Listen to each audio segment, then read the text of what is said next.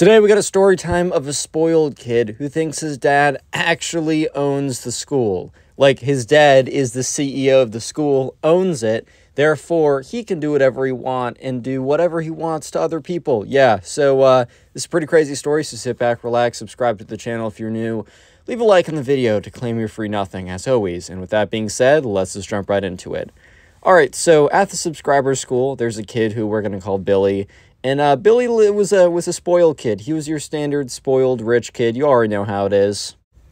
And as most spoiled rich kids, his parents literally gave him anything he wanted, which kind of diluted and destroyed the whole like idea of money, the idea of value, the whole idea that you can't just have everything that you've ever wanted. And also, he's never had to work for anything. I mean, here's the thing: there are parents of like that have a ton of money, but they still make sure to instill the right values in their kids. Like they're still making sure that their kids are getting summer jobs if they want something. They're making sure that they're not paying for everything, and if they are paying for something, that it actually makes sense. Like, oh, my kid needs to eat. Okay it's like, oh, my kid wants diamond, I don't know, studded cane or something. I, I don't know, man. Then obviously they wouldn't they wouldn't buy that. But unfortunately, Billy was a spoiled kid and his parents didn't really care. So, anyways, right, one day, um, Billy must have been riding back with his dad. And this part of the story is a little hard to tell because obviously the subscriber was not in the car with Billy, but it was just like overheard from different rumors and different people. But basically, what happened is Billy, the spoiled kid, was, you know, in the car riding back with his dad, and he was on his phone, I don't know, right, playing some game or something. But it's not like he had AirPods in. He wasn't listening to music because he heard what uh, you know Billy was or Billy's dad was saying. So Billy's dad was on the phone with the principal, and they were having some kind of conversation or something. I think Billy's dad, like I don't know, like did some stuff for maybe he did do some stuff for the school. Maybe he gave like donated some something, or maybe he volunteered. I don't know. So Billy's dad did have some affiliation with the school. However, Billy, the spoiled kid, was sitting there and hearing that his dad was talking with the principal, somehow came to the conclusion that since his dad was on the phone with the principal, he must actually own the school. So I don't know what Billy's dad said that made him believe that, but I think Billy's dad must have said something that he wasn't like, oh, and since I own the school, he didn't say something verbatim like that, but he must have said something that made sense in context. But since Billy, the spoiled kid, didn't hear the whole conversation and also wasn't hearing what the principal was saying, must have misconstrued that whatever was being said was a conversation that confirmed that his dad owned the school and not that his dad was helping out with the school, which is what actually was happening. So, right, after that, um, Billy kind of had like a massive ego blow up. And since he's a spoiled kid, he already has a pretty decently big ego for no reason. But now that he believes that his dad actually owns the school, his ego is like 3x what it was before. So the next day, Billy came in with like a newfound sense of confidence it wasn't as if he wasn't confident before. I think, as I have already said, he was, you know, the spoiled kid. He was pretty confident, right? However, he had this newfound kind of sense of confidence after falsely believing that his dad actually owns the school. Um, so, anyways, he comes into class. In the first period class, he has with the subscriber. So he sits down, not right next to the subscriber, but close enough to the subscriber. And um, so he's sitting there, and the subscriber is listening. And this at this point, this is a first-hand account since the subscriber sees all of this. There's some kid who we're gonna call Ben that was in between the subscriber and the spoiled kid, sitting like if the spoiled kid was on the far left and uh, Ben was on, or the subscriber was on the far right, Ben was in between them. So, anyways, right, uh, the subscriber overhears Billy, the spoiled kid, drop his pencil, right, and he looks down and he looks at Ben. And he's like, Pick up that pencil for me right now, peasant. And Ben's like, dude, shut up. And the subscriber's like, do you know who my? Oh, sorry, the spoiled kid is like, do you know who my father is? Mm. And the subscriber's like, what? Like, no he's your dad. I, I don't know. Remember, at this point, the spoiled kid is convinced uh, his dad owns the school. Therefore, ah, yes, I can be a jerk to anyone I want. Hmm. So, yeah, uh, when Ben heard this, he kind of just rolled his eyes and was like, whatever, man. And the spoiled kid is like, Your insubordinance is noted and will be reported to my father and the subscribers just kind of like, oh my god, because everyone kind of knew the spoiled kid as kind of being a spoiled, entitled kid, but they this was like a whole new level of just like, wow, really, really? Like, this is just a whole new level of, damn, this kid's spoiled. Anyways, though, so yeah, sure enough, the subscribers kind of just like, okay, whatever. However, the thing is, things continue to go on and things continue to get worse. And as the days went on, Billy the spoiled kid just became more and more unbearable. Like this kid was becoming an actual pain to just live with. So, uh, yeah, basically the worst was in lunch. Um, so in lunch one day or the next or during that day, he went up to some kid and was like demanding demanding like his lunch money. Basically, he was paying like it was a toll to the like it was it, it, Billy was set. You know when you go on the road and you have to like make those stops if you drive really long. Those like those toll booths where you have to pay money to pass through. Uh, basically, the Billy, the spoiled kid, went up to some kid and said, "You are now in," and he says his last name, "family's property. You must pay the toll." Please give me five, like three, or some amount, right? Whatever amount was like this kid's lunch money. And the kid was like, uh, dude, no. He's like, your insubordinance is noted and will be reported to my father. Uh, if you are banned from the school, then uh, don't come crying to me. That's all I'm going to say. And the subscriber overheard this and he was like, oh my God, this kid is actually the worst. And so the next day, uh, you know, Billy, this the spoiled kid, was uh, walked into the lunchroom and there was a massive line. The subscriber was about midway through the line. I think today it was, you know, some kind of like special food day that they all liked. Maybe it's Taco Tuesday. I don't know, man. Uh, anyways, though, so everyone was pretty excited. So the line was pretty long. Usually the line wasn't as bad as this, as kids wouldn't be as, you know, adamant of being like getting in line, going for seconds, whatever. So when, you know, Billy, the spoiled kid, walked in and saw such a long line, he was like, This shall never do. And he starts walking to the front of the line. The subscriber notices this and is like, ah, no, like no shot this kid actually thinks he can just waltz on in to the front of the line like no one else is here. But sure enough, you know, the spoiled kid, Billy, starts walking and it tries to cut the entire line. So obviously everyone's like, dude, like, what are you doing? And he says, well, you know, I just thought you guys would want to be on my good side and let me cut the line. So obviously everyone was like, ah, Hell no, bro. What are you saying right now? Everyone was just so confused why this kid is like, I think you want me to be on your good side. Like, dude, why would they care if they're on your good side or on your bad side? Like, I, I doubt that, like, they care any bit about that at all. Anyways, though, but the spoiled kid is like, I think it would be a smart investment for you guys to allow me to cut the line. Because remember, at this point, the spoiled kid is working from a kind of perception that he is truly like the ruler of the school. And I don't know why he's acting as if everyone else knows that too. Like if he only let's say uh, let's say his dad owned the school and he truly was the ruler of the school. Why did he not know about this until 2 days ago? And if he didn't know about this until 2 days ago, why is he acting as if everybody else knows as well? It just literally makes no sense at all. So yeah, everyone is like, uh, screw off, kid. Like, we're not giving you our spot in line. Stop being ridiculous, everything like that. And the spoiled kid, you know, gets super mad and is like, you're all going on the bad list or whatever. And he goes to the back of the line. So yeah, at this point, the spoiled kid shenanigans are not like getting him ahead in any way, but also they're definitely not helping at this. And, and they're also starting to get really, really annoying. So, anyways, Billy the spoiled kid, his uh, his his attitude slash behavior what got worse and worse, and just continued being bad. However, this reached a breaking point for the subscriber and everyone else in Billy's class one day. So one day, after weeks and weeks of just utter nonsense coming from Billy, Billy just took it a little bit too far. So during recess, uh, you know, the swings are pretty popular. Um, the swings are kind of like the place to be. And the thing is, it's kind of like first come, first serve. And everyone kind of knows, like, all right, you spend five or 10 minutes on the swings. If there's obviously some kids waiting around to get on them, just be courteous, be a, a good member of your community, and just, you know, get off the swings and then let them go on. And they'll probably do the same. It's definitely a kind of like, you know, the community is going to watch out for the community. And also, if you were known for hogging the swings, bro, the, the kids on the swings probably aren't going to give them up to you. So it's definitely like a big picture. You want to work with your group, whatever.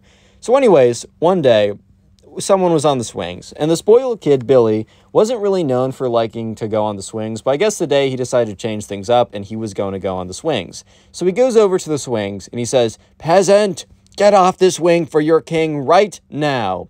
Honestly, I think if Billy the spoiled kid was nice about it, and maybe said something like, "Hey man, like how much longer do you think you want to be on the swings?" Like I think I'm gonna like I would personally like to like get on there at some point, but just let me know.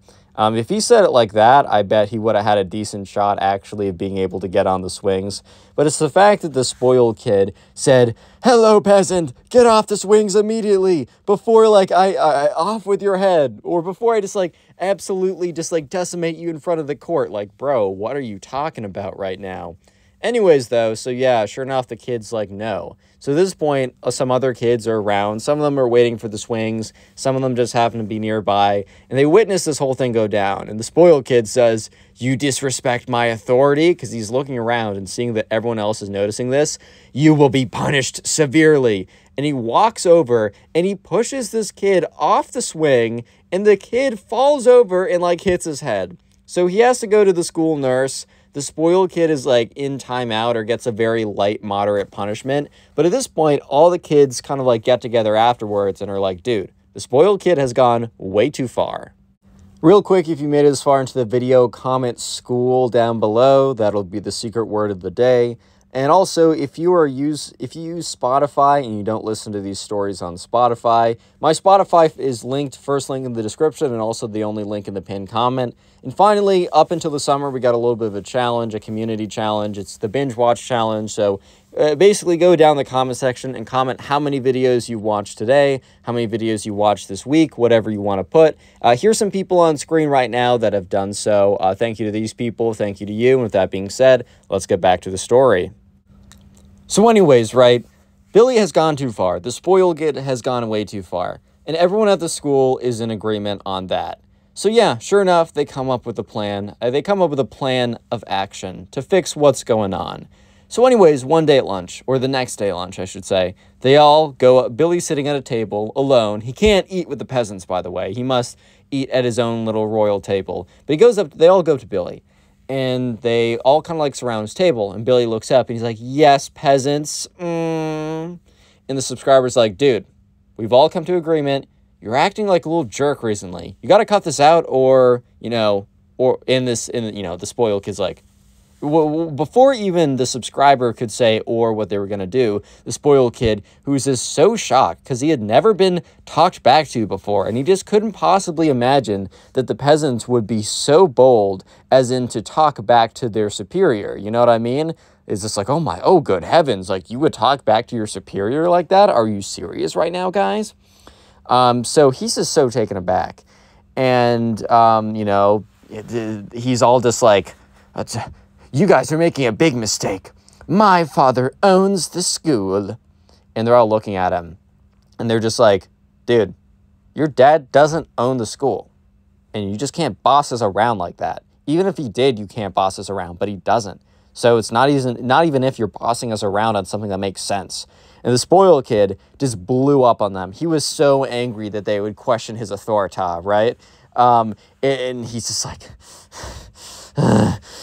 starts shouting, You're all just jealous of me because my father is rich. I can do whatever I want, and you will always be lesser than me. You must submit. You're better off submitting before I destroy you all.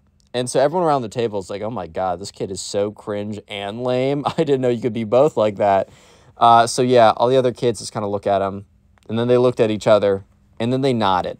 They all nodded at each other because they were all in agreement that action needed to be taken. Yeah, so uh, sure enough, they they're still at the table, and after like the spoiled kid finishes his like crazy explosive like freak out session, he's like, the subscriber says, "Look, dude, we're all in agreement. So either you're gonna quit, you're gonna cut out with all this like peasant talk and trying to cut us in line, bossing us around, and overall just being a jerk to us, and you know what you're doing.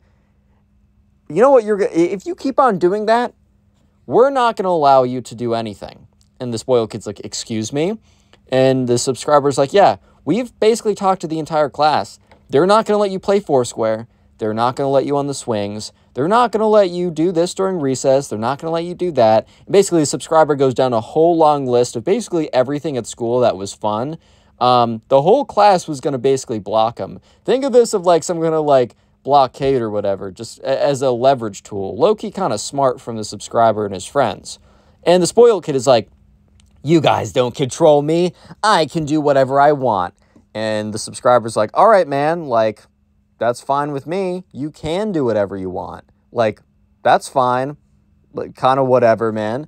And the spoiled kid's like, ugh, it doesn't bother me at all. I will have fun all by myself. So sure enough, the subscriber like kind of looks at the other kids and kind of gives them a nod and they all go back to everyone else saying that the spoiled kid was not being cooperative, so to block him from anything fun. So over the next couple days, the, the spoiled kid is not allowed on the swings, the spoiled kid is not allowed to join them during Foursquare, the spoiled kid is not allowed to do this, no one is talking to the spoiled kid. Basically, hold it like basically saying you're not allowed to have fun here until you stop acting like a jerk. So finally, after a week, the spoiled kid, when no one else is looking, goes up to the subscriber and is like, look, call off your blockade. I'll stop being a jerk. And the subscriber says, okay, one more thing. So you guys might be thinking, what is that one more thing?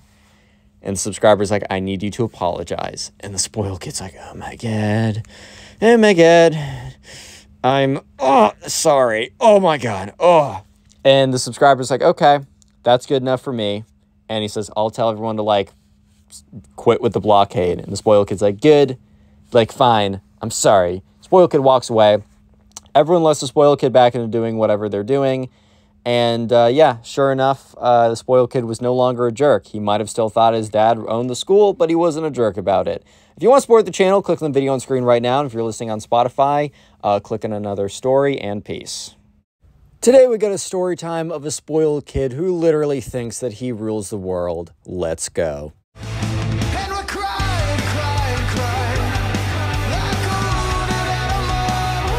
Call the subscriber Andrew. So this all happened when Andrew was about in like, I think like fifth grade or so, and there was a new kid who moved into his neighborhood. And this was over the summer, so Andrew has not met this kid yet as he would probably meet him next year or when school started in the fall. But the new kid's mom got on Facebook and connected with all the other Facebook moms in the neighborhood and was kind of just reaching out to them, being like, hey, you know, my son is new to the neighborhood. He's going to be starting school in the fall, and I really want him to have a good time. Can, can he, like, meet some of you guys or whatever? So one night, uh, one, like, summer night or whatever, Andrew's mom arranged that Andrew and her would go over to the new kid's house and so Andrew can meet the new kid and they can become friendly before school starts. And also so Andrew can meet the mom as well. Uh, anyway, so that night, you know, rolls around and, you know, they get into the car and they drive over. And, you know, Andrew is talking to his mom. He's like, Mom, I don't think I've ever been to this part of the neighborhood. And mom's like, Well, this is a very special part of the neighborhood as they approach a gate. Basically, this was like the gated community part. And a lot of times, gated communities are kind of like places and neighborhoods that are like protected by like a gate that goes all around them. And it normally costs a lot of money and the houses in there are a lot. A lot of people enter the gated communities just because they have a lot of money and they don't want people coming in or whatever. So this is the first time Andrew has ever been to this part. And he's like, wow, like I've never been to a place like this. And Andrew's mom uh, is like, yeah, Andrew, it's probably to be a pretty nice house too. So, you know, have fun over there or whatever. So they get to the gate and Andrew calls up uh, Ben, that is the name. But I'm, uh, if we're doing names, Ben is the name of the spoiled kid who lives at this house. Andrew's mom calls up Ben's mom, and you know Ben's mom's like, "Oh yes, the the the code for us is like 4772 or something like that. So she enters that in, the gate opens up, they go through, and they're going down, and Andrew's just looking out the window at all of these spectacular houses. And it's just like, oh my God, like I never knew that this part of the neighborhood actually existed. So eventually they pull up to Ben's house, and it is a wonderful house. It is a obviously a quite expensive house too. They pull up, they, you know, pull into the driveway, they get out, Andrew and Andrew's mom walk up, and Andrew's like, Oh my God, this house is insane. And Andrew's mom's like, I know, but don't say anything like that when you get there. And Andrew's like, I know, mom. They get up, they knock on the door, and Ben's mom greets it. It's like, Oh my God, hello there, guys. You know how moms greet each other. Hello. And Andrew's mom's like, Hi there, and gives like a little hug or whatever. And, uh, you know, eh, Ben's mom's like, Well, uh, Ben is upstairs. I told him to come down, but he's in the middle of one of those video games. You know how it is. And they both laugh. And Andrew's like, What? And, and, and Ben's mom's like, Well, uh, Andrew, just, just run up there. Run up into Ben's room. He'll say hello. So, you know, Andrew's like, All right. Andrew goes up, kind of goes up the stairs, knocks on the door. It's like, Yo, what's up? And you can hear Ben be like, like, Go away, mom. And Andrew's like, Hey, it's not your mom. And you just hear like a silence and then you hear, open the door. And so, you know, Andrew opens the door, walks in, and Ben is in the middle of like, I don't know, like a Fortnite game or something. He's playing some game and he's completely like occupied. He's like, hello there, uh, what was your name? Andrew's like, Andrew. Ah, Andrew, hello. Um, I, I'm pretty busy right now, so feel free to just take a seat on my bed. Actually, no. Can can you stand? Can you stand? Is that okay? Andrew's like, yeah, that's that's that's fine. That's fine, I guess. So Ben is just going away playing his like Fortnite or whatever, and Andrew can hear the two moms downstairs laughing at something that probably wasn't that funny that the other one said, but you already know how it goes. But anyways, eventually, you know, Ben, you know, he loses. He's like, boom, slams his fist on the table. He's like, God damn it! And he turns around. He's like, Yo, what's up? Hey, sorry, weird introduction. My name's Ben. What's your name? And Andrew's like, I just said that, but he doesn't say that. He's like, Ah, my name's Andrew. And then Ben's like, well, uh, don't expect me to remember that. I might have to ask again. And Andrew in his head is like, dude, well, I'm coming to your house because you wanted to meet people. Are you serious? But, anyways, right? Andrew just kind of like bites his tongue and is like, all right, whatever. So, and Andrew's like, so, what do you like to do? And, uh, you know, Ben's like, I don't know. I like to play Fortnite. I like to take my uh, my parents' cars for a spin. What cars do your parents have? And Ben's like, oh no no, don't even tell me. Let's go to the window now. So Ben leads him to a window that looks outside, that like looks out at the cars, because he's looking at the car that was parked. And Ben is like, oh, that's so sad. That's so sad. I don't even know what kind of car that is. And trust me, trust me, if it was a nice car, I would have known. And Andrew in his head is like, oh my god, this kid probably had to leave the old place he was living because he because he burned all the bridges with anyone he could have been friends with. Oh my god! And Andrew's like, well, um, yeah, it works. It's a car. It got me from my house to here, so it it functions. And Ben's like, well, I guess kind of. I'm surprised it isn't falling apart right now. Like, when's the last time you got that checked for like raccoons living in there? Oh my god! And Andrew's just like looking at him like, what? And Ben's like, come, come here, come here. They walk downstairs, and Andrew and Ben's mom's like, oh, look at those two. They're already becoming such great friends. Uh, no, no, no, no, they weren't. But, but anyways, right, Ben leads them out, and he's like, all right, man, come over here. He brings them to, like, behind, like, the backyard of his house, and it, it it's a pretty crazy house. Like, there's a massive backyard, and then there's this garage, and it's a car garage. So Ben's like, take a look at this, and he takes out this like clicker and he clicks it, and then like this garage door starts to open, and there are four freaking cars back there, and it's like Mercedes S Class, Aston Martin. It's like the fanciest freaking cars on planet Earth. And Ben's like, look at these babies, like these are insane. These are all my dad's cars. Like my mom has this like stupid G wagon or whatever, but these cars, these are how you get all the women, bro. And Andrew's like, okay. And Ben's like, yeah, these cars go for at least $200,000 each at auction. Unlike most cars that depreciate and fall apart, these actually aged like fine wine. I don't know how, but that's what my dad said. And Andrew's like, Andrew, do not beat this kid up. Do not beat him up. He deserves a punch in the face, but don't do it. Don't do it, Andrew. Don't do it. And Andrew's like, so, cool. And Ben's like, of course it's cool. It's awesome. My cars are awesome. There's not even a question. There's not even a doubt in my mind that they are the best cars ever. Oh, want to take a look at your car again? And Andrew's like, nah, I think we took a, a good a, good enough look. Anything else you want to do? And Ben's like, ah, I don't know. Let's just go back upstairs, I guess. So they walk back upstairs, and Andrew, as he's passing his mom, Andrew's mom looks over, and Andrew makes his face of like, like kind of like does that like you know that like you take your hand you kind of like make a quick movement next to your neck like nah nah nah like this is not good bro and andrew's mom kind of gives him this look of like keep going like doesn't matter let's shut up shut up. And andrew's like okay fine. I'm not getting saved from this. I just got to deal with this kid. So anyways ben's like so do you want to see my third floor? And andrew's like you have a third floor to your house? He's like yeah we actually have a fourth floor too but let me show you the third floor of the house. And he opens it he goes up these stairs and they walk up and it is the most insane thing ever. Every game, every toy, every everything is on that floor. It is the most insane thing ever. There's air hockey, there's a boat like a mini bowling thing, there's a mini golf thing. It is ridiculous. And, and Andrew's like, oh my God, dude, this is insane. And Ben's like, I don't know, my last house was actually even cooler. This is such a downgrade. Like, this honestly sucks. This sucks so bad. I don't know why I'm showing it to you. Maybe so that you could pity me or something. And Andrew's like, pity you? Like, this is the coolest thing ever. Like, you gotta, I love air hockey. And he starts like going on there and so, turns it on, starts beating it. And Andrew, Ben's like, turn that off. And Andrew's like, uh, okay. Ben's like, sorry, I just don't want it to get scratched up. And Andrew's head, he's like, you don't want your air hockey set to get scratched up.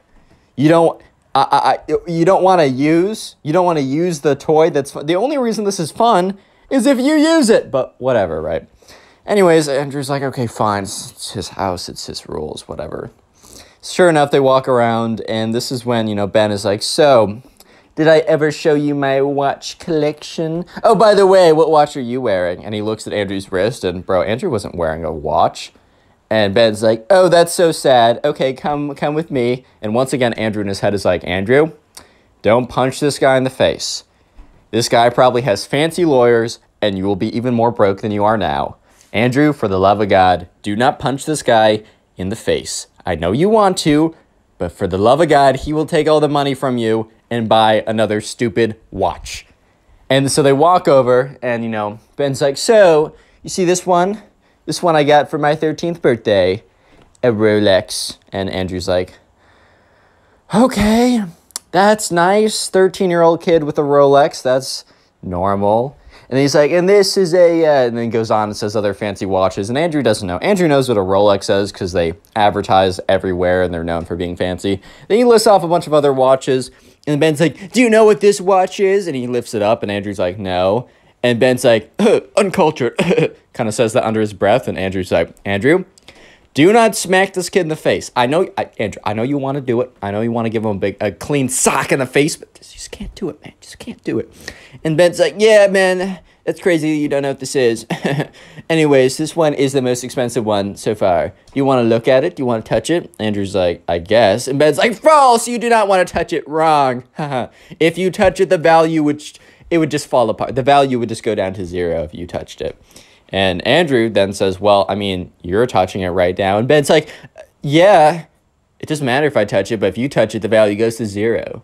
And Andrew's like, Andrew, don't punch this kid in the face. Whatever you do. I know you want to. I know you got a clean shot right now to just sock him in the face, but don't do it, Andrew. Don't do it. Do it for me, buddy. Do it for me. You don't want to lose. You don't want to make this kid buy another car with your money that's going to be taken from your mother. Don't punch him in the face. He's got fancy lawyers.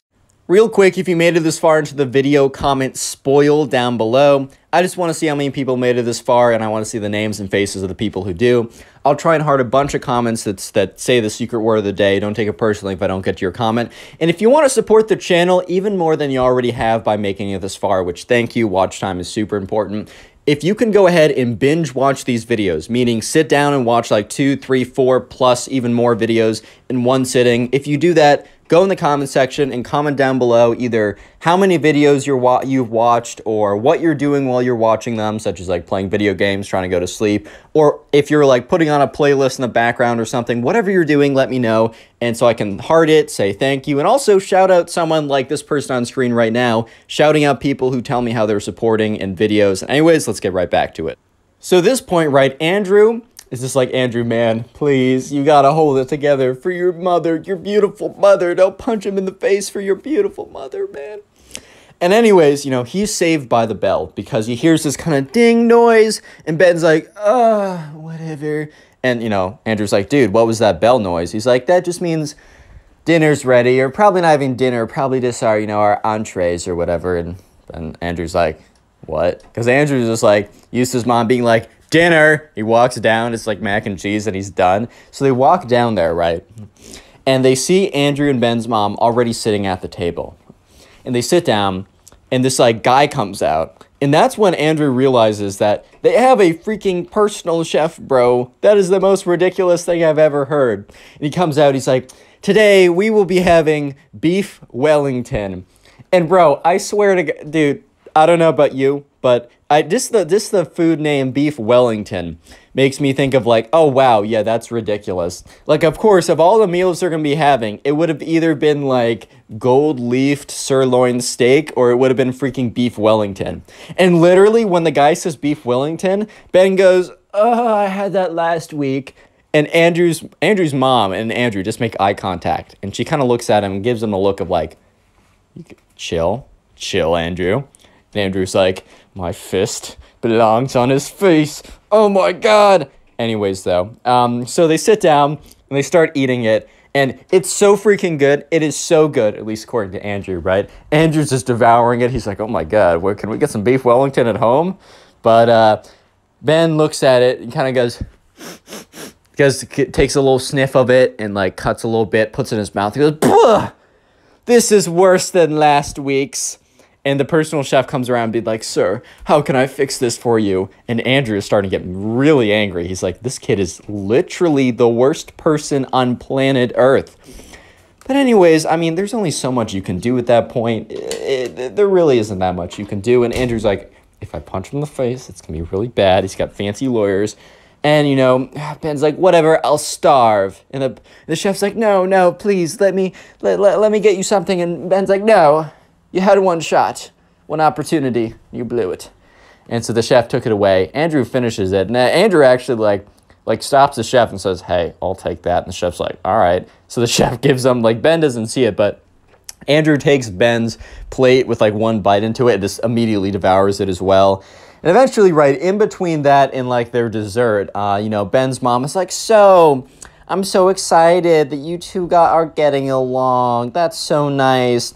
You know, how about Ben? How about we go around? We talk about like our highs and our lows. Let's do rose and thorn. Tell me what was a good thing. That's the rose, and tell me what is a bad thing. That's the thorn.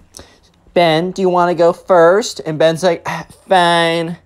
I guess the rose was the fact that I get to go to bed every night, sleeping is so cool. But I guess my thorn is my thorn's actually a lot of things. Let me let me ta- let me let me take a second. Oh, whoa, whoa, whoa, whoa. I know exactly what my thorn is. You know that new kid, that stupid kid, mom? And like Ben's mom's like, "What, honey?" He's like, "Yeah, you know that stupid kid that you had me hang out with yesterday? He totally was not respecting my authority. He did not understand that I was just intrinsically a better person than he was." And Andrew at this point was like, what the fuck? what? Uh, intrinsically a better person than you are? Bro, what are you saying? And then Ben goes on to go completely mask off. And he's like, yeah, you know how, like, the whole, that kid didn't have any money. and Ben's mom's like, Ben, I think it's time to elaborate on your rose. I think we've heard enough of your thorn. Trying to cover up the fact that her son is a complete lunatic, a maniac, freakazoid, right? And, and Ben goes and goes like, well, no, let me finish my thorn yes, this kid, he, he didn't understand that, like, when I told him to give me a foot massage and I'd give him, like, five bucks, because that'd be more money than he'd ever seen his entire life or something, he, like, totally flipped out. And then I went on to tell him that, like, we live in a society, like, the caste system. I was learning about that history and how, like, he's the peasant and I'm the king in this society. And that, you know, the dynamics, right? The dynamics between the peasant and the king we're not really being reflected in the way that he was talking back to me, mom. to me. and at this point, Andrew's like, is this staring at his mom? Just staring at his mom. And Andrew's mom kind of like gives him like a kick under the table because like Andrew was like, bro, I gotta say something, man. I got, I gotta say something, bro. Like I can't let this go on. And ben, Ben's mom is looking mortified because while she lives in a bubble, she also understands what is not polite conversation. And one could say that this was not polite conversation. You know what I mean? And Ben goes and be like, yeah, dude, this is like, it was ridiculous. It was insane. I mean, I offered him five whole American dollars for a foot massage. It was crazy. And he said no. And he got all upset or something. And, you know, I tried to like shove my foot in his face anyways. And that made him more mad. I was literally giving him a second chance to respect the kings of his society. I mean, mom, he's literally a peasant. I mean, did you did you see his did you see his whip? He's a peasant, mom. At this point, Andrew's like, what, what, what, what, how do you not expect me to punch this guy in the face? By the way, little disclaimer don't punch anyone in the face, even if they deserve it. It's a bad idea. This kid, maybe. Maybe this kid. But in general, no, I don't condone violence. Off the record, maybe this kid. But, anyways, back on the record. Um, and Ben is just like, anyways, right? So, Andrew, what was your rose and thorn? Actually, I don't really care. Mom, this game sucks. What's the next next thing we can talk about? And Ben's mom is like mortified once again. And Ben Ben's mom's like turns to Andrew and Andrew's mom's like, "Isn't Ben so funny? he's like a comedian or something. he's he's really funny." and Andrew's mom's like, "Aha, yeah." And Ben then goes on, completely destroys whatever his mom was trying to do, and he's like, what do you mean I'm funny, mom? None of that was a joke. You know that. You know what we talk about behind the scenes. Do they not know, like, what this is? And Andrew's mom's like, What do you mean, what this is? And, you know, Ben's like, Well, I mean, you know, the whole society thing, like, you guys are lesser than us. We just wanted to, like, I don't know, it, it just looks good. Like, it's, it's like a charity thing when we hang out with the lessers. And Andrew turns to his mom and says, He's like, quote, he's like, dude, he just called us the lessers. And Andrew's mom's like, shut up, Andrew, give me a second. Andrew's mom's like, what? And Ben's mom looks at Ben and is like, shut up, Ben, shut up, Ben. And Ben's like, what? I'm just saying it how it is. I'm just being real, mom. What's that whole thing about like being real and always being honest with each other? Well, I'm always being honest with everyone. And he looks at Andrew and his mom and he's like, yeah, you know what? You guys are a charity case. You're cha- we're trying to find a new charity case, right? We're trying to find a new charity case. And when I saw your car roll in, I knew for a fact that you were a perfect charity case. And Andrew's mom looks at her looks at her watch. It's like, "Oh my god, I'm so sorry. We have a thing at 6:48. Oh my god, I'm so sorry. We're so late right now. We have a thing at 6 6:48. Yeah, it's 6:48 at night on that moment. I'm so sorry. We got to go." Andrew's mom picks up Andrew. Andrew in his head's like, "Yes." Yes, escape. And they walk out, and Ben's mom, I hope to see you. Oh, I'm so sorry you had to cut this short. Also, Ben is being so funny today. Gives him a punch, and he's like, Ow, mom, why'd you punch me? And he's she's like, Oh, he's so funny. I hope to see you guys soon. And Andrew's mom turns around and is like, Yes, goodbye now. And they both walk out, they get into the car, and Andrew's like, um, do you think that if we stayed there long enough that they were gonna like, I don't know, put us in camouflage and then try and hunt us or something? Like, bro, that was insane. And Andrew's mom's like, you know what? I've never met anyone in my life like that. And we will not be seeing Ben again. And Andrew, you better stay away from Ben. Andrew's like, well, yeah, because if I was near him again, he'd be punched in the face. Andrew's mom's like, don't punch anyone in the face. I mean, okay, that kid. No, that kid has fancy lawyers. Don't do it. Click Andrew. on the video on screen right now. I know you'll enjoy it. Just click it. Do it. From a spoiled brat who literally says that he owns poor people. Yeah, dude, he actually said it. To a kid who starts crying because they have to fly public transportation. Oh, good heavens! These are the most spoiled kids of all time. Let's go.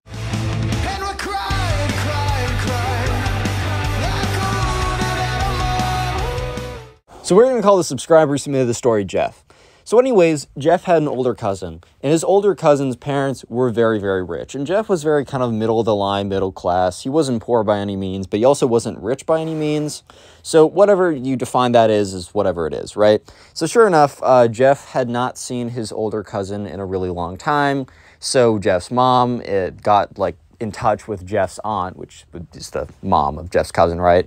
And I think they were just talking and they were just like uh, catching up or whatever. And they realized that it had been such a long time since they got together. So they decided that over the summer they were going to meet up. So let's fast forward to over the summer. And uh, sure enough, it comes to the time for them to meet up. Jeff's cousin lived like about an hour and a half drive away. So sure, so Jeff got in the car with his mom and they were driving over. And uh, Jeff was talking to his mom, being like, "Hey, it's been like legitimately." Like four or five plus years since I've seen my cousin, and I also don't think I've ever been to my cousin's house before. So that's when uh, Jeff's mom has to like brace him a little bit, and she's like, "Hey, look, so you know, you know about like Jeff's financial situation." And they're like, or not Jeff, sorry, your cousin's financial situation. Jeff's like, yeah, I'm kind of aware his parents do pretty well. And Jeff's mom's like, look, they don't just do pretty well they do really well, right? They do really well. So Jeff's like, okay, cool, good to know. And she's like, look, it's going to be pretty crazy once you get there. Like, the house is insane. Like, I've seen photos, but I'm sure in person it's even more, like, daunting, right? So Jeff honestly was kind of underestimating. Like, he was thinking, like, okay, my mom's just, like, exaggerating for effect or whatever. I don't know why she's exaggerating, but she's definitely exaggerating right now. Um, but sure enough, uh, she was not really exaggerating because they pull in, but they don't pull into the driveway. They pull into the the pathway to the house, dude. Like this house legitimately had like a winding road up into it. It was one of those houses that just like existed on a massive plot of land. And this wasn't like a massive plot of dirt, dude. This was like the most beautiful plot of land you've ever seen. Like just ex- like exquisitely done. Their gardener should be getting a raise, right? So they're driving up this pathway and uh, or this driveway, I guess, but you can't think of it like a normal driveway. And Jeff's like, "Oh, are we in the neighborhood right now?" And Jeff's mom turns to him while she's driving is like, "This is not a neighborhood, Jeff. This is the driveway to their house. This is on their property." And Jeff's like, "How? Like I don't even see the house yet." And Jeff's mom's like, "That's what I mean." So eventually they see kind of like a house in the distance, but it doesn't look like a house, man it looks like a legitimate hotel. Okay, it doesn't look like a hotel, but looks about the size of a hotel. Obviously, it looks much more like a house, but for sizing wise, it looks like a hotel. And Jeff's looking at this thing. He's like, "That's that's insane! Like, mom, there's no way." And his mom's like, "Yeah, that's what I'm saying." So they pull up, and it's like the, the biggest, most extreme thing ever. And they pull into the driveway of like there's multiple cars outside. Obviously, the cars are pretty sick, and they get out and Jeff's aunt like comes out of the room, or not the room, the house, and she's like, "Oh, so excited for you guys to be here. It's really been way too long." And Jeff's cousin comes out. He's like, "Hey, what's up, little dude?" Jeff's cousin is older than him. Jeff's about 16 at the time, and Jeff's cousin's like 20 or something. So at, at first, Jeff's cousin actually seems like he's pretty chill or whatever, but as the night goes on, you will see that is definitely not the case. I guess he's just pretty good at first impressions or whatever. So things seem pretty good at first, and Jeff is honestly just in awe of everything around him. I mean, he walks into the room, there's like a freaking crystal chandelier, dude. It's like marble floors, the stairway, the stairway, like, there's like a spiral staircase that goes up like four or five stories. This is like a legit house, dude. Like, this is insane. And, you know, so Jeff's uh, aunt is kind of like giving them a little bit of a tour. But for her to give an extensive tour of the entire place would probably take legit hours. So it's like a very quick here's the bathroom, here's the kitchen, here's the movie room. the movie room, dude. Dude had a projector and a movie. It was insane, right? Here's the bowling room. Bowling? What? Anyways, uh, so yeah. Eventually, Jeff is goes up the stairs with his mom. There's a guest bedroom, two of them actually, more than two of them actually, but there's two of them right next to each other for them to have. They're on the third floor, and it's just like, wow, okay. So Jeff gets his stuff in, plugs in his phone, walks over to his mom's room. He's kind of whispering a little bit because he doesn't necessarily want them to hear, but he's like, dude, this is insane. And his mom's like, yeah, don't call me dude, but yeah, I know this is like this is this is what I meant. Like, prepare yourself. So, anyways, they're going out to dinner that night, and uh, so they get in the car and they drive over. And honestly, like Jeff and his cousin were sitting in the back seat and they were just talking, and it was it was cool actually. Like he seemed like a pretty chill dude at first, which you'll soon find out he is not. But you know, so he never really went to college, which I mean, I guess if you're with that much money, like I can definitely understand. I guess. But honestly, I think even if you come from a ton of money, you should still go to college for the experience part. Um, you just I mean, I feel like that would be the greatest experience ever in college because it's like, oh, well, I don't actually have to try. I just get to do the fun things. But either way, he decided not to go to college and he's uh, quote unquote a entrepreneur, which most of the time just means unemployed. but yeah, so he was quote unquote an entrepreneur and he was starting like 58,000 companies. Man, look, you're not Elon Musk. You, you can't run three, four, five companies successfully at a one time, right? Try and get one to work in the first place. Like, you think Elon Musk started doing six companies in a row that all worked? No. Look up uh, X.com, which will go to PayPal, which PayPal Mafia. Very interesting saga. You should look into it. But, anyways, right, so he's talking about all that, and Jeff's kind of just, or sorry, Jeff's cousin. If I said Jeff, I meant Jeff's cousin. And Jeff's kind of just sitting there like, okay, dude. Okay, dude. Sure, you're an entrepreneur. Weird, Got it. Okay, dude. Cool. Mm, okay. Um, so they get to the restaurant, they sit down, and then they're talking about everything. And uh, so Jeff's aunt is like talking about because you know they're just catching up or whatever. They're getting to know each other again. Jeff's aunt is telling them about this like really crazy trip that they went on, and I think Jeff's mom was just a little, or not Jeff's mom, just aunt. I think Jeff's mom's sister. I think that's how that works. But Jeff's aunt is a little bit, um, well, not a little bit, probably pretty, uh, pretty naive or just oblivious of how ridiculous of a story she's telling. And I don't mean ridiculous in the sense of like, oh, that's unbelievable, right? It was unbelievable in the sense that you believed it, but the fact that someone lived like that was unbelievable. Look, if you go on really insane trips like that, sometimes it's just better to keep the details to yourself. Like if you went somewhere really cool, you can tell someone all about it and tell them about what you saw but like they were adding in all the details of like, oh yeah, we rented out a Ferrari. It's like, dude, what? It's like, yeah, we we yachted around. It's like, dude, what? It's like that's fine if you did it, of course, like whatever, but maybe not telling the random person like I, I get it, it's cool or whatever, but like, bro, I don't know. Uh, so like Jeff is kind of sitting there like, dang, I could never un- like this life is insane, right? So eventually they get back, and it's a little bit later. But uh, Jeff's mom, aunt, and uh, cousin, um, they all start having the, the, the adult apple juice. I think I can say that they're drinking, but like YouTube, dude, YouTube can be weird sometimes. So I'm just gonna say that they're all drinking special water. I'm just say they're drinking. No more word arounds. You know what I'm talking about. YouTube, I, I don't. I honestly don't think they care that much. So yeah, they all start. You know, they drink some, I don't know wine or something. And uh, the thing is, right? Jeff's cousin um, really starts going hard at it and uh, he gets fairly drunk. And the thing is, right, when you say stuff when you're drunk, a lot of times you don't actually mean it, but you also kind of do. There's sometimes you just say stuff that is not true. But in a lot of cases, it kind of just brings out parts of you that maybe you try and just kind of push back uh, so that you can remain in civilized society. you know what I mean? So, uh, yeah they were all kind of like sitting around and jeff was not drinking because uh, maybe he did a little bit with his friends but dude was 16 he was his mom was not having that happen. So he got his like uh, club soda or whatever which is what i get when i go to restaurants because club sodas are great. And he's kind of sitting there and he's kind of like looking at them and they're all talking about whatever. And i don't know how it got to this point but jeff's cousin just got so incredibly drunk that he started okay this is where the title quote unquote spoiled kid thinks that he owns poor people, quote unquote, right? This is where that part starts to happen. Because, you know, he starts to go on being like, man, I don't know. This is Jeff's cousin, by the way. He's like, man, I don't know if you guys can relate to this. But, you know, whenever I go in, you know, uh, I travel in New York City or I go anywhere near public transportation, dude, I just get the ick. And uh, so at first, Jeff's mom's like, yeah, like it's really grimy. I don't like it because I don't think most, I mean, look, most people have to use public transportation, but it's definitely not like the most fun place ever. It's definitely not like the greatest vibes ever. Like that's just kind of a fact of the matter. But so Jeff's mom was like, "Yeah, I can relate to that." But then uh, Jeff's cousin went on to say something that was a little bit less relatable. Jeff's cousin's like, "Yeah, you know, it's just all it's just all the poor people in there, man. I mean, no offense to you guys, which was that's a that's a hilarious statement to say to someone like, no offense to you guys, poor people, me, me, me, right? Like, dude, seriously. And but this guy, look, Jeff's cousin was drunk enough that he didn't care. He kind of like took off the facade of trying to care about other people, right? He's like, yeah. He's like, I wish that there was a social program that like got rid of them. Like, dude didn't even say like, I wish there's a program to help the poor. He's like, I wish there's a program to get rid of them. Like, ship them off somewhere else, dude. So at this point, Jeff's mom, even though she was like a little bit drunk, she wasn't like drunk enough to deal with this stuff. So she's like, but the thing is, right? Uh, Jeff's aunt was totally out of it. Like she was totally out of it. Like she was about to excuse herself to bed in a, in a fast second.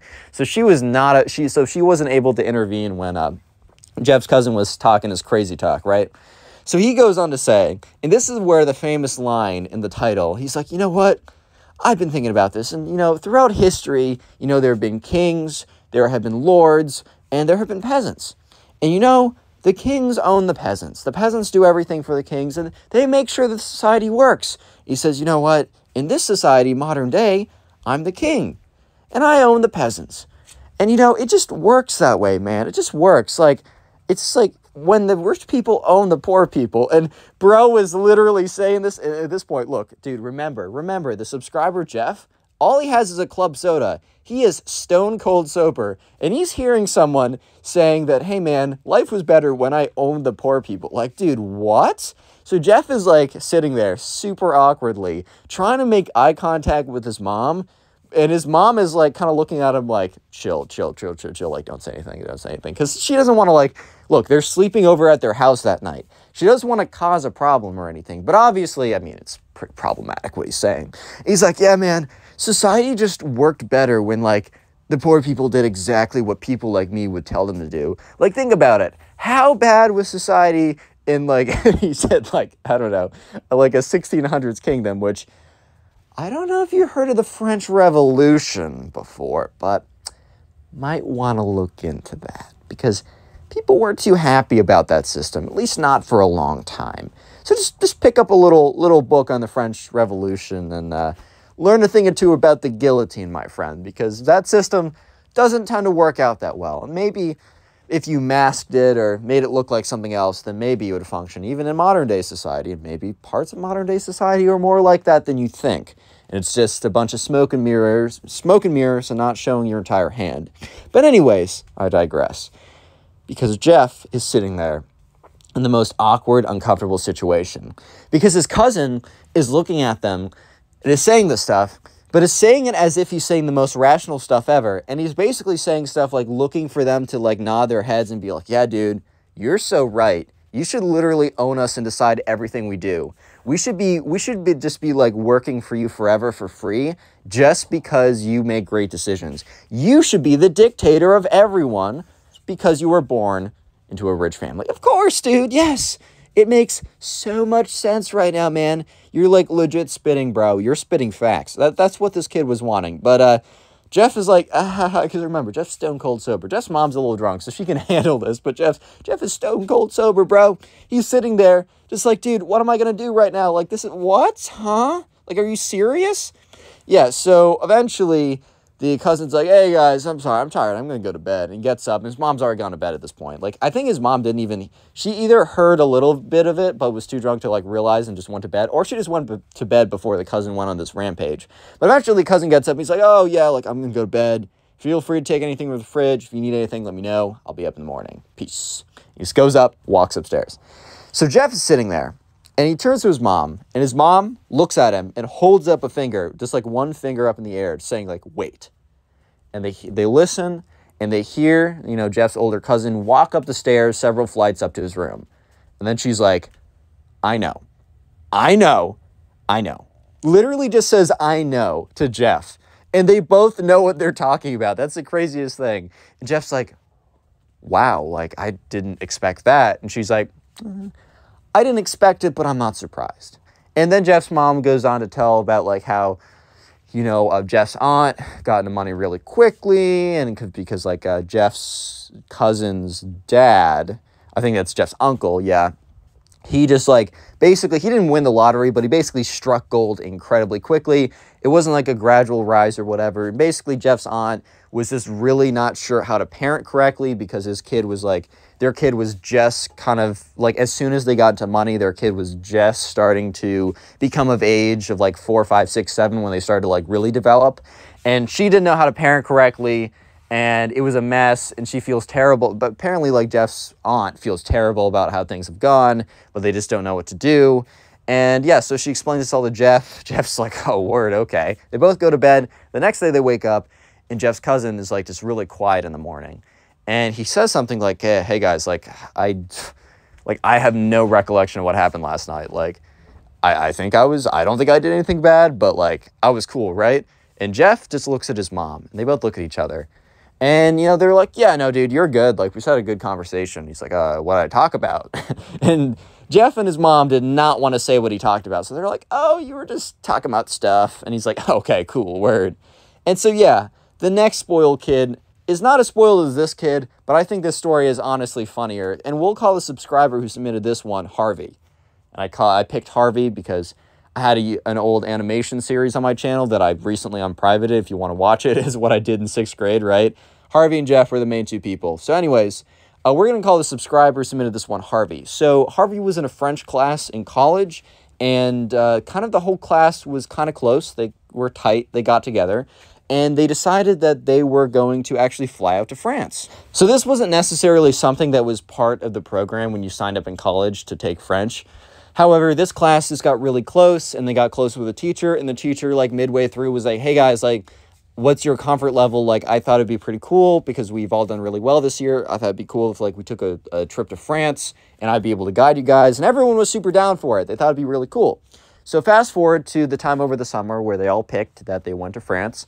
So they're fly so they're busing over. They all live in the same multiple state radius. So they all came together at a certain bus station and they were all getting on the same flight. So they're busing over right now. And, uh, you know, so, anyways, Harvey looks over at this kid. We're just going to call him the spoiled kid. He wasn't really known as being that terrible, and he honestly isn't that terrible. He just does something pretty funny. Like, it's just like, bro, live in the real world, please. But he would always, like, I don't know. He would say a thing or two where you were like, okay, this kid definitely is from a different world or different reality than me. And uh, real quick, comment spoiled down below. That'll be the secret word of the day. I'm trying to like splice these in. I keep forgetting. And also, we're on Spotify, or I should say I am, because I'm a one-person operation. I'm on Spotify. You can listen to those these stories on Spotify and much more. It's in the link in the description. And also, if you're listening to this on Spotify, Thank you. I appreciate it. Make sure you rating us, uh, rating us, rated me, keep saying us, five stars and followed the, uh, the podcast. Anyways, so sure enough, right, uh, uh, I'll just get into it. So they're, they're busing over and they get there and this kid, the spoiled kid, looks super, super lost. And the thing is, sometimes, like, a lot of people have never flown before, and that's totally fine. But a lot of that reason is because they just don't have the finances to do it, because flying is extremely expensive, especially nowadays. It's ridiculous. And uh, so Harvey was like, okay, this kid looks like he's never been in an airport before and he's never flown, but I also know it's not because he doesn't have the money, because there was indications that, okay, this kid was pretty loaded, like this kind of a fact of the matter. And uh, so they get in there, and this kid looks just so confused. And it's pretty funny because they, they go through TSA, it's a whole mess, whatever, which it, it always is, man. It literally always is. And they get in there, and their flight gets delayed like two hours. So they're just sitting in a crowded airport, and Harvey looks over, and this kid is like tearing up, and Harvey's like, "Oh shoot, like what's up?" So he turns over, he's like, "Dude, like, are you good?" And this kid's like, "This is too much for me. I've never flown public before." And Harvey's like, "Oh, dude, you never flown before? Like, you should let me know. I can I can help you out." And the kid's like, "No, no, no, no, no. It's not that I, I've never flown before. I've flown a lot." And Harvey's like, "Um."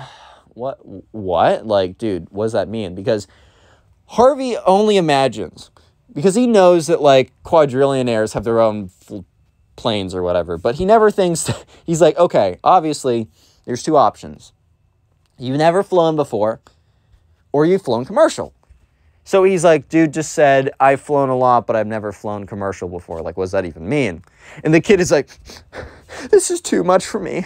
There's so many people around here. The spells are weird and the food is bad. And, you know, our flight's getting delayed. This never happens to me when I fly. And Harvey's like, wait, like, what? Like, where do you fly? Like, do you fly out of the smallest? Because, like, Harvey was thinking, okay, this kid obviously like lives in a really small town that just happens to have an airport that just has like 20 people max at any time.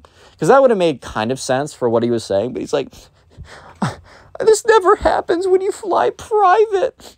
And Harvey's like, wait, dude, what? Because like Harvey was just like, he never thought like, okay, he knew this kid was like, had some money, or at least he acted like he had some money, but he didn't knew he didn't know the bro actually actually had some money, right? Even though dude was kind of like his parents were doing much better than he expected.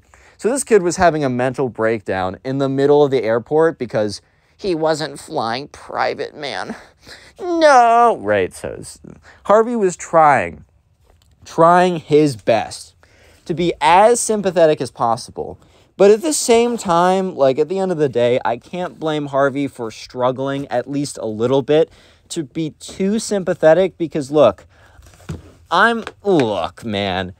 you're going to get the smallest violin treatment if you're crying because you've only flown pub uh, private and oh no you need to fly like the rest of us peasants. Oh no dude i'm so sorry right? I can only be so sympathetic and harvey felt the same way.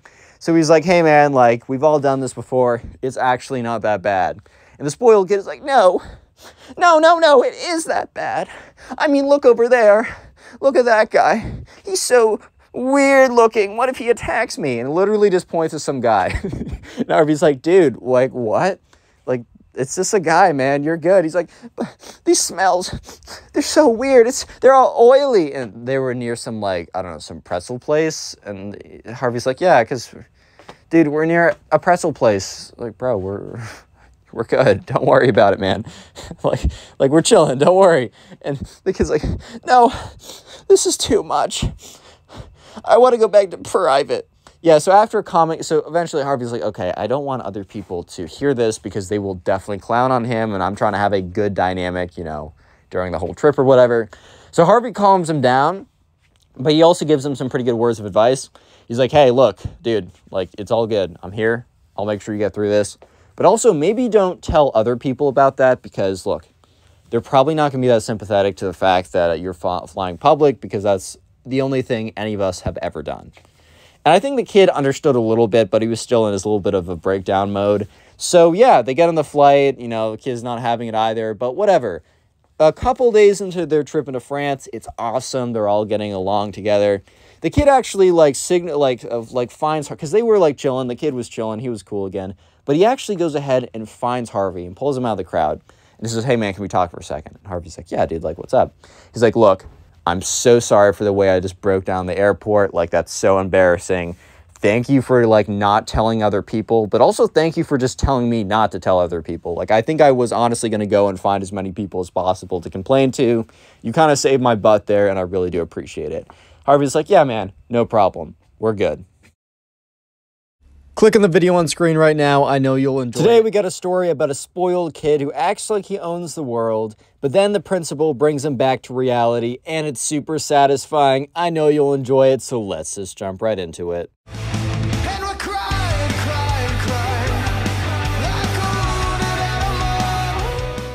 So we're going to call the subscriber who submitted this story Jeff. So anyways, right, there was a kid in Jeff's class who we're going to call the spoiled kid because uh, he was genuinely just like the most spoiled kid on planet Earth. His parents gave him everything, and because he always got anything he ever wanted, he just had an air of entitlement to him. He genuinely believed that he received everything that he's received not because it was given to him, but because it was like his like his his right. His he was born into the right to have everything, right? basically he believed that you know everything that was going well for him in life he genuinely believed that that was because of his own like his own grit or intelligence or which i mean i guess some of it was but the majority of like what he had was because it was given to him so this can kind of mess up a kid when this happens to them because they'll they're, they'll basically have their ego inflated so bad that they'll end up doing ridiculous stuff and this was a great example of it so this spoiled kid, right? You know, one day Jeff had a girlfriend. We're gonna call this. Uh, what are we gonna call her? We're gonna call her Maddie, right? So Jeff's girlfriend Maddie, they've been together for like a year. It, they were a solid relationship, right? So this was high school for uh, context for the setting, and uh, Maddie and Jeff were together for a while, uh, and they were a very strong relationship. Like it just, there was no way that Maddie was gonna cheat on him. However, the spoiled kid who believed that he was entitled to everything in the planet saw Maddie thought she was beautiful and decided, you know what? That's my girl now, man. he genuinely believed that if that I mean, he genuinely believed that like, oh wow, if I want something, I will get it. So uh, yeah, this all started one day when uh, the spoiled kid started to hit on uh, Jeff's girlfriend Maddie, and uh, so you know he's walking down the walking down the aisle or not the aisle, the uh, what's it called, the ha- the hallway. Um, Jeff went off to go get something, and Jeff turns around to see that the spoiled kid walked up to Maddie and is like talking with her. And you can kind of just tell by the spoiled kid's body language that he is definitely interested in something, that he's definitely not just like asking for directions or, oh, do you know, do you have a pencil, or kind of like asking for something that you might ask anyone. He was very clearly had a pretty strong intention for what he was doing, and it was pretty obvious what he wanted, right? So, you know, Maddie started walking back to uh, Jeff, the subscriber, and Jeff was like, oh, like, what's that? Because Jeff thought, okay, maybe Maddie and the spoiled kid were friends or something, and he just didn't know anything about it. And Maddie's like, I think that guy just hit on me. And like the spo- and like Jeff turns around to see the spoiled kid, and they both look at the spoiled kid, and the spoiled kid turns around and literally winks at Maddie, gives her the two finger guns, and then walks away. Like the cringiest thing you've ever seen, bro. So sure enough, Jeff looks at Maddie. He's like, "Ew, what?" Because yeah, the spoiled kid was very notorious for being, um, how do I put this? Not the greatest guy ever. Like he was just notoriously, he was just notorious for being super spoiled, entitled, uh, super arrogant, cocky, just not a good kid, right? And Maddie's like, "Yeah, no, this is like very unfor like like this kind of sucks, dude. Like I don't want to have to like reject him, but I also am going to reject him." And Jeff's like, like I think it's pretty obvious. I think it's pretty common knowledge that you and I have been in a relationship for a while. It's not like we've been hiding it. It's not like some kind of big secret we have kept from everyone. And Maddie's like, yeah, I'm like 90% sure he knows that too. So I don't really know what he's doing. And uh, they kind of came to the conclusion that the spoiled kid did know that Maddie was in a relationship with Jeff. But, you know, at the end of the day, if you've gotten everything you've ever wanted, and if you wanted something, you get it no matter what, like at the end of the day, I think the spoiled kid had the mentality of just because like there's a you know a goalie in the goal doesn't mean I can't score, bro. I'm still gonna make my moves, which uh, he will make his moves in just a second. Don't worry, boys and girls. But anyways, so Maddie's like, oh god, like he definitely knows, and Jeff's like, dude, yeah, he definitely does know. Maddie's like, okay, well I'm gonna have to reject him, right? And Jeff's like, okay, well. Reject him if he asks for anything, but like we don't even know if he's totally into you yet. We, we don't know if he's gonna do anything. And Maddie just looks at Jeff like, Jeff, I know how guys act. I know how guys act when they like me. It's the way that you acted around me like a year ago or whatever. And Jeff's like, well, okay, fair. You got me there. She's like, he's definitely going to try something. I'm just going to reject him when he doesn't. Jeff's like, cool, okay, whatever. So uh, the next day, they're sitting at lunch together because uh, Jeff would normally hang out with the boys a lot, but he always, he kind of like carved out lunchtime for specific time with his girlfriend. So Jeff and uh, Maddie were sitting at lunch together, as they always did, right? And the spoiled kid came and sat down. So it was a four person table, but there's enough tables in the cafeteria that people could sit by themselves, no problem. And so Jeff and Maddie were sitting together at a four person table with just two of them, and no one else would really sit down because everyone knew they were basically just going on a date every single day at lunch. Like it was their kind of their private time and so many tables around that there was no need to sit with him. It's not like you'd have, oh, we're out of seats, I got to sit with you guys. But anyways, the spoiled kid literally sits down next to Jeff. And it's like, "What's up, Maddie? Like my name's like uh, spoiled kid. Like nice to meet you." and Jeff's like, "Oh my god." And Maddie's like, "Hello." It's like a bit of a question mark, right? And the spoiled kid say, "Oh yeah, what's up? Is this your this your like friend or something?" Maddie's like, "This is my boyfriend." And at that point, the spoiled kid looks and it's like, "Oh yeah, right, whatever, same thing." you, dude, the spoiled kid literally says, "Oh yeah, same thing." Yeah, right. A boyfriend and a friend are the same thing, dude. I mean, maybe in the spoiled kid's mind and his perception, like friend, boyfriend, you know, husband of 10 years with three children, same thing, dude. Potato, potato, it doesn't matter to me because you're going home with me either way. But, uh, you know, truth is that's not how it was about to go. So uh, he literally just like is like acknowledges Jeff's presence for a second, calling, saying, uh, yeah, same thing, whatever, kind of like trying to nullify the fact that he is literally Maddie's boyfriend, and then immediately turns to Maddie and just starts like talking her up. And I don't mean being like, how's your day? I mean being like, you look beautiful in that, uh, that whatever that you're wearing. Like, oh my God, like your nails complement your eyes so much. Like, oh, did you hear? I actually have this really crazy whip and like all my girls like are able to drive in it and you can take photos for your Instagram. Like literally the most blatant stuff ever. And it was really freaking cringy and uncomfortable for Jeff because dude was literally sitting right there as this guy fails to like try and pick up his girlfriend as he's sitting right there. And Jeff wasn't some like crazy confrontational guy.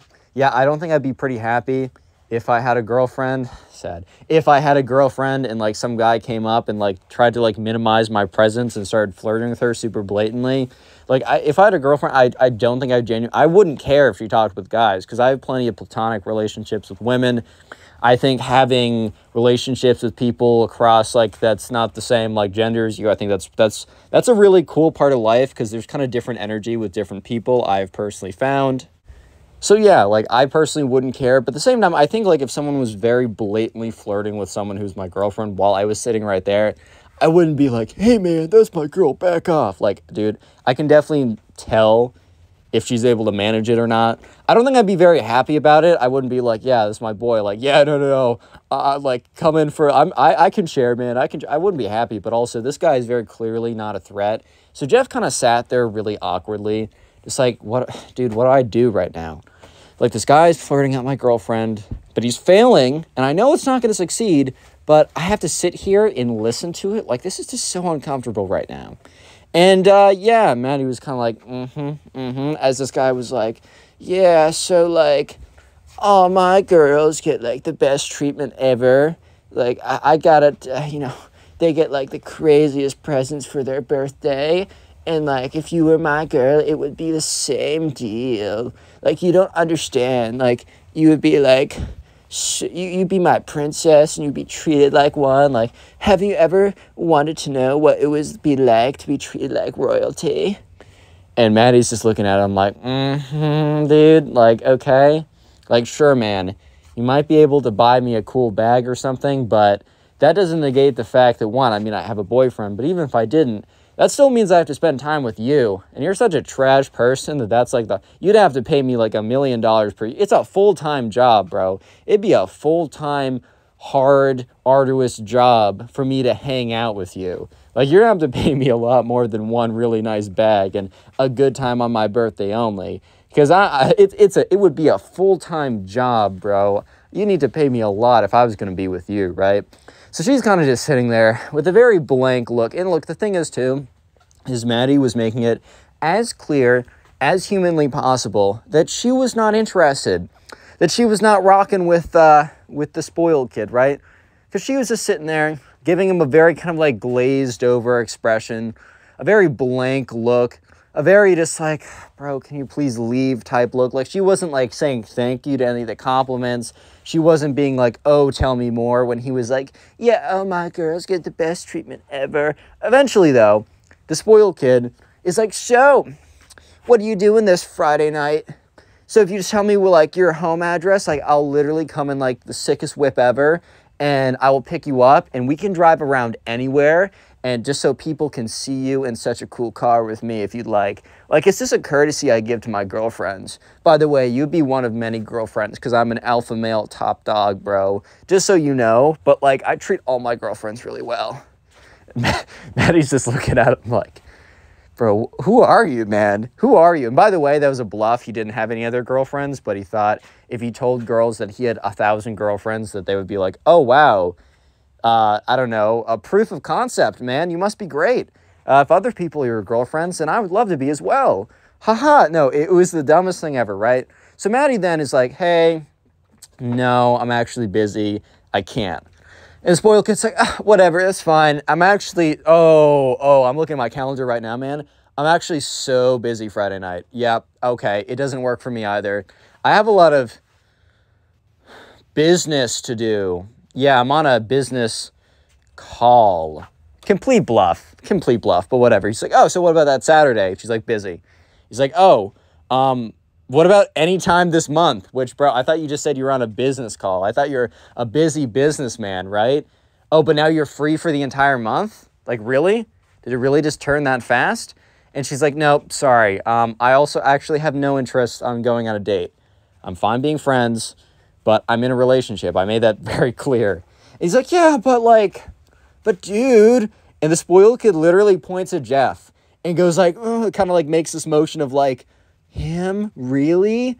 And Jeff turns around and is like, dude, I'm sitting right here, bro. Like, chill the frick out. Like, I'm sitting right here. Because this kid was literally pointing at Jeff, looking at Maddie and being like, him?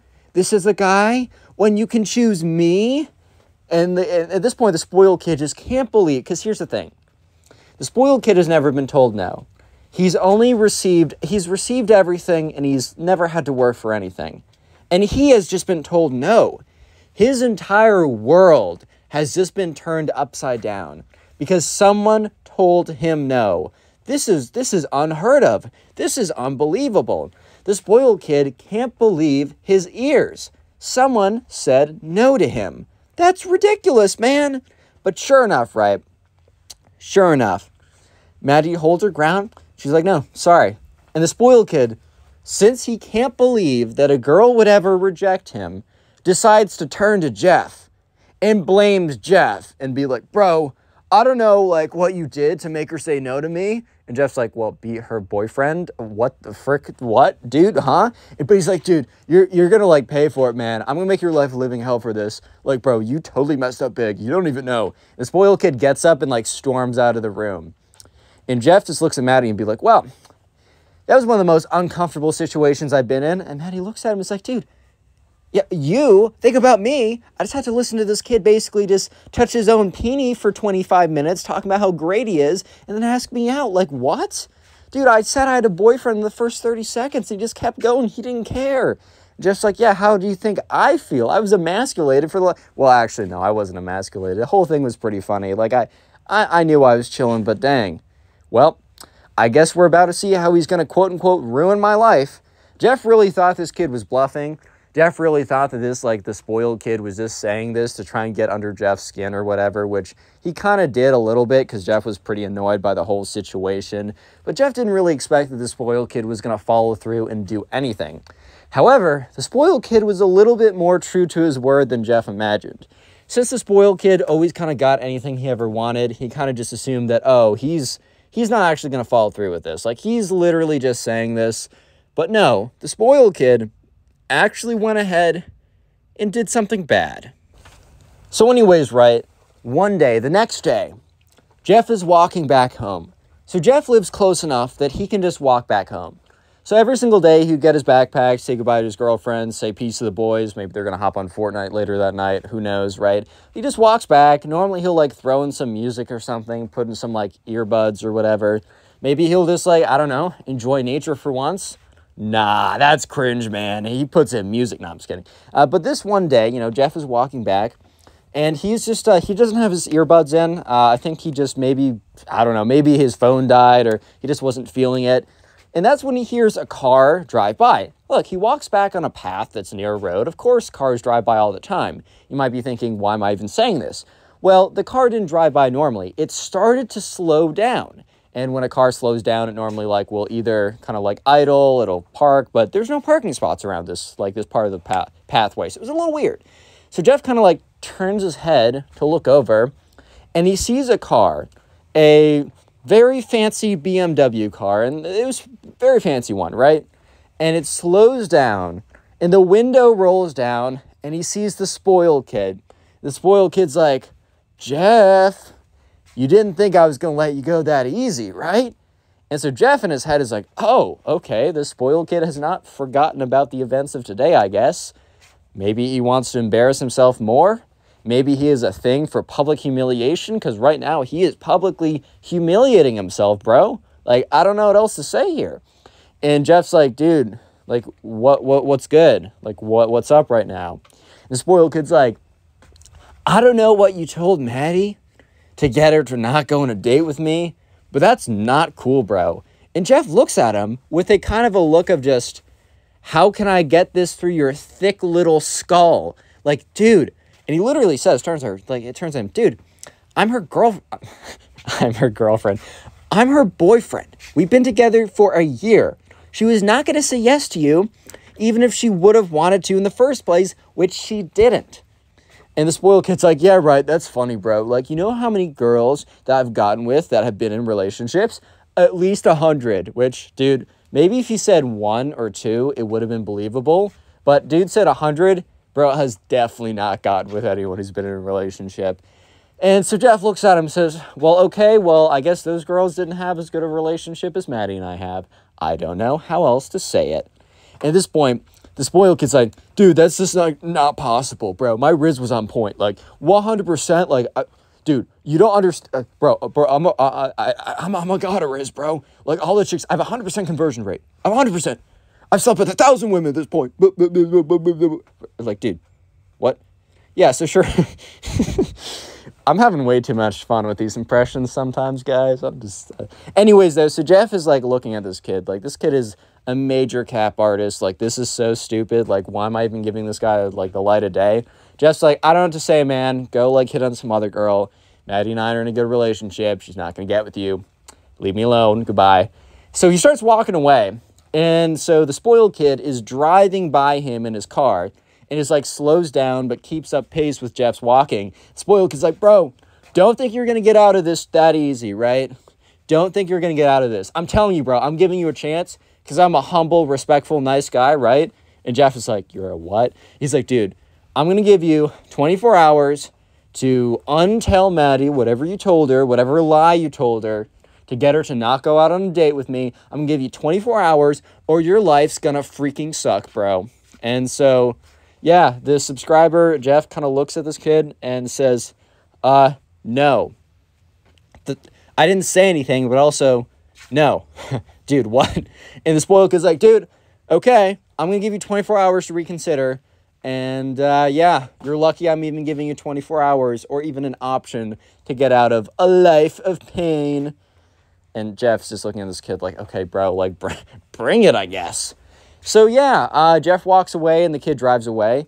And Jeff is kind of just thinking to himself, what the frick just happened? So he picks up his phone, calls Maddie. Maddie's like, oh, what's good? He's like, dude, the spoiled kid just came up to me and said that, like, I had 24 hours to untell you whatever I told you that made you not go out with him. Because it definitely wasn't because A, we're in a relationship, and B, because maybe he's just not attractive to people like you because of his character and how much of a skadoosh he is. Like, maybe that's the reason. And Maddie's like, yeah, I'm, this kid's delusional. And he said, I have 24 hours or my life will be like terrible and he'll make it terrible. And Maddie's like, oh, well, well, that's not good. And he's like, yeah, I, Maddie, don't worry about it. Like, I, I really don't care. This kid, what can this kid do? So this kid actually did some stuff. Yeah, and we're going to get into that. So the spoiled kid, I'm actually I'm not going to tell you. I will tell you in a second. But the next day, Jeff gets into school. And Jeff is friendly with a lot of people. Jeff is friends with a lot of people, but he's only close friends with a couple. Honestly, that's kind of how it goes. You really only need two or three really tight knit friends, and then what beyond that is kind of just gravy, in my opinion. I think it's really nice to be friendly with a ton of people. Maybe you have like boys in a class, like you go, you know someone in your class, you always hang out with them, you chill with them in class, but you don't talk to them that much outside of class. Maybe you walk to class with some guys, or maybe you chill with someone at one, like people you aren't that close with, but it's just nice to kind of have a network of people you're friends with. So, anyways, Jeff got into school and there's kind of like a routine he'd go through. Like he'd see person X for a second, he'd see person Y as they're walking by, he'd catch up with person Z. All these people would see him, would turn away, basically run away from him. Out of like the 15 people Jeff normally spoke with every day, zero. Zero out of 15. They all saw him coming and turned and went the other way. Jeff didn't make the connection, but he was like, dude, something's really weird. And it was just really, it was just really weird, dude. Like, Jeff had no idea how to react to it. So Jeff, like, at lunch, like, sits down and talks to his girlfriend. He's like, hey, like, people are acting really weird to me today. And she's like, Jeff, like, I need to tell you something. And he's like, yeah, Maddie, like, what's good? And she's like, I heard, like, the spoiled kid did something crazy. And Jeff's like, um, crazier than yesterday? And she's like, yes, yes, much crazier. Basically, this kid has gone around and figured out everybody that you talk with, and basically he, he's he's paying them every single day to not talk to you and to avoid you. Apparently, he's paying them like ten dollars every single day just to not talk to you. And this, at this point, Jeff's like, "What?" Yeah. So the spoiled kid had access to a lot of money, and I know some of you guys might be thinking ten dollars, like really, but you have to realize, first of all, this is high school. $10 is freaking huge. Like even now, like I do stuff for $10. But at the same time, it's like, especially in high school, $10 a day. And also, the only thing you have to do is just not talk to someone you're not even super close with. Like, all 15 of those people did it. Are they kind of snakes for doing it? Yeah, a little bit. But at the end, it was a good deal, like the free market, I guess. But anyways, so Jeff's like, well, that explains all the weirdness that's happening today. And Maddie's like, like, I'm sorry, like, like this is my fault. And he's like, no, no, this is not your fault. This is this cringe kid who can't accept that he loses, right? He can't accept that he doesn't get everything that he ever wants. You know what? Let's play hardball. I don't care. So uh, Jeff only had one friend. He had his girlfriend, and then he had one friend. He used to talk to like 20, 30 people every single day.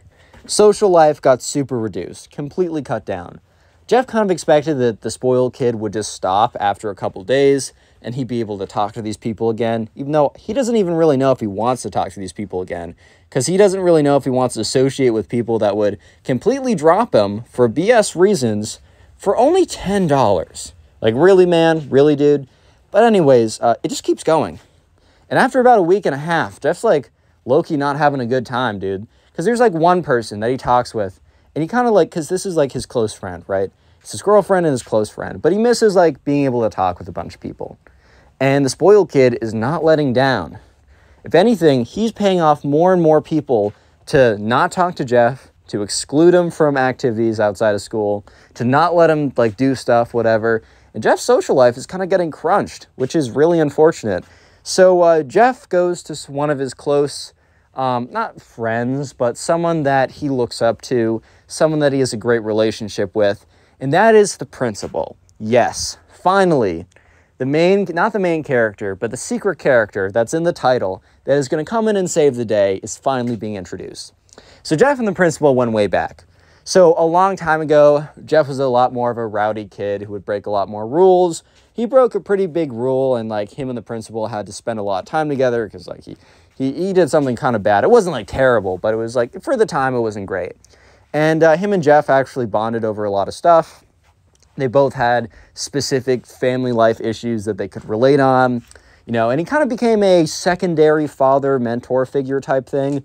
And uh, Jeff would go speak with the principal every once in a while about like life, about things, how things were going. Jeff was doing pretty well in school, and he wasn't breaking any rules or anything. Completely changed his trajectory. It was mostly all thanks to the principal. So this time, you know, he asked the principal if he could talk, and they sat down. The principal's like, "So, what's up? And Jeff basically explains the last 25 minutes to the principal. I'm not going to re explain it because you guys have already heard it. And by the end of it, the principal's like, wow, like, I knew that kid was a little weird, but this is really extreme. And the principal, first of all, says, okay, well, as much as this sucks, first thing I will say is that the people that, you know, are being paid $10 to not be friends with you anymore really aren't good friends in the first place. And while this is really unfortunate, I guess it really does show you who is actually your friend or not. And the principal said, you know, I used to have a really big social circle, but, uh, you know, the second I wasn't reaching out to them every five seconds, they kind of just fell off. They just kind of like fell off the map. And the principal says, I really only talk to like two to three people every single day now. And uh, my life's okay. But that doesn't excuse what this guy is doing. And the principal says, you know what? I think I can help you out. So this is what the principal does. He calls in Jeff's friend and he says, hey, like, is there like any chance that uh, you know you're that you've been offered money by the spoiled kid? And Jeff's friend says, yeah, he's been like texting me for like the last week or so, asking every single day to give me ten dollars to start stop hanging out with him. Like it's so annoying. And he's like, I'd never say yes. Like that's ridiculous. And principal's like, whoa, whoa, whoa, chill out. We're gonna call Jeff's close friend, the only friend that stuck with him, Ben. And the principal's like, actually, like, can I see your phone? Like, I want I want you to help me catch this guy. And then Ben's like, oh, okay, word, cool. So Ben hands over the phone, and the principal responds to the text message, like the thousand text messages, right, saying, I'll give you 10 bucks if you stop hanging out with him. And the principal's like, hey, on Ben's account, acting like he's Ben, basically is saying, like, oh, like, okay, yeah, actually, I've changed my mind. Like, I'll, ten, I'll take the 10 bucks. And the principal starts going on to ask more questions about, like, oh, so out of curiosity, how many other people are you doing this with? Like, are you paying all these people? Like, what's the motive? At this point, the spoiled kid is spilling everything because the spoiled kid is just so excited because the spoiled kid truly believes that he just got Ben. Because he thinks, I got all of Ben's kind of close friends to stop talking with him. Now I just got Ben's last close friend to stop talking with him. Then the final nail in the coffin will be when I get Ben's girlfriend. Uh, not Ben. When I get uh, Jeff's girlfriend. Like, ha ha ha. Spoiled Kid really believes that he just won right here. So he's telling Ben, quote unquote, which is actually the principal behind the screen, right? Everything. The principal like airdrops or sends the takes screenshots, sends the files to his computer, prints it out on like literal physical paper, puts it in an envelope, grabs the envelope, and starts walking towards the spoil kid's class. So he knows the spoil kid. He looked up on the computer which class the spoil kid was in, and uh, went up to his class. Five minutes before got out, was literally just waiting outside, and then the bell rang, the door opened. The spoiled kid is walking out, and his chest is all puffed out. He's all excited, pumped up, because he's like, dude, like I'm literally, I'm literally dancing on this kid Jeff right now. I'm literally dancing on him, and after I'm done dancing on him, I'm gonna steal his girlfriend, dude. Like I'm literally on a heater, bro. I'm never gonna miss. And uh, yeah, that's when he was faced with the principal, who stopped him and said, "Hey, can I talk to you for a second? And you know, spoiled kid's like, oh, yeah, sure, okay. And the principal looks at him and is like, so, out of curiosity, have you been asking people or paying people $10 to stop talking to a fellow classmate? Because that would be bullying and harassment, by the way. The spoiled kid's like, dude, no, I'd never do that. He's like, have you talked to Ben specifically about that? Just out of curiosity. And, you know, at this point, the spoiled kid's like, oh, dude, no, Ben's a loser. I've never talked to him, bro. I've never even spoken to him on social media ever, which the kid didn't know he was literally digging his own grave. And the principal's like, oh, so do you want to explain these to me? Total Chris Hansen style. Like, pulls out the manila envelope, shows all the screenshots on a piece of paper. And the spoiled kid's like, dude, that's not even, uh, what? And at that point, the spoiled kid knew he messed up. So, yeah, the principal brought him to the front office. The principal also had a little bit of an investigation and interviewed everybody else that was paid off. Those kids didn't get in trouble because while they did something a little snaky, they didn't technically break any rules or anything. The principal did tell them, look, what you guys did was pretty messed up, but you're not in trouble. Just don't do that again in the future, like just for life lesson or whatever. But yeah, the spoil kid himself actually got uh, three days of suspension. But the most important thing is not just the three days of suspension, he had to write an apology letter to both Jeff and Maddie, his girlfriend. Dude, this is the greatest principal of all time. Click on the video on screen right now. I know today we have a story of this teacher who completely owns this spoiled kid. I know you guys will enjoy it. It's a perfect karma story. Let's just get into it.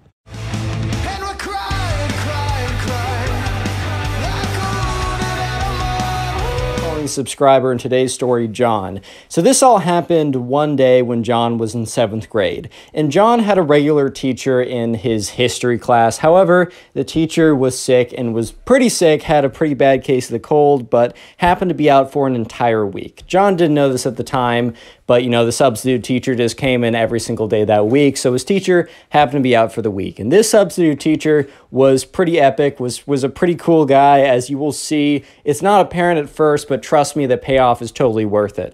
There's also a bully in John's school, unfortunately. And the bully is in John's history class. History, okay. In, in John's history class, right? And this bully has been kind of known as like the bully for the longest time. John is in seventh grade and he's been going to the same school since he was in first grade. And this kid has always been known as a school bully since first grade, since the first year John has been there. And obviously, as the kid has gotten older, he's gotten more, you know, crueler and more sophisticated with his bullying. But he just never stopped. And John would always tell his parents, and his parents were like, "Oh, well, he's to grow up someday." And let me just say, it has been it has been 7 years. It has been 7 years of long long bullying. And John's been waiting for long enough. So this all happened. Let's go to day 1. So day 1, John comes into class and he's waiting for his regular teacher, and the substitute teacher walks in instead. And John's like, oh, okay, I guess we have a substitute today. And the substitute is like, hey, class, like, my name is Mr. Davenport. I will be substituting for Mr., uh, I don't know, Mr. Kavanaugh because, you know, he, you know, he's sick today. And if he's sick for any other days this week, I'll be substituting as well. Like we'll be doing normal activities. Class will be continuing as usual. I, you know, I've studied the lesson plan and things will be like normal. So anyways, on the first day, class was fairly normal and you know john was sitting with his friend ben Ben is not the bully this time. Uh, he normally is. Whenever I have a bad character, I always name him Ben because we're just calling the bully the bully. So John and Ben were sitting together and they were doing some kind of like, you know, some reading activity in the class or something. And that's when they look over and they see the bully. And the bully is with his other minions, you know. So a lot of times in school, like the bully will have like his minions that do whatever he says. And the bully had his minions in this class and they were sitting there and they were snickering because they were like throwing, like they were like chewing, like crunching up and chewing up wads of paper and then spitting them through tubes. So kind of like spitballing people in class. And people would turn around and be like, hey, who did that? And they'd like look away and snicker. Everyone knew it was the bully, but they also didn't want to mess with the bully because the bully was known for like upping his bullying against anyone who kind of like fought back. So it was kind of just known that, that the best thing you could have done in that situation was kind of just ignore it because the the more or, or the less you ignore it, the worse it gets and the harder it is to actually ignore. And you know, John turned to Ben. He's like, "You know what, this kid, this kid's been the worst for the longest time. Like is anyone ever going to put a stop to this kid or is this kid ever going to grow up?" And you know, Ben is like, dude, I totally see this guy becoming some executive of a company and doing this exact same thing to his subordinates. Like, I see that happening. And John's just like, dude, I know. That I told my mom this years ago that he was a bully. My mom's like, oh, he's going to grow up, John. He's going to grow up. Well, he's growing up to be a bigger butt than he was before. And the thing is, right, the bully overhears this. And the bully turns around and is like, hello, John. And John's like, oh, uh, hello there.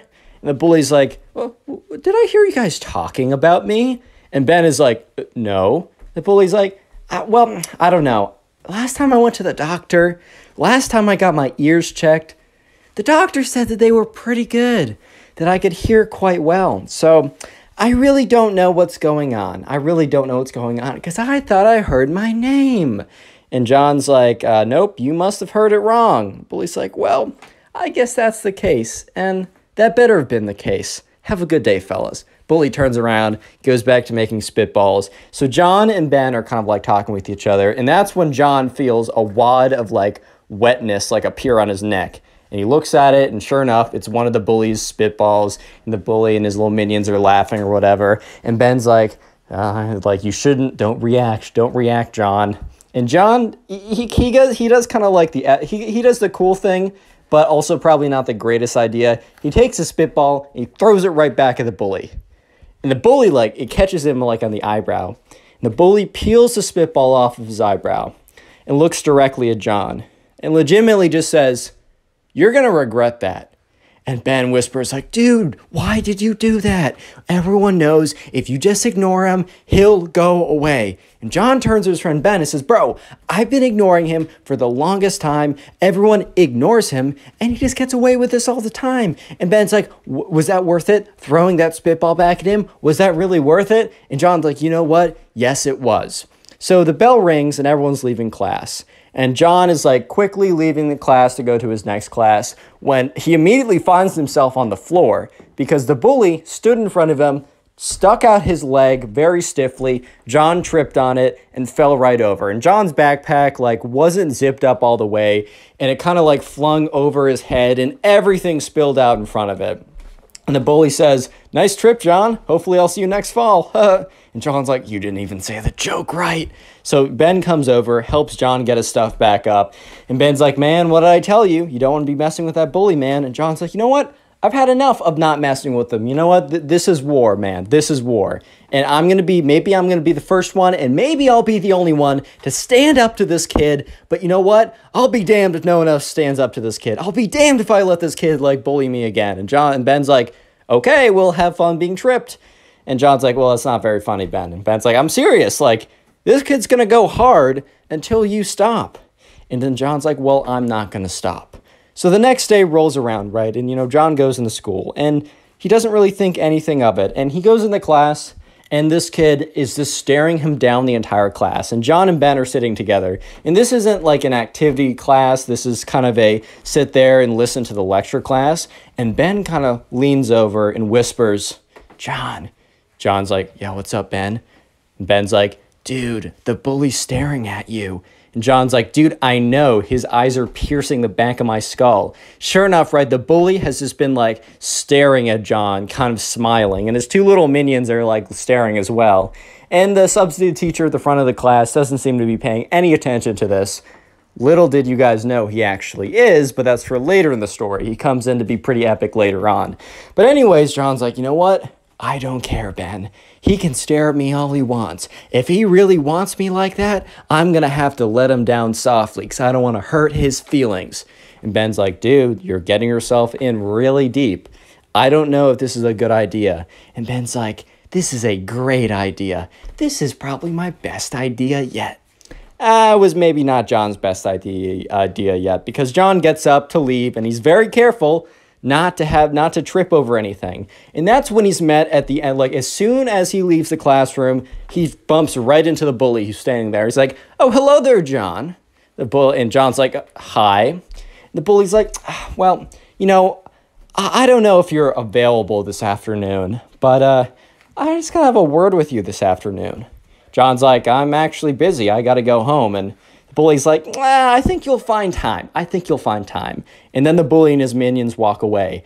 And Ben walks up to him. He's like, John, John, what just happened? And, and John's like, dude, what? He just came up to me and said, uh, Am I free this afternoon? And Ben's like, Oh my God. And John's like, Dude, what? He just said, If I'm free this afternoon. And Ben's like, Dude, dude, no. And John's like, Dude, what, what is going on? And Ben's like, Bro, that's what he tells people before he beats them up, bro. And Ben's like, dude, what? And John's like, yeah. Or uh, Ben's like, John's like, what? And Ben's like, dude, you gotta hide. And uh, sure enough, John is starting to take this a little bit more seriously because while the bully is not that harmful, like physically, when you don't push back, in the rare cases people have pushed back, he is trying to continuously like show his authority, basically, show his dominance um, or however he chooses to do that. So Ben and John are like, John's like, all right, well, you know, this probably isn't a good idea. We got to find a way to sneak out of school because there's like one main exit and kind of like the place where people get picked up because uh, John rides the bus, right? There's like a place where the bus always arrives, but to get there, you have to go through this main hall. And Ben and John sit down and realize that the bully is most likely going to try and intercept them in the main hall and like pull John aside and you know give him a few uh, few one twos, you know what I mean? And so John is like, "All right, Ben, well we gotta we gotta figure this out." So they look around, they find another exit, and so they basically decide to skip their next class. Normally a bad idea, but you know this is quite the circumstances. So they're looking around. And you know they they look and they're like, oh my god, here's another exit, and then it's they see it's a fire exit. So if they push this, they'll push the fire alarm They'll get in a ton of trouble. It'll just be a bad it'll, it'll be a bad situation, right? It'll be a bad deal. Real quick, if you made it this far into the video, comment bully down below, and I'll try and heart as many comments to say that. I just want to see how many people, and I also want to see the names and the faces of the people supporting this channel by watching this far. If you don't know, the best way to support this channel is just by watching the videos. It's called watch time. YouTube really appreciates that. So if you want to really support the channel, maybe now or later, sit down and watch two, three, four, watch as many videos as you possibly can. Uh, and also, you can do this while gaming, uh, drawing, trying to go to sleep, cleaning your room, literally whatever. And please go in the comment section down below and tell me what are you you are doing while binge watching the videos and supporting the channel. And I'll shout some people out, like the person on screen right now who is doing this. So thank you to this person on screen, as well as thank you to all of you guys for supporting the channel by binge watching the videos. With that being said, let's get back to the story. So this point, right, John and Ben are looking around frantically, skipping this, skipping a class, right? So they're taking it pretty seriously, trying to find an exit which is not going to be the exit that the bully expects, because there's normally one main way that everyone leaves the building, and then goes to the bus or goes to get picked up. And they're assuming that the bully is going to know this, which, I mean, he is going to know this, and he's going to be waiting there and he's going to pick John up and give him the whole one, two, right? So John and Ben are looking around and they immediately, they do find an exit. However, unfortunately, it is a fire escape. And Ben is looking at his watch. He's like, dude, we got 10 minutes till the bell rings. And John's like, well, can't we just wait it out? And he's like, dude, like you're gonna miss the bus and then you're gonna be stranded here. And John's like, I could always call my mom and say I missed the bus. And Ben's like, bro, they're gonna know that you didn't leave and they're gonna come find you in this building, one of his minions at least, right? And then you're gonna be stuck here probably for an hour without your mom coming to pick you up. You don't wanna do this. And John's like, what am I supposed to do? Am I supposed to walk there and just like let it happen? And Ben's like, we still got 10 minutes. We can figure this out. So John and Ben are frantically like going around the school trying to figure it out. And that's when John or Ben actually has the brilliant idea of John, John, John. And Ben's like, what? And, or John, or and John's like, what? And Ben's like, dude, I figured it out. We're not supposed to be looking for doors. And John's like, dude, what do you mean we're not sp- supposed to be looking for doors? And Ben's like, windows, John. There are no fire exit windows. And John's like, oh. So then now they start looking around, and a lot of the windows are like glued shut or way too high or have like some screen in them.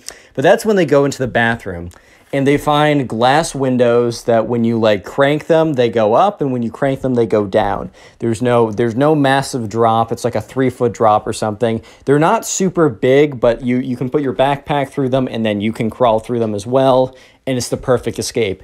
And that's when the bell rings and John and Ben are like, all right, or Ben's like, all right, John, let's go. So sure enough, John pushes his backpack through. Ben pushes his backpack through. John gets up there, goes through the window, drops down, says it's all good, not a big drop or anything. Ben goes through, does the same thing. They get their backpacks on and they sneak around the school and then they see the bus and they sprint towards the bus. And they're sprinting towards the bus, they get on it and they both sit in the back. And when they both sit in the back, they're looking out and they see one of the the, the bully's minions walk out to the bus and look around, right? And that's when the bully makes eye contact with John and calls back. And John's like, dude, they see us. And, you know, Ben's like, okay, what we need to do is we need to go to the front of the bus. And, and Ben's like, or John's like, why would we need to go to the front of the bus? He's like, shenanigans happens in the back of the bus, John. And John's like, okay. And then Ben's like, the bus driver will not allow this kid to beat you up in the front of the bus. And John's like, all right, totally fair. That makes a lot of sense. So John and Ben go all the way up to the front of the bus. And that's when, as they're about to leave, the bully gets on and says, Oh, John, I thought we are having a little date this later tonight.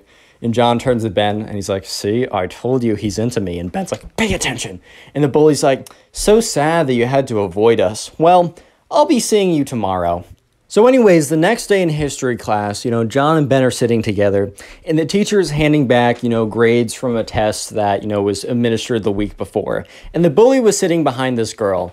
Let's just call her Caitlin for the sake of this. She doesn't really come up again, so I'll call her Caitlin, and if I forget, who cares?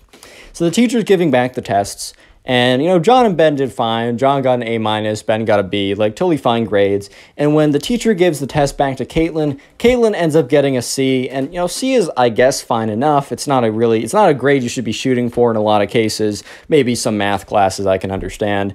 But it was, it, either way, Caitlin was really not happy with it. And the bully turns around and is like, oh no, the water works. And Caitlin starts crying a little bit. The bully's like, oh no, did you disappoint your parents again by doing bad? Well, next time, just try harder, Caitlin. And the bully turns around and his minions are laughing.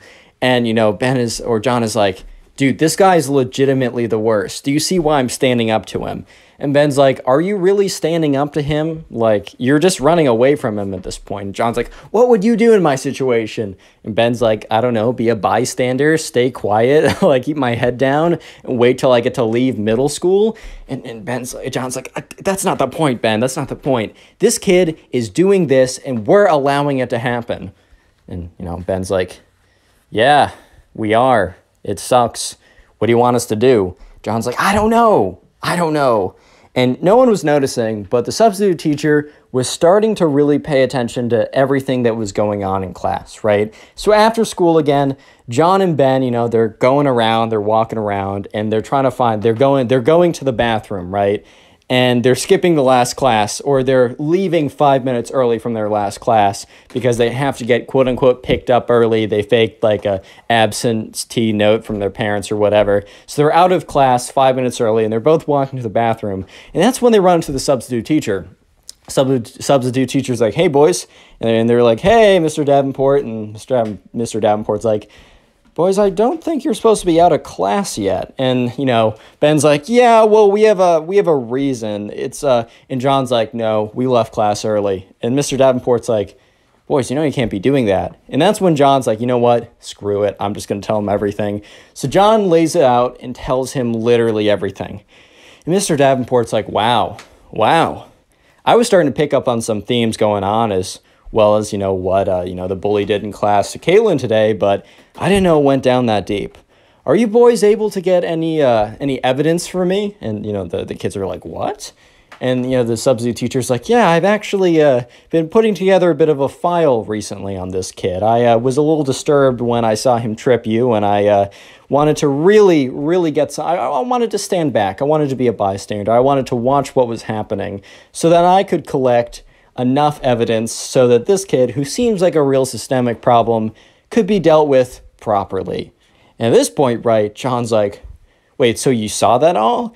And the substitute teacher's like, yes, but you know, what power do I have as uh, what power do I have as a substitute? However, I do have the power if I sit back and watch and observe everything and write it down and get evidence that I can submit a real file and really get a mark in this kid's record and maybe stop him for good if he wants a future. And John's like, oh my God. And Ben turns him and says, like, dude, we need proof that this kid's gonna try and beat you up. And John's like, I don't know how we're going to do it. He always words it weirdly. And John's like, well, maybe I should go meet him. And the substitute teacher's like, I don't think that's necessary, right? Like, I, I don't want like to put you in danger. And John's like, no, but I need to get this kid gone. And substitute teacher's like, well, I don't know how much the administration would like this, but I can stand guard, and right before anything happens, I can come and break it up. And John and Ben kind of look at each other like, okay, this is like some scrawny random substitute teacher. What if like he really holds no authority? And john's like well i mean oh, i gotta stop this kid somehow. So sure enough right john turns to ben and says ben you need to record everything. So ben has his phone out and he starts recording right and they walk down the halls. And ben's trying to be like it's not super obvious with his recording so he kind of like pretends like he's just on his phone the flash is off he's able to record it pretty well without it being super obvious and eventually, so they're walking down the hall, and the bully's like, Well, boys, I wasn't sure if I was going to see you today. It's great that you're here. And he's like, You know, Ben, I don't really have any issues with you. You can keep going. And Ben's like, Well, I'm just going to wait for John. We ride the bus tomorrow? The bully's like, You know, I don't think that John will be riding the bus today. And Ben's like, Well, then I won't be riding the bus today either. The bully's like, ah, Fine, well, then stand over there unless you want to become collateral damage. And so John, you know, Ben does step away, and you know the bully starts coming up to John, and John's like, "What are you gonna do to me?" And the bully's like, no, "I'm just gonna, you know, we're just gonna have a little time." And then the bully like kind of comes up to him menacingly, and he's like, "Why did you disrespect me in class two days ago?" And John's like, you spat a spitball at me. I just threw it back to you. That sounds fair. The bully's like, there is a rule of law here. There's a hierarchy here. Some of us are above others at this school, and I'm just here to enforce it. And John's like, How are you going to enforce it? And the bully lifts up his fist and says, This fist will make contact with your face. That is the rule of law at this school. And as soon as that happens, the substitute teacher sprints out of there and is like, Hey, break it up, boys, break it up. And, you know, the bully turns around and says, Oh, Mr. Davenport, like nothing's going on here. I'm just having a talk with my friend. Mr. Davenport's like, well, it doesn't look like that to me. Um, John, I'm going to need you to come with me. The bully's like, no, John's staying with us. And Mr. Davenport's like, I can get the principal over here. And the bully's like, fine, you know what, John, we'll have a little talk later. Go ahead. See you in class tomorrow, Mr. Davenport. And the bully and his minions walk away. And, you know, Mr. Davenport's like, oh my God, that was so close. Like, I'm like, that was really reckless of me to even let that happen. And John's like, no, we got it on recording. He turns to Ben. He's like, Ben, you got that on recording, right? And Ben's like, Yep, got it on recording. He's like, Audio? Checks it. He's like, Yep, visuals. He's like, Visuals are pretty good, a little shaky because I didn't want to be obvious. I caught it all. At this point, right, Ben, Mr. Davenport, and uh, John, they all go back to Mr. Davenport's like classroom, or it's his substitute teacher. So it's like the other teacher's classroom, but they go to that classroom and you know, John's like, "Hey, can you call up my mother and say I'm not going to be like that I had to stay late for an extra help project and that, you know, that I'm not gonna be able to make the bus. So Mr. Davenport calls up his mom, and his uh, John's mom's like, "Oh my God, are John and Ben trouble?" Mr. Davenport's like, "Actually, the contrary. They wanted to help me with an assignment, and they will be getting extra credit." And John's like, "Oh, that's so nice." Whatever, right? So afterwards, John, Ben, and Mr. Davenport sit down, and they basically construct a case against this kid. They construct bits of evidence. John starts hitting up other kids in his class, basically asking for testimonials. They are making a full takedown of this kid, right? Of years and years and years of just everything, right? And at this point, they end up with a really like a really solid case file. They have enough to at least get him suspended, if not expelled from the school at this point. So the real nail in the coffin is when you know Ben turns to uh, Ben turns to John. He's like, John, do you remember James? And they're like, Yeah, yeah, James. Whatever happened to him? Ben's like, Dude, that was the kid that you know the bully actually beat up. And so basically, right, there's this kid who they haven't spoken to in a while, but there was like a rumor that like the reason why he was gone for a week is because he was in the hospital and like because the bully like beat him up. And when he tried to like say that like, oh, the bully did it, the bully was able to weasel out of it. And John's like, dude, with all this evidence, if we got like a medical record about James and put him in the case, we could get this kid out. So they contact James. He's not really responding, but Ben remembers, oh my God, I was in like a sixth grade group chat with this kid. I have his number. So they call him up, and James is like, hello. And Ben and Ben and John say, "Hey, I don't know if you remember us." They explain everything, and James is like, "Look, this kid has been giving me grief for the longest time ever I tried to rat him out. I've been out like he isn't giving me any more grief.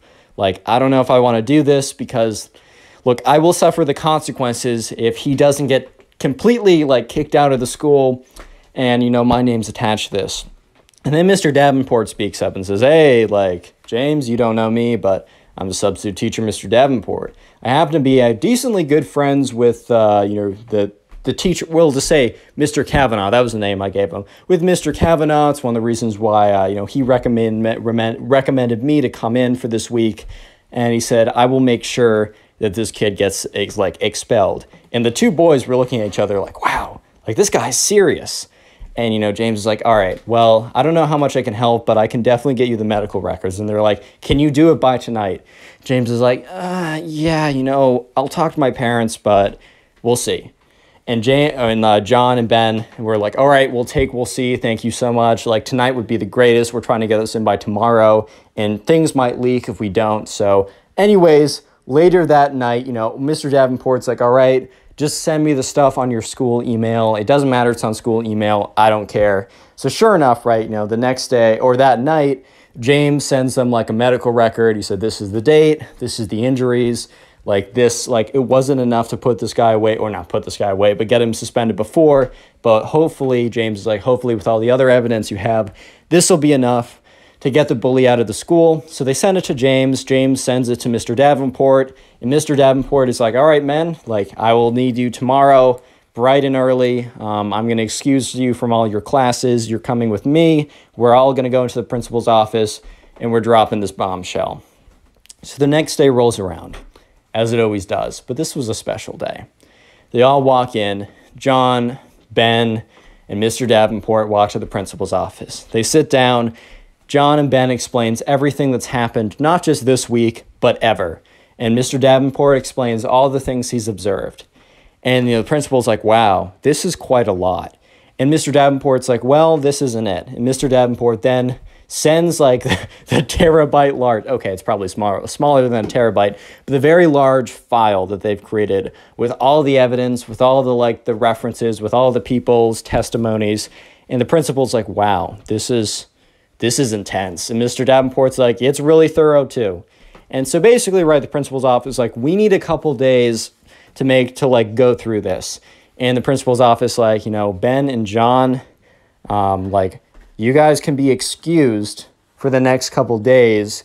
You're not suspended, you're not anything. But if you want to take the next couple days off just for your own protection as we vet through this, that's totally fine. So John and Ben were like, oh, shoot, like, of course. The school contacts their parents. They explain that they're not in trouble. It's for their own safety. And the, you know, John's mom's like, oh, John, you should have told me about this, whatever. So a couple days go by. And that's when Mr. Davenport emails John. And the headline of the email is the verdict is in. So John immediately he sees the like the notification on his phone and he immediately opens up the Gmail app and he's just swiping and refreshing and refreshing. And he eventually opens up the app, gets in there, opens the email, and it's one Click line on the video saying, on screen right won." now. I know you'll enjoy it. Just click it, do it. So spoiled rich kids tend to think that they deserve everything, and when they things don't go their way, they normally get really mad. In this case, the spoiled rich kid gets so mad that he burns down his entire school. Yeah, a little bit of an overreaction. This is an absolutely crazy story, so buckle up and let's get right into it.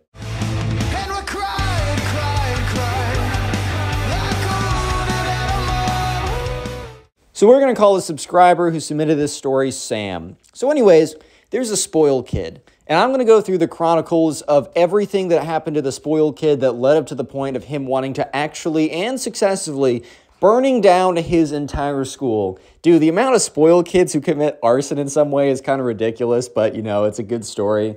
So anyways, this all started. Sam was first aware of the spoiled kid because Sam was on the football team at his high school. Sam wasn't the star quarterback or anything, but he was, you know, he'd been playing football for a little bit. He was big enough and, you know, he was solidly on the team. Every single year they had tryouts for the different positions just in case there was kind of a, I don't know, a dark horse that they weren't aware of, but most of the time the coaches knew who was going to be what, and the tryouts were more just to see who would be on kind of like the lower levels of the team that might be able to work their way up next year. But, anyways, at the school, at Sam School, there's a kid who we will call the spoiled kid.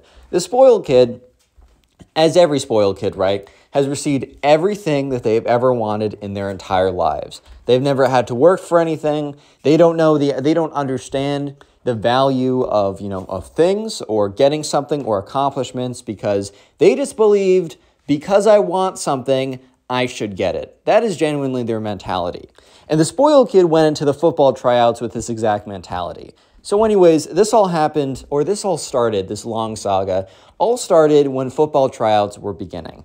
So, Sam was there, and Sam had been on the team the year before, as this was sophomore year. So, Sam last year had to try out, had to put in a lot of effort, but eventually, you know, he got onto the team, and he kind of had a pretty solid place on the team now. Uh, he still went, everyone had to go to tryouts, but he kind of knew he was on.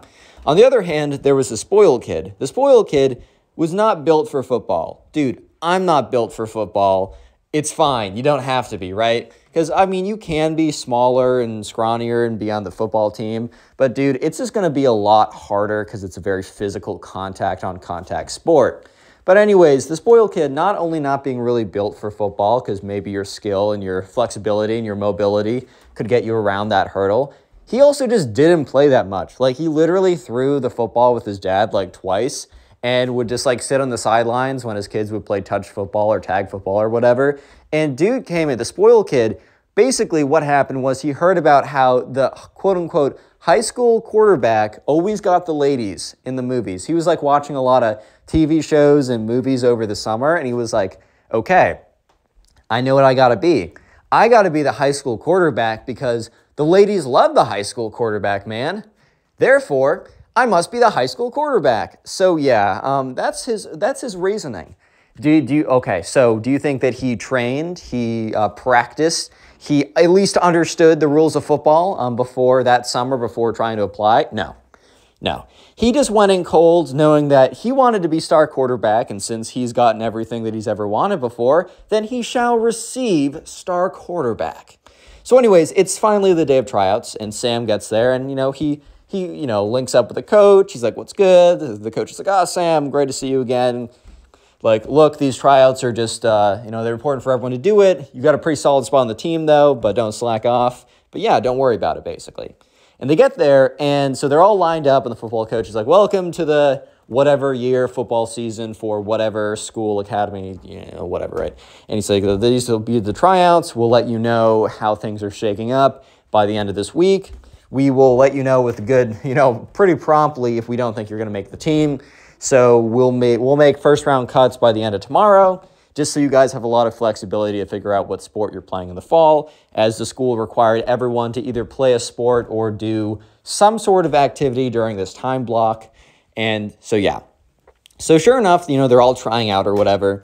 And uh, Sam overhears the spoiled kid walk up to the football coach and be like, So, do you guys have an open position for star quarterback? Dude really just said star quarterback. Like he's really just paraphrasing what he reads on TV. But anyways, the, the football coach is like, uh, well, actually we have, you know, we have a pretty good quarterback already, but I mean it's really we're gonna put the we're gonna put the best person for the position in the spot. So if you really think that yeah, I mean if you're a dark horse and you come out and you're not on our radar and you're much better, then uh, probability of that is pretty low, but you know, we'd always love to see. The spoiled kid was like, I would like to be the star quarterback. And they're like, okay, well, we'll watch you during practice and we'll let you know if we think that you're in the running. The spoiled kid's like, what? What was that? I was, I said like, you know, we're, we're, we're filling out positions, right? So I, I just want to be star quarterback if that's cool. and I think the coaches started to realize that there's a bit of a disconnect between this kid and uh, well reality but also uh, the understanding of how this whole process works which first of all just was an immediate red flag to them that this kid did not understand football in the slightest but beyond that american football in the slightest right? But beyond that um, they were like okay well the way it works here is that you know you'll play and we'll decide who gets what, what position. And spoiled kid's like um, okay well i do want to be star quarterback but sure i'll do tryouts or whatever. So i think the spoiled kid thought that like oh well I just need to do what everyone else does, so it's not obvious that they're just giving me the position. And the uh, coaches are thinking, what on earth is this kid thinking right now? By the way, leave a like and subscribe to the channel or you're a spoiled kid. Yeah. So uh, the actual tryouts, and remember, uh, Sam has overheard all this. And he thinks it's pretty funny. Because, like, you know, he sees the spoiled kid. He knows he's not star quarterback material. And he just knows for a fact that this kid had just been like, has no idea what football is. Just the way he was interacting with the coaches, he just knew for a fact this kid was not going to get out there and just be obviously great material for star quarterback. At least it was looking that way, right? So sure enough, you know, they get out there and they're doing, look, I didn't play, uh, you know, American football as a uh, teenager. I went to some games, and I actually still go to games right now. Is from in college. It's actually quite a lot of fun, even though I don't know what's going on. I know I want the bigger score, and I want the enemy team to have the lower score, something like that. It's not golf. It's not the other way around.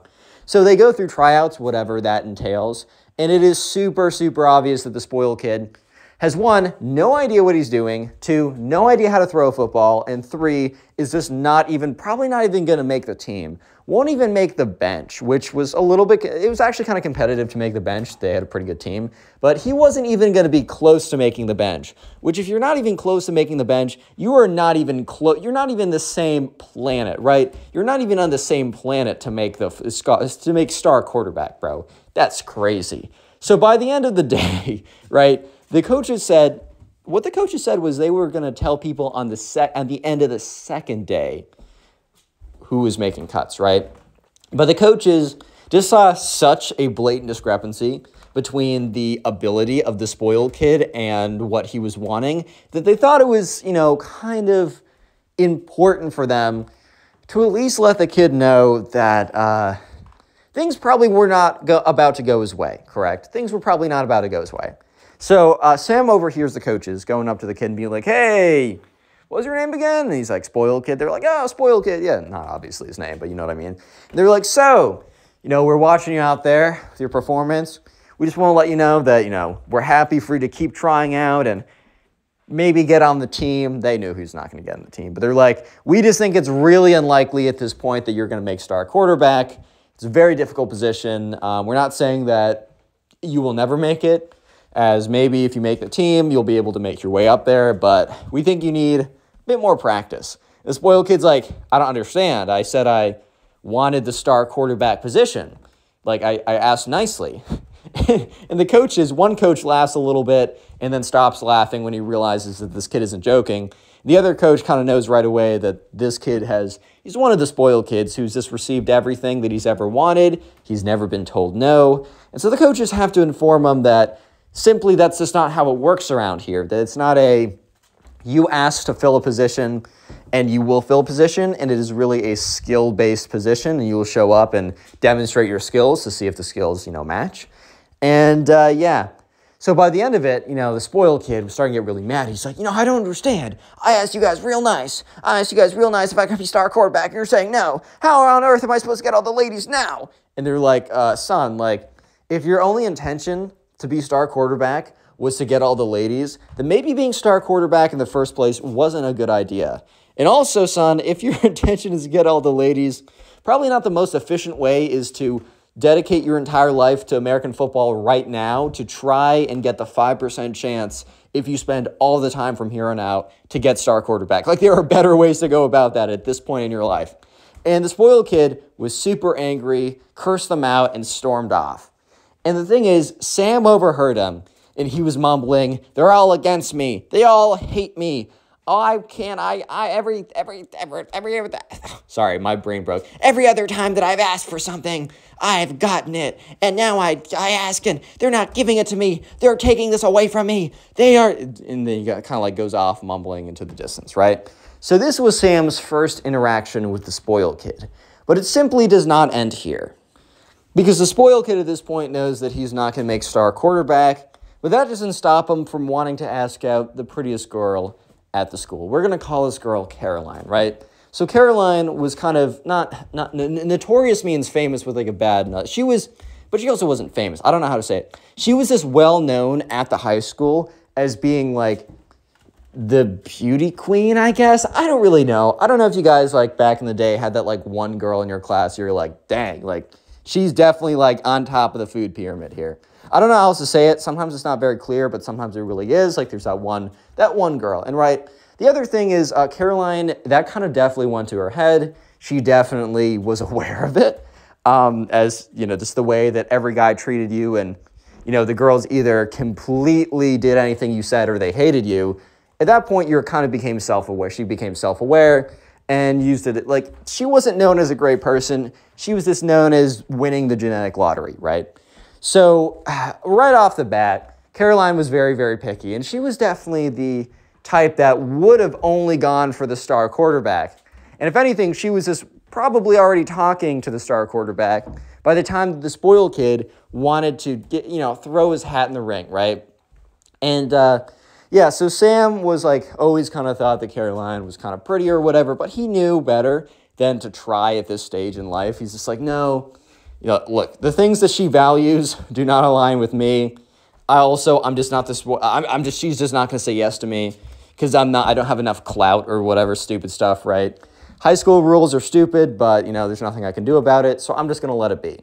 However, the spoiled kid did not realize this. Or maybe he did, but he just thought because he's always received everything he's ever wanted, so might as well, you know, ask for this and receive as well. I mean, who knows? Why wouldn't that work? So yeah, the spoiled kid decides that the best way, you know, uh, actually, I'm going to give you guys a little bit of a question and answer. You have, so the question is, how is the spoiled kid going to try and uh, basically woo this girl into liking him? A, he is going to make the effort to start to speak to him and comment down below before you hear it out which one you think it is. A, he's going to make the effort to go and talk to her. He's going to really put in the time to speak to her. He's going to learn about what she likes and craft conversations based off of that. He's going to show his best face forward. He's going to be polite, yet he's going to be consistent and persistent with what he does, with his trying to like talk to her, all that kind of stuff. He is going to be, and then he's eventually going to ask, you know, ask her out on something a, little bit more formal, a little bit more formally romantic. I don't know. Go to the movies, get ice cream, something very nice. Or B, he's gonna not talk to her at all, but then make a massive scene in front of all of her friends with a big, like, basically, he's gonna do something crazy and insane. If you answered A, God bless your soul, but no, it is B. Yeah, so sure enough, one day in lunch, the infamous day that will go down in history, Sam is sitting there with his two friends. They're eating whatever. They're probably complaining about the cafeteria food, being like, dude, this sucks, bro. But uh, that's when they see, you know, or not that's when, but he sees that Caroline is sitting with some of her friends. The other two, like the second and third most popular girl, they're all sitting together, and it's it's very interesting dynamics. But high school dynamics are just weird in the first place. But they're all sitting there, and if you made it this far into the video, comment spoiled down below. Secret word of the day. By the way, we're on Spo- I'm on Spotify. I don't know why I say we. These videos are on Spotify. Link is in the pinned comment. And if you're on Spotify, make sure you rate the podcast five stars. I think it gets help promote it in the algorithm. I don't know how Spotify works, my friend. I do not know. But anyways, Caroline is sitting with her friends, and that's when the spoil kid walks in and he has an electric guitar. You already know that this is about to go south. You already know for a fact that this is not about to go well. The spoiled kid walks in with an electric guitar and a bass boost. So basically, when he plays the electric guitar, it's very loud. And he walks in, and everyone kind of turns their head because it's not every single day that someone walks into the cafeteria with an electric guitar and a bass boost. It's just not every single day that that happens, or an amp or whatever, right? So he walks up, and like Caroline and her table looks over at him, kind of like laughs or whatever, talks to each other.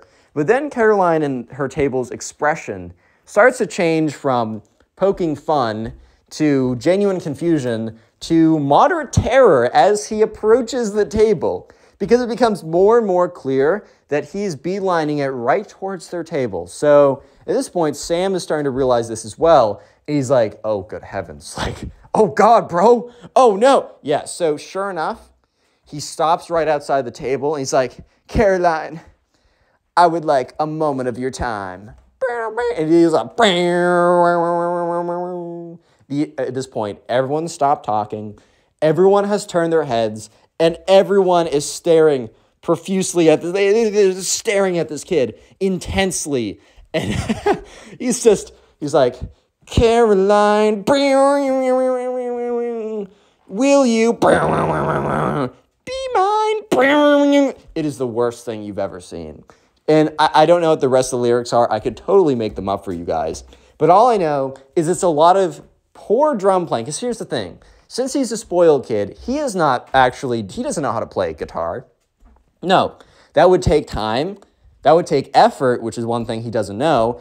And it would be so, so much easier for him to just go in to the guitar shop, buy the most expensive electric guitar, and think, oh, well, I spent a lot of money on it, then it should just play itself. So he's going like, beep, boom, beep, beep. yeah, so that's about what it sounds like. Um, think of that, but like that's the nice version of what it actually sounds like.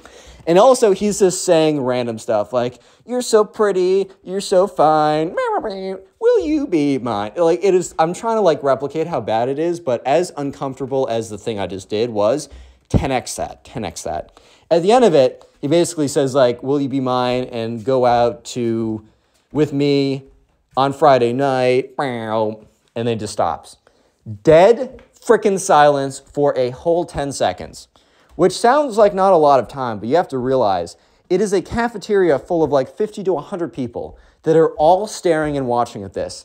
10 seconds of pure dead silence is extremely difficult to come across. Like, it is extremely unlikely to come across. And yeah, let's just say that, that silence didn't last forever though, as literally everyone like bursts out laughing because bro, I'm not to lie, I might laugh as well if I hear that. Dude, all I'm saying is maybe this is not the best way to go about it.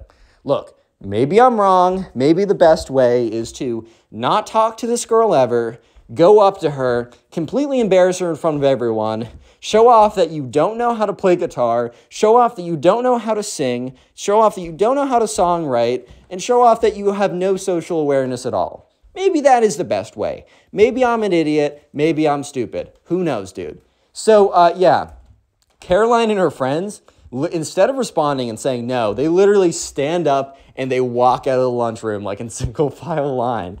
Dude, when they say, oh, the worst thing she can say is no, oh no, dude, you are so wrong.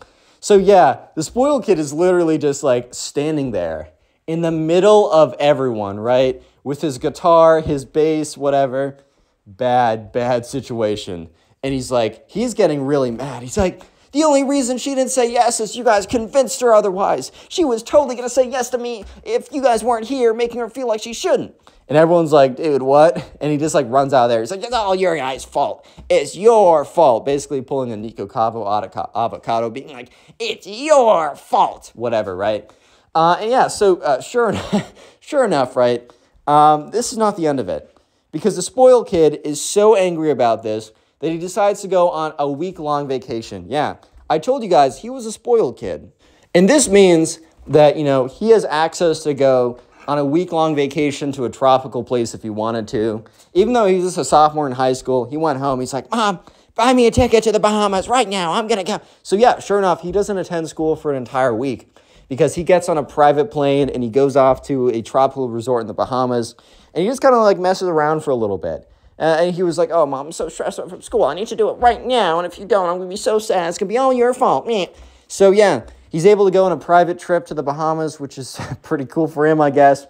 And uh, the thing is, though, this was very bad timing because Sam and him had a class together. And in this class together, they had a pretty major test coming up. And they were going to spend the entire week going over important materials for the test. Sure, the spoiled kid, in theory, could have studied over his trip. I'm not going to say that wasn't possible, but we both know the spoiled kid. And we know for a fact that he is not going to spend his, uh, his impromptu Bahamas vacation studying for a Algebra 2 exam. We both know that's not going to happen. So the spoiled kid legitimately misses an entire week of class, and the test was on Monday. So sure enough, the entire week goes by, and Monday comes around, and it's finally time for the test. They all walk in, and the spoiled kid is like walks in and looks confused because everyone's kind of like sitting in their desks. They are getting pencils out, they're putting their backpacks away. Instead of the more chill environment where people are kind of talking, they're very casually walking in, they have their computers out. No, these people are dialed in. So the spoiled kid looks around, and I think he whispers to someone like, "What's going on?" They're like, "Dude, we have a test." He's like, "What?" So yeah, he sits down. The teacher starts handing out the test, and the teacher's like, Spoil kid, I haven't seen you for the last week." He's like, "Yeah, I was doing something." The teacher's like, "Okay, as long as you cleared that with the front office," which I think his parents did. Said, "Oh, he has a medical emergency. He can't be here or something," which is a lie. He just went on a vacation, but he didn't get in trouble for not being in class. But at the end of the day, if you're not in class, you're not in class. Ooh, genius statement, Connor. But uh, that, that means he just didn't get the information, right? So he sits down, and uh, Bro completely bombs the exam. It's not like he was really trying that hard beforehand, but missing out of an entire week of really dedicated review uh, kind of messed him up a little bit. And he got completely destroyed on this exam. But the spoiled kid wrote on top, like, I wasn't here for a week, so I should get plus 40% for all the stuff I missed.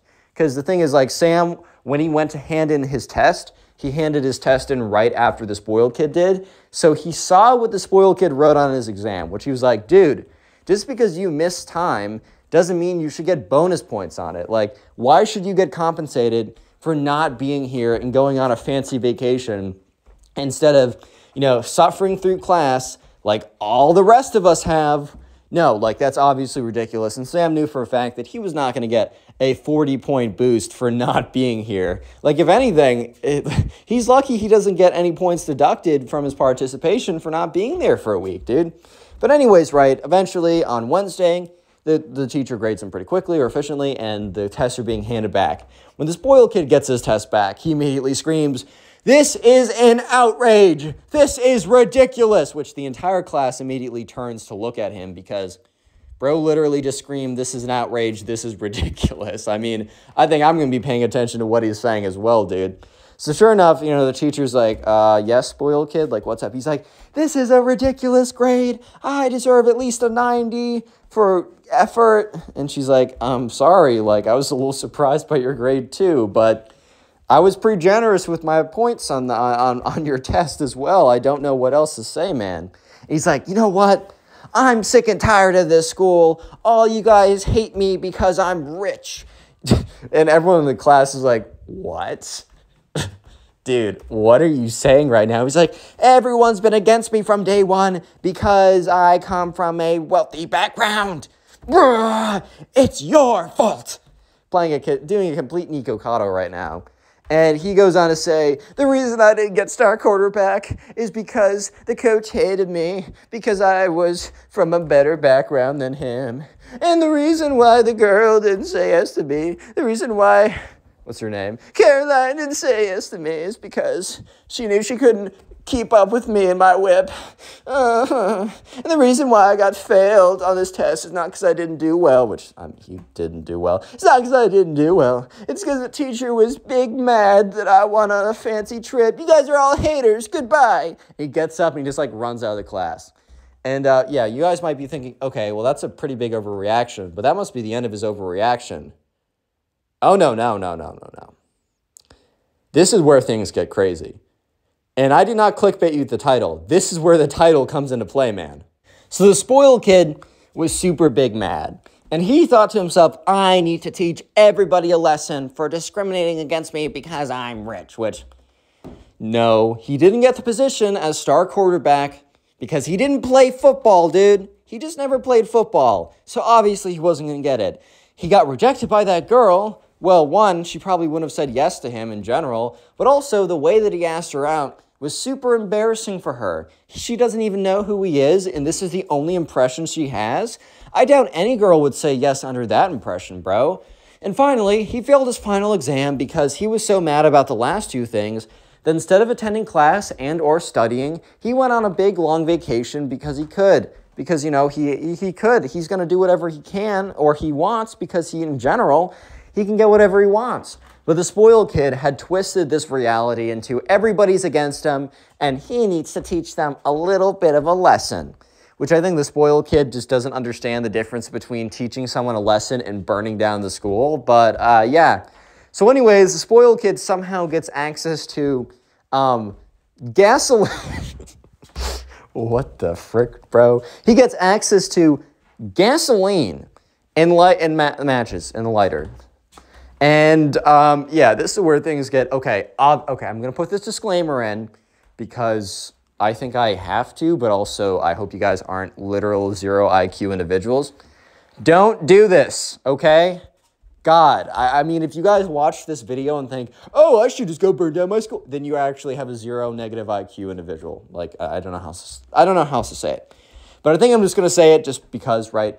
So, anyways, the spoiled kid. Um, so Sam's in class one day, and the fire alarm goes off, and he's like, oh, okay, whatever. This is like cool. I get to get out of class for another stupid fire drill. So they all get in line, and Sam um, realizes that this is not a fire drill because the, the, the, it's like the air around him is less clear. It is dense. It's not smoky yet, but it's like dense and it's a little hazy. And he smells a little barbecue in the air. And that's when he realizes, oh, word, this is actually an actual fire, bro. Like, this isn't some drill that's annoying that genuinely is just made to make us like waste time, basically. Oh, this is legit. So everyone is like walking in single file line. Some kids are freaking out because they're starting to realize it's legit. But thankfully, everyone gets out of the building safely. And when they get out of the building, they start to see like smoke come out of the windows and stuff. They see the fire truck come, they see all the firemen go in, and uh, yeah, they're, you know, a big message, big mass email, text message, phone, whatever, uh, was sent out to all the parents saying, look, there's emergency at the school. Your children are safe and outside, but we do need you to come and get them as soon as you possibly can. We understand some of you guys have like arrangements already. We'll have staff here until seven or whatever, right? Or still whenever, um, but please come pick them up as soon as you can. So Sam got picked picked up, and his mom's like, "Oh my god!" Like the school, because they're looking at it now, there's just billows and billows of smoke coming out of everything. It's it's it's legit, right? So they're just like, "Oh my god, whatever happened?" And at this point, Sam had no idea.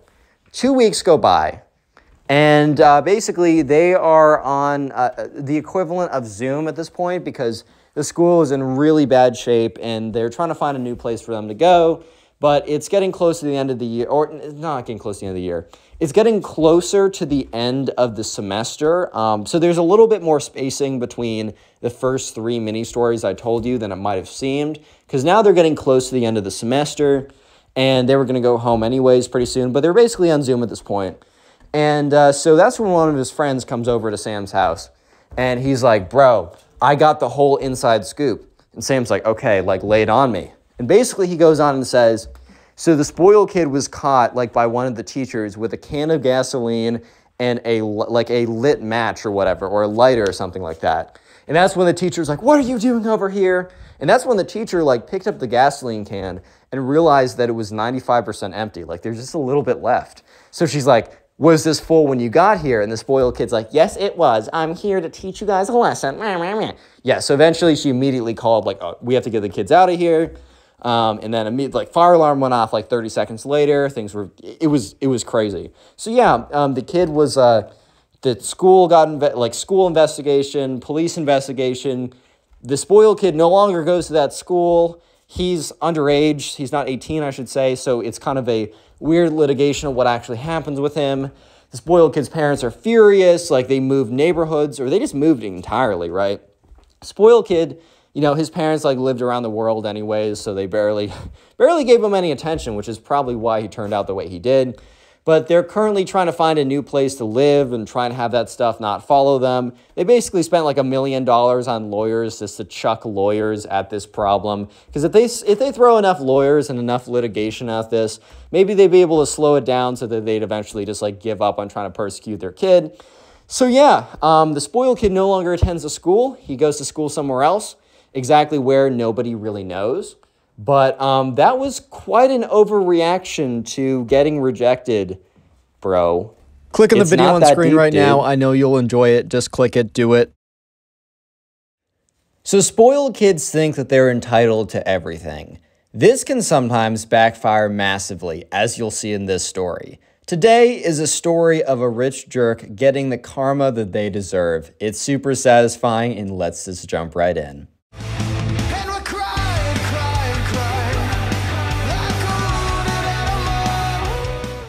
So we're going to call the subscriber who submitted the story Ava. So anyways, Ava was a senior in high school, and uh, most of the time, by the time senior year rolls around, you're not getting a lot of new people into the school. However, there was a girl who recently moved into the area code, so she started high school senior year with this new high school, right? So immediately off the bat, it's it's a tough start. It's tough if you move in like to a high school, especially at the end. I mean, even if you come in freshman year, if this is a high school of people who've lived together for like the last, I don't know, 14, 15 years, that's already hard enough. But to go in at senior year when basically uh, most of the friendships have already been made, hard enough. We're going to call this girl who's coming in Sarah. So, Sarah comes from a very, very, very rich background. And I just want to say, preface this just if you have access to money does not mean you're a bad person. Of course not. I hope that's common sense. However, there are a lot of cases of, you know, especially children or teenagers, when they're way too exp- overexposed to money, it corrupts them, it makes them bad people. And that is really the job of the parents to step in and make sure that, you know, you're raising your kid correctly, even if they have a lot more resources. So even though I might be bashing on Sarah a little bit in this story, it really is bashing on the parents here. So, anyways, you know, in Ava's class, there's a new girl called Sarah, and she gets in there, and from right away, the first, like, pulling up to the school, because parents would either kids would drive in or maybe parents would drop off some of them, right? There's this car, right? And they lived in a pretty middle class ish neighborhood. So when an actual Royal, Ro- Rolls Royce, yes, I'm, that's not going to roll off my tongue well. When a Rolls Royce drives into the parking lot, and for you guys who don't know, that is a very, very expensive car. Very expensive car. Even the cheap models are very expensive. So when a Rolls Royce rolls into the parking lot, everybody knows, everybody's heads turn. Even the kids who don't know exactly how expensive of a car that is can just tell by the way that the car is rolling in and by the way that the parents' heads snap, right? That this is a, this is something. So a girl gets out of the car, and the girl happens to be Sarah. And Sarah is all dressed up in like expensive looking clothes, right? She comes out, she is like very confident, whatever, walks onto the scene, which I mean, if you are entering high school super late, you, you kind of have to be a little confident to break into these friend groups. They're probably not going to be looking for a new person, so you need to tell them that they are looking for a new person and that person is you. So, anyways, like, you know, Sarah rolls up and immediately, you know, people are, are start talking to her because she's like, oh my God, it's like the new, very pretty, rich, confident, whatever woman walks in. And so, yeah, she, she's going to draw a lot of attention. So she immediately gravitates to the group that Ava's already a friend of. So Ava's very, like, normal high school girl, nice, friendly, and the high school isn't too big, so a lot of the girls are friends with each other. There's like two to three major groups or cliques of people that hang out, but it's not very rigid or anything. So there's a pretty big group of girls that Ava hangs out with. And Sarah, who will be very soon, you'll see is not a great person, clings on or starts to enter Ava's friend group.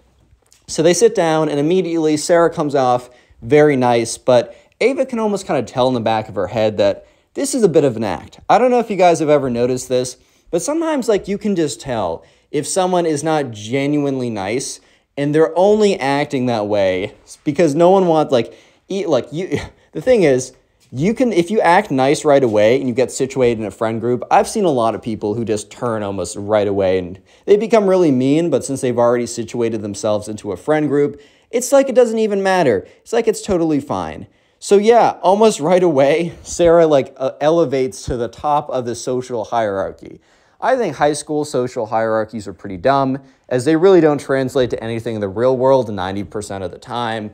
But yeah, she immediately becomes top dog, which is impressive in the fact that she just joined the high school senior year. But at the same time, like, high school dynamics are probably going to push someone like that to the top, anyways. By the way, like and subscribe, or you yourself are a spoiled kid now. Dun dun dun. Yeah, anyways, though. So, yeah, this girl, Sarah, is not a very nice girl. And after about a couple weeks, she really starts to show her true colors. So, Sarah starts making really rude, rude remarks at the table of other girls. And here's the thing a lot of high school girls are very petty. High school guys are jerks, but they're not petty. High school girls can tend to be very petty, right? This is just kind of a fact of the matter. Not all of them, obviously, guys. Don't extrapolate from what I'm saying and draw conclusions that aren't there. But yeah, girls can be petty sometimes. However, Sarah was at a whole new level. And the other thing is Sarah's pettiness would sometimes be targeted at like the quality of clothes someone would wear. If someone was wearing the same thing twice, if they looked poor, basically, right? So Sarah was really going after, like the, a lot of the "I'm rich, you're poor" dynamic, and it she was going after it super, super hard, right? And this girl was also just not nice at all. Like that girl's ugly.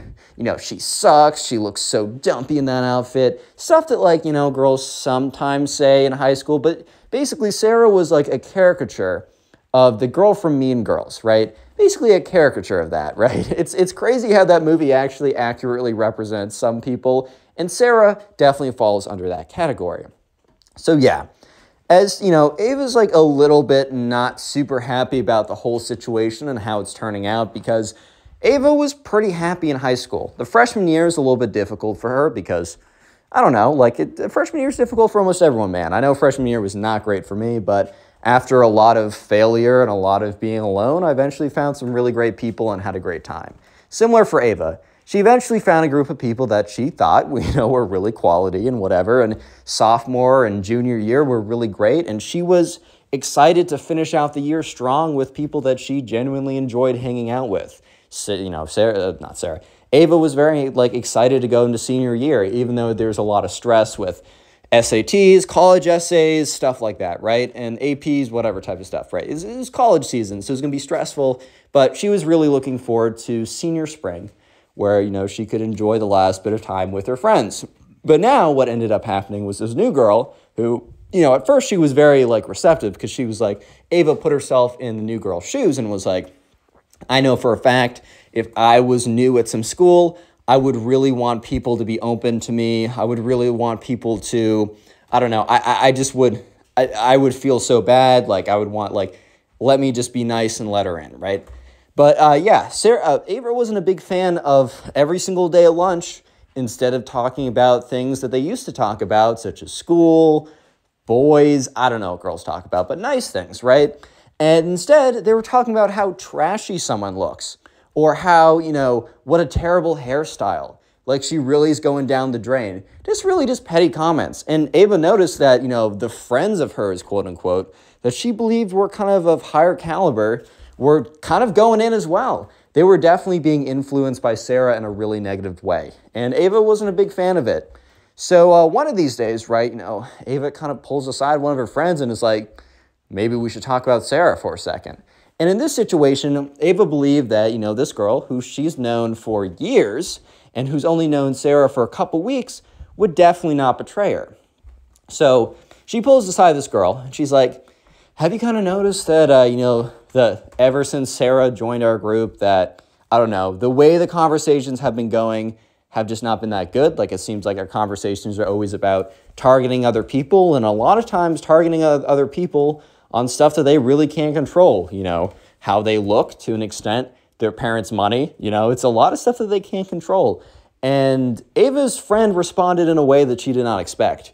Ava's friend kind of went to Sarah's defense and was like, you know, I don't really see that. Like, are you coming after like Sarah just because she's new? Like it's so difficult to like join like a high school so late, which is a true fact, but is not really relevant in this conversation, bro. Like I don't know how else to put it. This is not that relevant in this conversation. And Ava kind of like immediately sensed the hostility and was like, okay, I gotta back up a little bit. And she's like, oh no, I mean I like Sarah a lot. Lie. I like Sarah a lot, but I don't know, I just I I feel like the conversations have been a little bit of a downer recently. So the next day at lunch, um, Ava sits down and she immediately feels something is wrong. And she almost immediately knows that the girl that she had been friends with for the longest time most likely pulled Sarah aside and told on her. Because there's this kind of this like awkward tension of like all the girls and Sarah, and then there was Ava. There was almost like, I don't know if you guys have ever felt this. I've witnessed it. I don't know if I've never necessarily firsthand felt it. But when everyone knows something about you, but they don't like it's it's like uh, it's as if there's like a a divider between the two of them. And it was just awkward when it normally wasn't awkward. And Ava knew that she was the reason why it was awkward. So yeah, they had a pretty bad lunch or whatever. It wasn't great. Like Sarah would kind of like whisper, like they would all whisper to each other. It's very weird. Ava was like, "Oh boy, like this is this is just not good." And uh, yeah, so later that day, Ava was walking to her locker or she was going to do something. And her friends, or who she thought were her friends, right, were with Sarah. And they were all talking like together in kind of a circle. And they didn't know that Ava was there because Ava was like around the corner or something. And Ava would have normally like just walked up to them or whatever, but she just, for some reason, decided to stop right before she turned the corner. And she just listened in for a second. And Sarah was like, Ava's looking so terrible today. Like, she's really gone off hill. Like, what did she think about that outfit? Like, I could have found that, like, in a dumpster. Just saying, like, what she was saying about every other girl. Which I will say, I have heard that in high school, this is not, this is not a generalization. This is just from the girls I'm friends with. A lot of them do happen to say not so nice things about their friends. But Sarah was going in deep. She was going in hard and it was super and then like one of the other girls the girls that ava pulled aside was like yeah sarah i can't believe like ava was going after you when she looks like that ha ha ha whatever. And ava was like wow. She kind of backed away. Ava didn't want to hear any more of it because she, she knew the rest. She knew the extent. She's just like walking away and she's thinking to herself wow. Like those are people that i considered as my friends. Like i genuinely believe that those people were like my friends. Like I thought that those people were good quality. I thought that like I was gonna have a great time with them. And Ava definitely thought a little bit, okay, they're being brainwashed by Sarah to an extent, but only to an extent, dude. But at the end of the day, it's their choice. Like this is their choice to make. Sure, they want to be like with the new cool, cool girl. They want to do what she says, and it's very tempting. But you still have a choice in the matter. You always have a choice. And uh, Ava's like, wow, I got to find new friends, right? And so sure enough, over the course of the next couple months, uh, Ava just like would start to like intentionally talk more to people in her classes because she was always very nice and very friendly, but she would never go out of her way because why would she? She already has a good group of friends, or so she thought, that she was secure with.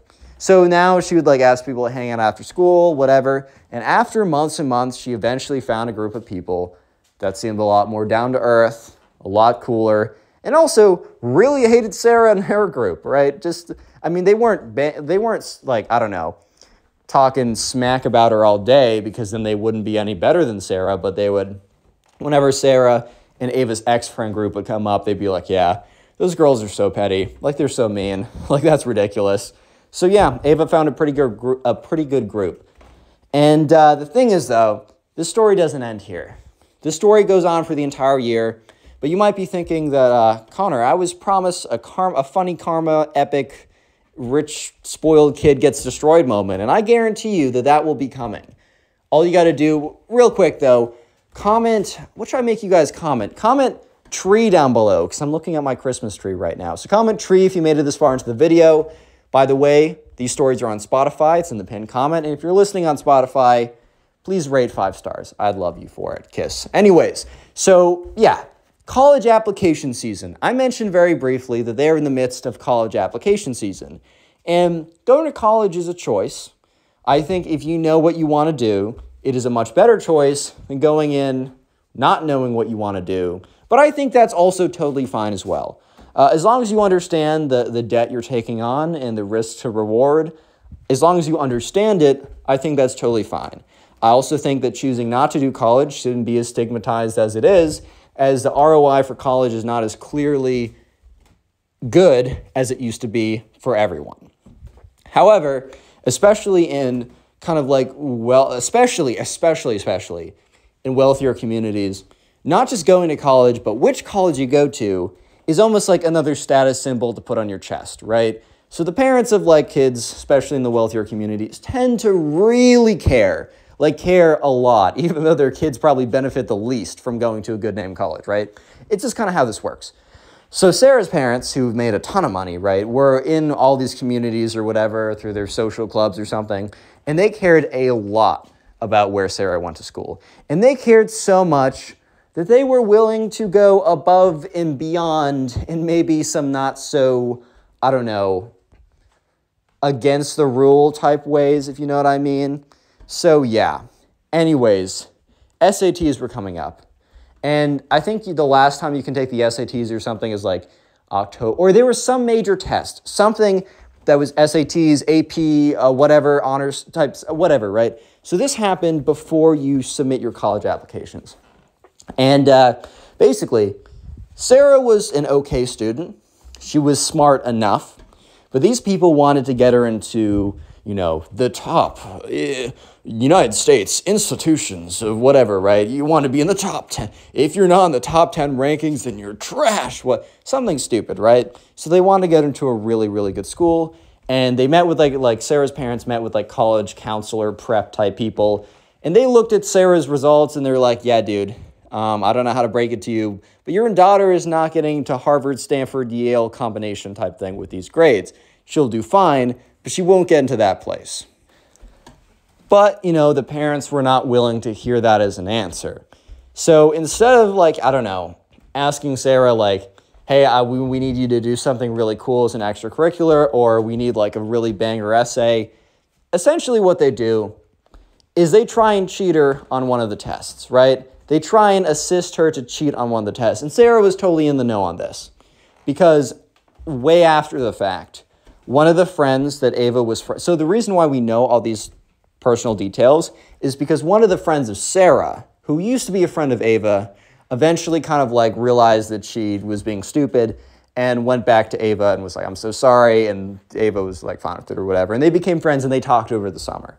So the reason why we know these extra details about what went on here is because Sarah's ex friend and Ava's ex friend, now refriend, told her over the summer after the school year everything that went down. So basically, Sarah realized that, okay, my scores and stuff are not that good enough. So they kind of like Sarah went to her parents and they figured out a way that she would be able to basically have some other girl who would be given Sarah's ID, who looked kind of like her, but no one really cares that much, no one really checks, and was like a really good college student who was on top of it and worked for an agency that's like, yeah, you pay me $50,000, I'll do whatever you want, like I'll bend my morals. And so, sure enough, right, the day of the SATs, uh, Ava's ex friend, the friend that was used to be, let's call this girl uh, Beth, because whatever, right? So, Beth is a girl who told Ava about this. So, Beth and all of her friends and Sarah studying for the SATs or whatever test they were taking, right? Super hard. They were studying really hard, and they noticed that Sarah really wasn't studying, right? When they'd have group study sessions or whatever, Sarah kind of be on her phone the entire time. And they knew that Sarah's parents really wanted her to go to X or Y college that was very difficult to get into. So they kind of would ask her, like, Sarah, what's the word here, bro? Like, what are you doing? And Sarah's like, oh, no, I'm studying a lot at home. I'm just, you know, texting whatever, some guy or something. And eventually, a couple days before, Sarah confided in them that, you know, the reason why she wasn't studying is because she's not even going to be taking the exam. Because I think they asked, like, oh, do you guys want to meet up like an hour before the exam to get like breakfast or whatever and quick review or something? And they're all like, what? And yeah, Sarah's like, yeah, basically, my parents found someone to take the exam for me. She's really good. She'll score a great score, whatever. And since these girls were like friends with Sarah, but also kind of like sucked up to her, bro, so they couldn't really say anything. That's the funny thing. They kind of trapped themselves into a place where they couldn't say anything because they didn't want to upset Sarah or whatever, right? So they're all like, oh, okay. But obviously, they were all kind of mad because they had been spending all this time studying, and Sarah would just have someone go in and take the exam. However, not all things like something like that doesn't always work out seamlessly, right? I mean, we saw with the college cheating scandal or whatever that doesn't matter how much money you have, you still can get caught. This was not related to the college cheating scandal, this was a separate thing. So, yeah, basically, Sarah had someone go in for her. They took the exam, but the person who was administrating the exam, after like the exam was handed in, they knew that something was up because the ID really didn't match the person. So after a further investigation, they figured out that Sarah was not the one who took the exam. And this was announced to the school. The score was voided, and Sarah was not allowed to take the SAT whatever tests type thing or something. She just was she was banned from it. She could not take this exam. So not only did she have like on her record that she tried to cheat on it, she just couldn't take it. And all the schools like that wanted it, like all the school no no, all the schools that she want or her, not she wanted, she probably wanted to go to some chiller school or whatever, which I get all the schools her parents wanted her to get into so that she could brag about it or no not that she could brag about it so that they could brag about it to their friends because they're always competing for the next greatest thing even though that doesn't really bring them any happiness or fulfillment right? She could no longer apply to any of them because they needed the test and they would see if they like they, they looked into it or she gave a reason oh i just can't take the test. Oh you can't take the test? Because you cheated? Of course we're not going to accept you. So basically sarah got screwed over majorly in this in this part right and because of this her parents were super freaking mad which they should have been mad at themselves for even saying that like my daughter needs to cheat to get into one of these institutions like if she needs to is it really that important but anyways, basically, Sarah was like cut out, like she was literally pulled out of school at this point because, you know, Sarah's parents had multiple houses or whatever. And they basically were like, oh, like we gotta, you're taking a gap year now. We're redoing everything, like whatever. They kind of panicked they said, there's no reason for you to still be in school right now. So they literally yank her out two weeks after she gets caught cheating. And so it's kind of a weird period where all of uh, Ava's ex friends, Beth and all those people, no longer have their cult leader, Sarah, to be like, to talk with or to lead them or whatever. And eventually they have a moment of like reflection. And uh, slowly but surely, they all eventually come back to Ava and they're like, look, we messed up, dude. Like, I don't know, some the allure of her, I don't know, she was so cool, and we really just let ourselves down. We're sorry. And that was fine. Ava accepted all their pol- apology. They kind of, Ava kind of meshed together her old friend group that low key betrayed her and the new friend group. Maybe she shouldn't have done that, but she kind of was like, you know what? We're all graduating. We're all not going to see each other consistently again, like this at least. So why, like, keep, let, let's just put this behind us. And Ava actually had a really good end to her high school experience. All the friends got along well. And uh, moral of the story is one, don't like fall for someone because you think that they're cool and you be, you become a jerk yourself. And two, don't cheat. Is just don't cheat, bro. You're gonna get caught. Spoiled rich kids think that they deserve everything. And when they don't get their way, they'll usually throw a fit. And in this case, by throw a fit, I mean commit frickin' arson, bro. Yeah, this story is absolutely crazy. So buckle up and let's just get right into it. So we're to call the subscriber who submitted this story Ryan. So, anyways, this was to be Ryan's first time ever going to sleepaway camp. And uh, I don't know if you guys have ever been to sleepaway camp before, but it's almost like a little bit of a, not a rite of passage, but it's your first time for a lot of kids being out of the house and away from their parents for more than one day. They might have had something like a sleepover before this, but sleepaway camp is kind of like the next level, right? And uh, so, anyways, Ryan definitely was going to have a very unique sleepaway experience, as you guys can probably already tell by the title of this video.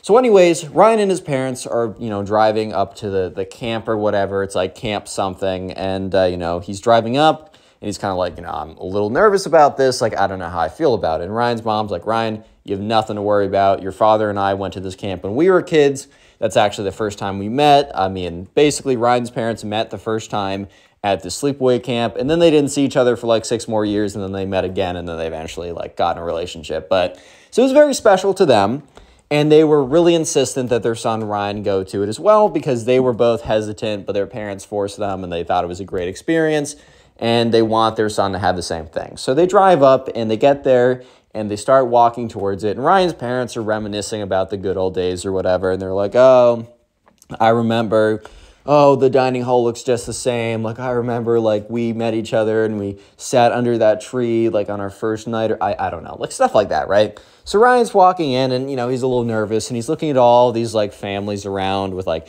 you know, you got the parents and their kids and there's a lot of nervous energy and chatter going on as you'd expect in the first day of an event like this. So anyways, they they walk up to the table where the person that kind of like the administrates or whatever is like, oh, like, hey, buddy, what's your name? And Ryan's parents is like, this is Ryan, last name. And they're like, oh, Ryan, last name. Okay, let me look. Ah, yes, you're in cabin B. So, uh, anyways, uh, feel free to walk over there right now. I think some kids are already in the cabin. You'll meet your uh, counselor that you're going to be kind of like paired with the whole time. And yeah, Ryan, it's going to be a great experience. I know you enjoy it. And he's like, all right, like, okay. So, anyways, Ryan and his parents, they, you know, they're bringing his like backpack or whatever or his suitcase, going over to the cabins. And, you know, Ryan's dad is like, oh my God, Ryan. Like, I totally forgot. They must have renamed it. Like, they used to have different names for these cabins, but this used to be my cabin. Like, that's so awesome. Whatever, right? So they go up there, they knock on it, the door's opened, and, you know, sure enough, the camp counselor or the counselor that is like with them is like, oh, what's up, dude? Like, you must be uh, Ryan, right? And Ryan's like, yeah. He's like, all right, all the other kids are already here. Come inside. So Ryan walks in with the parents, and he sees all the other kids like unpacking their stuff, sitting on the bunk beds or whatever. And the guy's like, all right, Ryan, this is your uh, place right here. So he sits down, and right across from him is a kid that we're going to call Ben. Ben is the spoiled kid. Little does Ryan know that this is about to be one of the craziest weeks of, of his entire life, right? Little does he know this is about to be one of the most insane weeks of all time, partially thanks to Ben. So, anyways, uh, you know, uh, Ryan starts introducing himself to all the other kids, and Ryan's parents eventually are like, all right, and we're gonna go. So Ryan hugs them goodbye, whatever. And uh, yeah, so uh, on the first, like before, like the, because they got there right around like three or four in the afternoon, so it's getting a little bit late, but they're talking with each other. Ryan's starting to get to know the other kids. He seems to really like them at first. And uh, so, anyways, eventually it's dinner time. They all go as a cabin to get dinner together, and one of the camp counselors says, Hey guys, or the one that the counselor that's like with cabin B. He's like, Hey guys, so tonight's actually really special. I know that all you guys are new, and I just want to let you know that like, you know, tonight will be a lot of fun, wink wink. So everyone was like, you know, they got a little excited. They're like, oh, what's happening tonight? And so let's skip ahead to then. They're all in their cabins, right? And it's getting kind of late. It's like nine at night. So they're kind of thinking, oh, is nothing really going to be happening tonight or whatever? And uh, they see the camp counselors like constantly checking his phone. I'm assuming that he's talking with the other camp counselors or other staff members because it was like a no phones policy except for staff members. And they were really, they were set like it was like kind of a rule that the staff members could really only be using their phone to, to communicate with other staff members. They couldn't just be going on like TikTok or Instagram or something like that. So, anyways, you know, he sees that like Ryan sees that this guy's checking his phone a lot, and that's when you hear that's when Ryan hears a horn from very far away. It's like one of those blow horns that like I don't know you could make. It's not like a industrial horn, but it's one that you'd like blow into and make a loud like a really loud noise. And like he hears a like a faint horn sound in the distance, and the camp counselor is like, "All right, guys, that's a signal. Everyone get up." So everyone gets up, and they kind of like they don't go single file, but they exit the camp cabin in like a group or whatever, and it's dark outside, and they see other groups of kids walking out as well. and the horn is blaring. They hear this horn in the very far distance, and all the groups of like cabins, so cabin A through X, or I, I don't know how many cabins, right? They're all walking towards the woods. And as they walk closer towards the woods, they see a faint, like burning glow, like a faint burning glow inside the woods. And they all get excited and they hear drum beats like bum, bum, bum, bum. And then there's the horn, like a and they all start walking in. It's really cool, really cool atmosphere, right? So they're all walking in and they're just like, they hear the drum beats, whatever. And they see like a big roaring fire and they're all instructed to sit around it, right? And Ryan already knows that this is going to be something special. So, anyways, uh, the the leader of like the camp counselor leader, uh, we'll, I'm just gonna say the president of the camp. I think there's like an actual real name, but we're just say president of the camp. So you know, she gets up there, and after all the groups have kind of settled around, the drums stop and the horn stops, and she's she's like, "All right, attention, everyone, welcome back to camp." I don't know. We're gonna call it uh, uh, Camp Tree. That's a lame name, but okay, whatever. Welcome back to Camp Tree. This is our 223rd or like 115th year, very old camp, whatever. This is our 115th year of operation, and we're commencing the like the 100 like 16th semester, whatever. And everyone cheers, and Ryan's kind of clapping, looking around, like, all right, this is really cool. And the camp the camp president is like, as the recurring like kids know, but uh, that we have a tradition every single year but I, it's time for me to introduce it to the new kids. I would like to welcome you to not only the 116th year of operation, but this is the 50th year of the Camp Tree Games. And everyone starts cheering, and obviously, like, Ryan doesn't know what's going on, but he's like, oh, the Camp Tree Games? That sounds pretty cool. And uh, they're like, yeah, since it's the 50th year, like, that's really prestigious. She's like, I'll go over very quickly. Throughout this week, at certain events, you will be challenged with uh, different activities and you will be awarded points based on your, you know, the effectiveness of or how well you complete them. By the end of the week, whoever has the most points as an individual will win the Camp Tree Cup. And you will forever be etched. Your name will forever be etched in the like the sacred wall or something. And she references like there's like this wall in where the uh, the cafeteria is, and when Ryan went in there, he saw this big wall uh, that has all these names etched into it. And she's like, and especially if you win the fiftieth, that's a little extra prestige. As like you know, fiftieth is a very, it's I don't know, it's more memorable than like. 42nd or something, right? So she's like, a lot of pressure for who's going to win this year.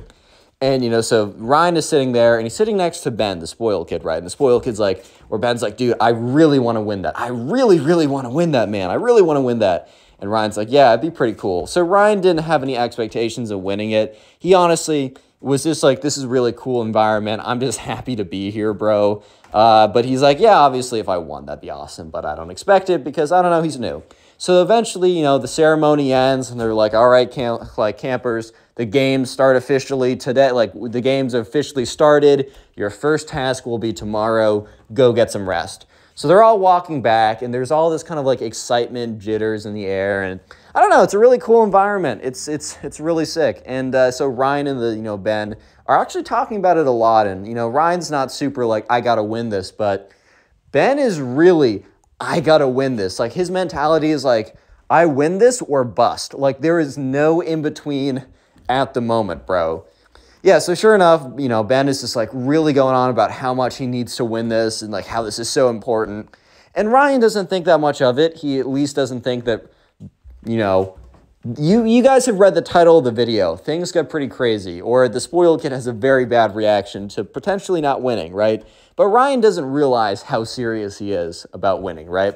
So they get back to the cabin, and the camp counselor comes around. He's like, "Boys, I just want to let you know, it would be cool if someone here won the cup because you know us counselors do kind of have a little competition of whose cabin's gonna have the cup winner. So no pressure, but it would be pretty cool." But also, guys, remember there's like 200 kids at this camp. Just have fun. And if you happen to score number one, that's great. No pressure, wink, wink. But uh, if you do win, that would be really cool because I do may or may not have a bet with the other counselors for $50 for who has a kid who wins the cup. So no pressure, but I'm just saying it would be pretty cool. So with that, they go to bed. Next day, they wake up super excited, super energized. It's just a really cool environment. And anyways, so the first, uh, so they don't only do camp games, right? They have, so there's three official events. There's three official games, which kind of puts a lot of pressure on each game. But also in between that, it is a sleepaway camp. So they spend a lot of time just doing non-camp game activities. So I don't know, learning how to, you know, you go into the, for example, Ryan on his first day was put into a random group of people, no one from his cabin, just randomly, right? And they went out into the woods and they were given a bunch of sticks and they said, okay, you're going to learn how to make a lean to, you're going to learn how to make a shelter if you need to in the woods with literally just sticks. Yeah, this will not be the greatest shelter, but it will keep you sheltered from the rain or any other, you know, uh, I don't know what it's called, any other like weather conditions or something like that. And Ryan was able to meet some new people and he was just genuinely having a really good time. And the only time that at lunch and dinner and breakfast, every single meal, you ate it with your group, like your cabin or whatever. Just uh, because they really wanted, look, they want you to bond with as many people as possible. But the camp did believe that, like, you are go, like the best, like, it, you, we, we're only here for a week and we want you to really bond with some people. So we're going to have you have the most time as possible with your cabin. So you're going to eat with them. You're to yeah, sleep in the same place. Like, you live with them, whatever, right? So, anyways, at lunch, you know, the spoiled kid Ben and everyone there, really, not just spoiled kid, right? Ben and everyone else, including Ryan, were just going on about like, they were just asking a million questions to the counselor about the first game. And the counselor's like, guys, I'm sworn to secrecy. Look, I want to help you because I want one of you guys to be the winner. Don't get it, don't get it twisted, right? But ah, I really can't say anything. I might actually get in trouble if I let you know too much. So they're all trying to like ask him like tricky questions. Like they're trying to be like, "Oh, you don't have to tell us, but if you were going to tell someone, what would the game what would you tell them if some random person who didn't go here was asking what the first game was? What exactly would you tell them?" And camp counselor is like, "Dude, I'm not the smartest cookie in the cookie place, but bro, like I'm not that dumb, dude." So uh, yeah, they don't really get any good information out of him, but they have a lot of fun trying to. And uh, they're also not allowed to know when the game is. So they can't even prepare for it. Obviously, they know they're told that there are three games, and uh, some of the games are group games. Some of them, or one game is a group game, which is by cabin. The next game is partner game, and the final game is an individual game. So the idea is kind of like you'll pretty much know off the bat where your rankings are. Because, like, if your cabin is really bad, it's going to be really hard to claw back up. But whatever, right? But they're also not allowed to know when these games are. So the first day ends. Like, uh, there's nothing, no game on the first day. They're even like up at like 9, 10 or whatever in their beds, like all like excited or whatever, thinking, oh my God, we might hear the horn. Uh, like the game might happen at any moment now. But no, they eventually are like, oh, okay, it's not. We're going to go to bed. And even the camp counselor, like, knocked on the door, is like, what are you boys doing up? It's like 11. They're like, what if the game happens? He's like, okay, I'm not supposed to say this, but look, the game's not happening tonight. Go to bed. They're all like, oh, dude, what? So yeah, next day comes around and they're they have some morning activities, they have breakfast, but they're sitting at lunch. And they're sitting like literally they're halfway through lunch when they hear the horn and they all drop their forks or whatever. They're like, "Oh my god, it's the horn. It's the horn." So sure enough, the horn is going halfway through lunch. They all get up and the camp count the counselor for their group is like or their is it count camp counselor? Yeah, camp counselor right is like, "Oh, all right guys, like this is the first activity. This activity we're doing as a group, so follow me. Everyone's super excited. You can feel it in the air. Things are going crazy. Everyone's really excited, and they start walking out. And uh, the first activity, the first activity is to build a fire in the woods. So they're going in, and each camp counselor for each of the cabins, they have a backpack that's full of you know a lighter and some basically just very few activities but a lighter and a little bit of like thin thinly sliced wood to give like a nice little spark or whatever but yeah that's it so they're all led into the woods and there was like other camp counselors that would be assigned to your group that would score you based on a preset score or whatever and basically every single kid in the group would get the exact same score but one of them maybe could get a bonus point, but that one bonus point really wouldn't change that much.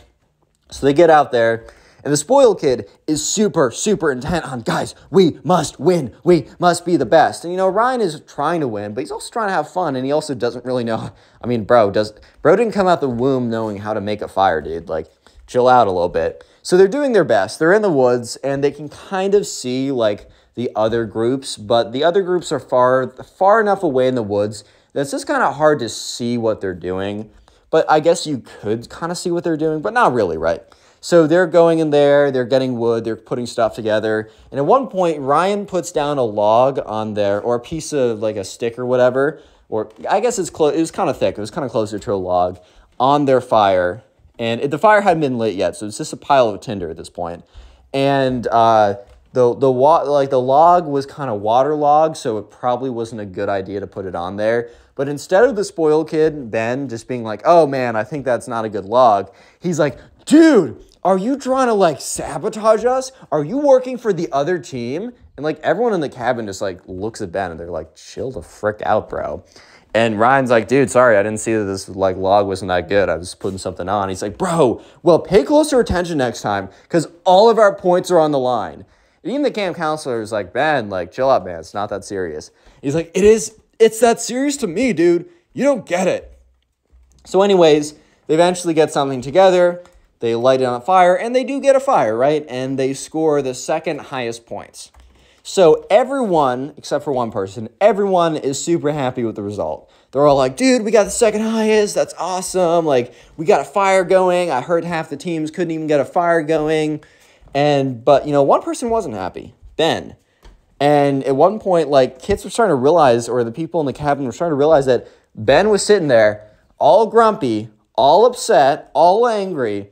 And they're all like, dude, like, what's what's the deal? Like, what's the word, man? Like, why are you so upset right now? And Ben's like, dude, I'm not settling for second.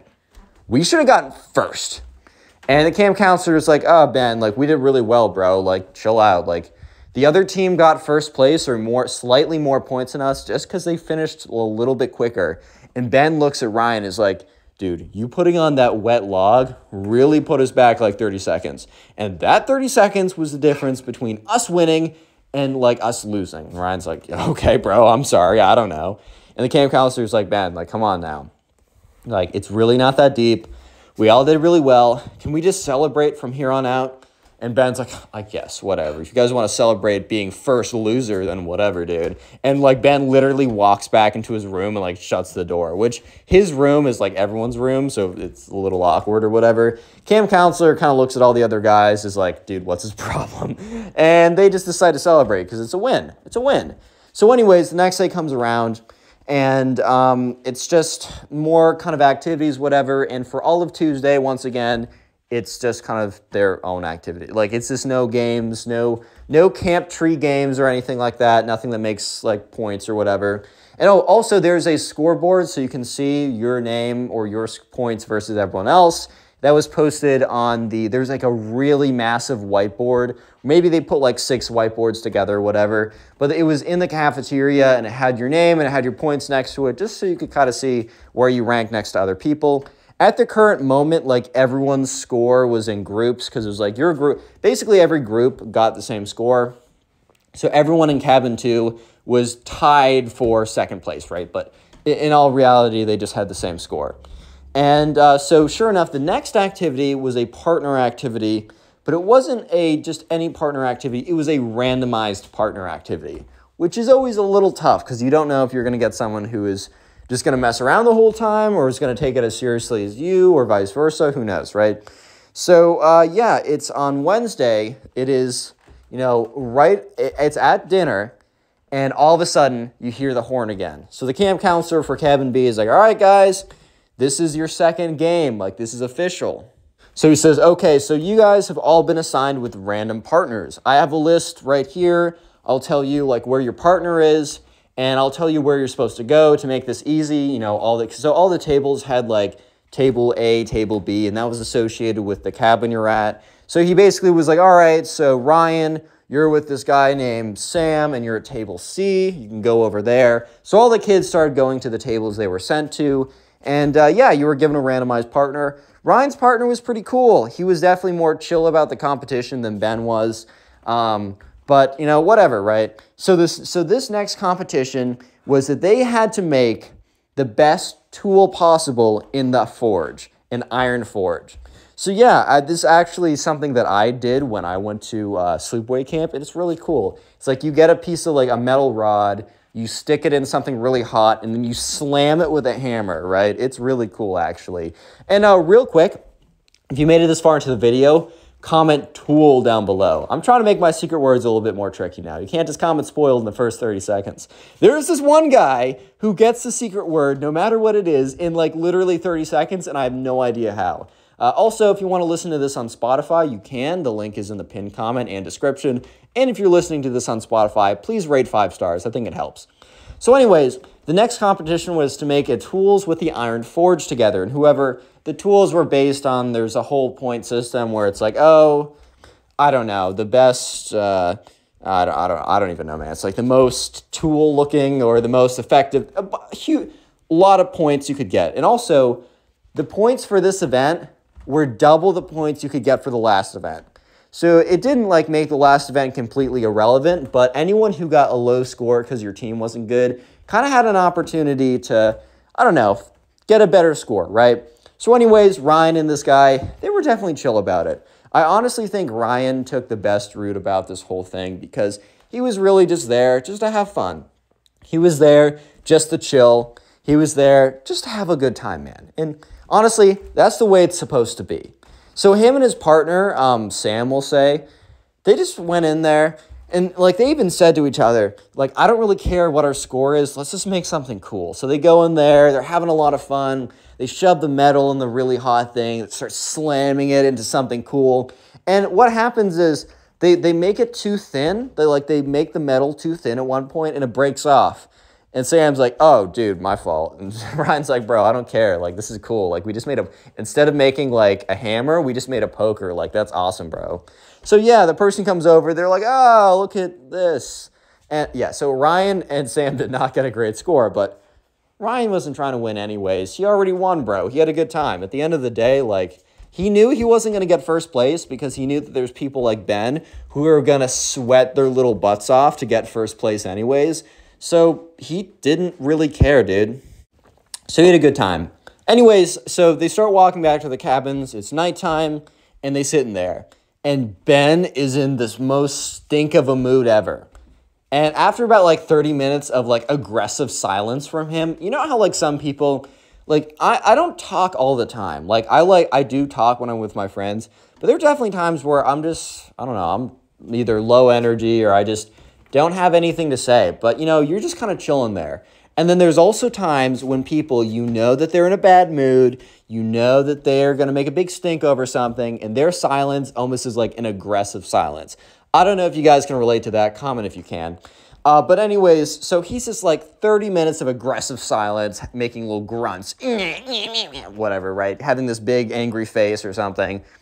And uh, so eventually he speaks up. He's like, I got robbed. And everyone's like, what? He's like, I got the worst partner ever. He didn't take the game seriously at all. I got, I got, and he started like tear up a little bit. He's like, I'm not gonna win this.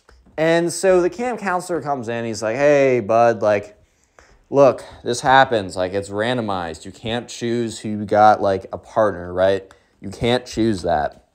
However, I'm not totally supposed to tell you guys details about all these things. I'll let you know a little something to make you guys feel better. For any of you guys who didn't do too well today, and just so you know, the next games, I can't tell you when they are, but they are single person. So it's only you. Your score will depend on your abilities alone.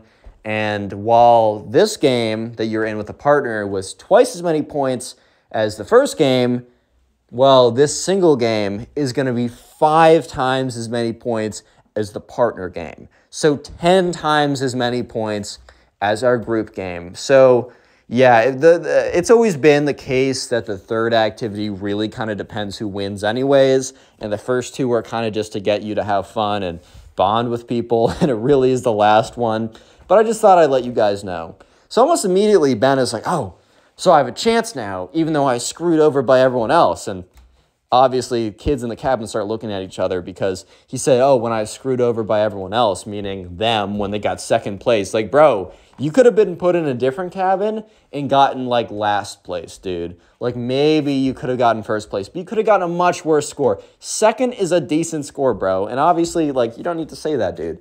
So sure enough, Ben is in a good mood. He's out of his stink. And uh, uh, two days, or not two days go by, Thursday. So the next day, actually, I have to make sure I don't accidentally add like six days to a week or something, six extra days. But, anyways, so the next day, it's Thursday.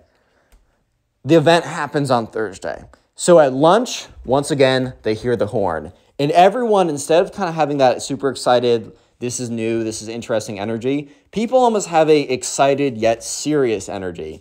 And Ben literally just has an only serious energy, especially if table B, because they know that this is like, this could literally make or break someone wins or not. Like you could be number one from the first two activities and it literally wouldn't even matter because this is like 10, so many multiples of points bigger than the other two events, right?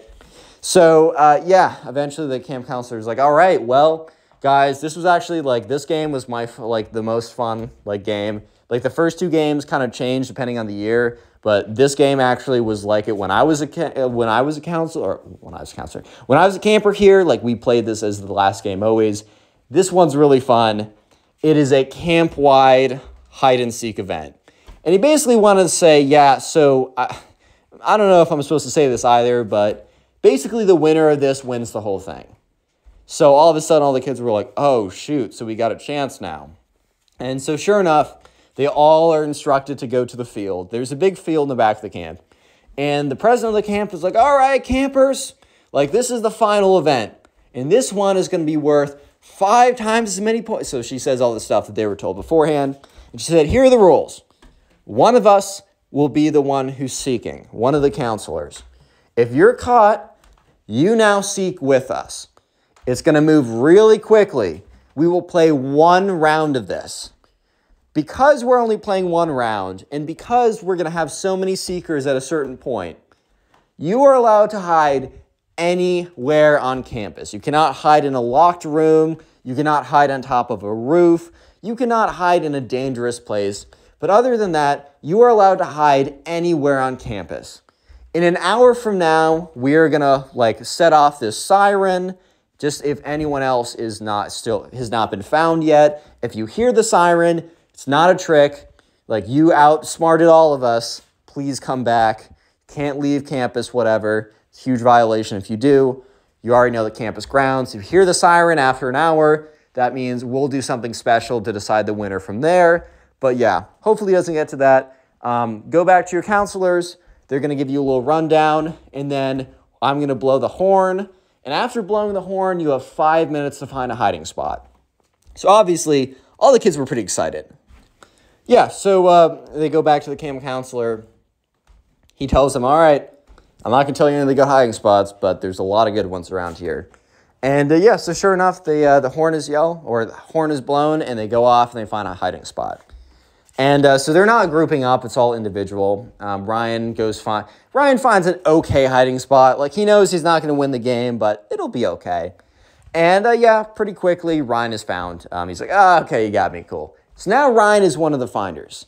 And so it's Ryan and this other kid have kind of like grouped up together, and they're going to go around finding people, and they do. And it's kind of like this big long group of people. So they all walk by, they walk down like the, the, the cafeteria, they walk into the cafeteria because everywhere on campus is open. Some of the buildings are locked and you can't go in a locked building or whatever, but the cafeteria is open. And Ryan, for some reason, is like, we should check that closet. And they're all like, okay. So sure enough, Ryan opens the closet and who does he see? He sees Ben, the spoiled kid. And Ben just looks at him with this look of, You, you destroyed my chances. And Ryan's like, ah, ha, ha. And some other kid is like, Oh, found you, dude. All right, come help us.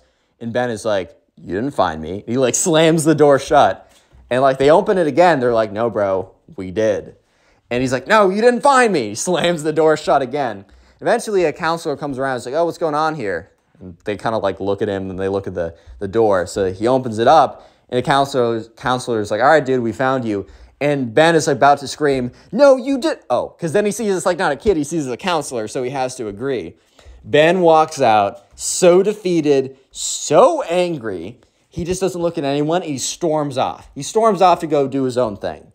Little did anyone know that he was about to do something absolutely crazy. He was storming off to do something insane.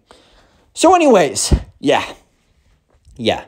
So, anyways, uh, they're all just kind of like they're going around and uh, finding people. And that's when they hear the siren 30 minutes early. They're with a camp counselor, and the camp counselor has been constantly on his phone, right? Constantly on his phone for like the last two minutes. And they're all like, oh, why are we hearing the siren? Like, isn't there like a little bit more time to go? The counselor's like, yeah, there's been a change of plans. We all need to go to the field again. So they all walk towards the field and they're just like, this is really weird. Like, I don't know what's going on right now. Like, why are the games ending early? Is did someone like leave campus and they need to shut down for some reason? Like, it's really weird. They're all standing in the fields, right? So kids are starting to pour in, whatever, right? Kids are saying, I wasn't caught, I wasn't caught. And like the counselors, normally during the sirens, if the sirens were called, they would have cared. Like they would have listened in and been like, oh, okay, we'll mark your name down. They didn't even care. Like the counselors were not even paying attention to who was it and who was caught and whatever. It's like they had something more important to think about, which in fact they did. Little did anyone know. So that's when so Ryan is sitting or the standing with some guys and they're just talking, being like, what's going on? Like this kind of weird. And that's when they hear a kid say, Look, look. And so all the kids turn around. And he points at the field. And he points really far out at the trees. And they see this like smoke coming out from the forest. And they see little bits of like fire. They think someone like lit like a, just a normal fire, like in the fire pit. But they see way too much smoke. And they start to realize that there's like a fire going on. And within like, as soon as they realize it's like the fire trucks come in. And they see the fire trucks come in, which probably took a while because the camp's off the beaten path, right? Fire trucks are coming in. You know, the camp counselor, counselors are like, all right, guys, we need to do roll call. You need to get with your groups right now. So everyone starts realizing, okay, this is really serious right now. So Group B is together. There's one kid who's missing from Group B, and it is Ben. And so the camp counselor for Group B is like, calls up like the staff or whatever, is like, you guys need to come down here. We're missing a kid. And the staff member comes up, whispers something into the counselor's ear, and the counselor's face it just is like shocked. The craziest face ever, right? He's like, oh my God. And after that, he doesn't care that Ben is missing. So at this point, Ryan realizes, okay, something just happened because this counselor was freaking out that we couldn't find Ben, who's in his group. This woman comes over, says something to him. He looks completely shocked, and now he doesn't care that we can't find Ben. Something happened. So later that night, every kid is picked up. All the parents are grumpy or angry that they have to come a day early because they have to change their plans. The fire was spreading a little bit, but thankfully, only one or two buildings got hit. I think one of the cabins got hit. A lot of trees took damage, but the fire department was able to get in there just in time. Before Ryan left, do you remember his friend Sam? So his friend Sam and I were chilling, or he was Ryan was chilling with some other guys, and his friend Sam came up to him because they were all sitting in the cafeteria, whatever, waiting to be picked up. And Sam's like, "Dude, you're not gonna believe this." So Sam goes on to tell him that through other people and through various reasons, he learned what happened. Basically, Ben, the spoiled kid, was so unbelievably angry that he did not win the number one place, that he did not win the cup, Camp Tree Cup or whatever, that he went into the kitchen and he found all the, the like the lighters, lighter fluid, everything flammable, anything to make a huge, say, a big middle finger to the camp, basically. Got all the lighting supplies, went into the woods and just is doused everything with as much flammable stuff as possible, started lighting stuff on fire, and honestly would have gone on a tear through the entire woods, through all the buildings. That's when he was caught by one of the counselors who was like doing hide and seek or whatever. This counselor apparently, because like some other kids were with the counselor when they caught Ben, that's how the word got around really quickly. And so this counselor apparently like tackled Ben, like straight up tackled him, took the lighter out of his hand, called for backup. It's like, kids, stay back, stay back, whatever, right? All these other camp counselors come rushing in, whatever, to this location. They call the fire. Crazy, right? So Ryan never hears from Ben again.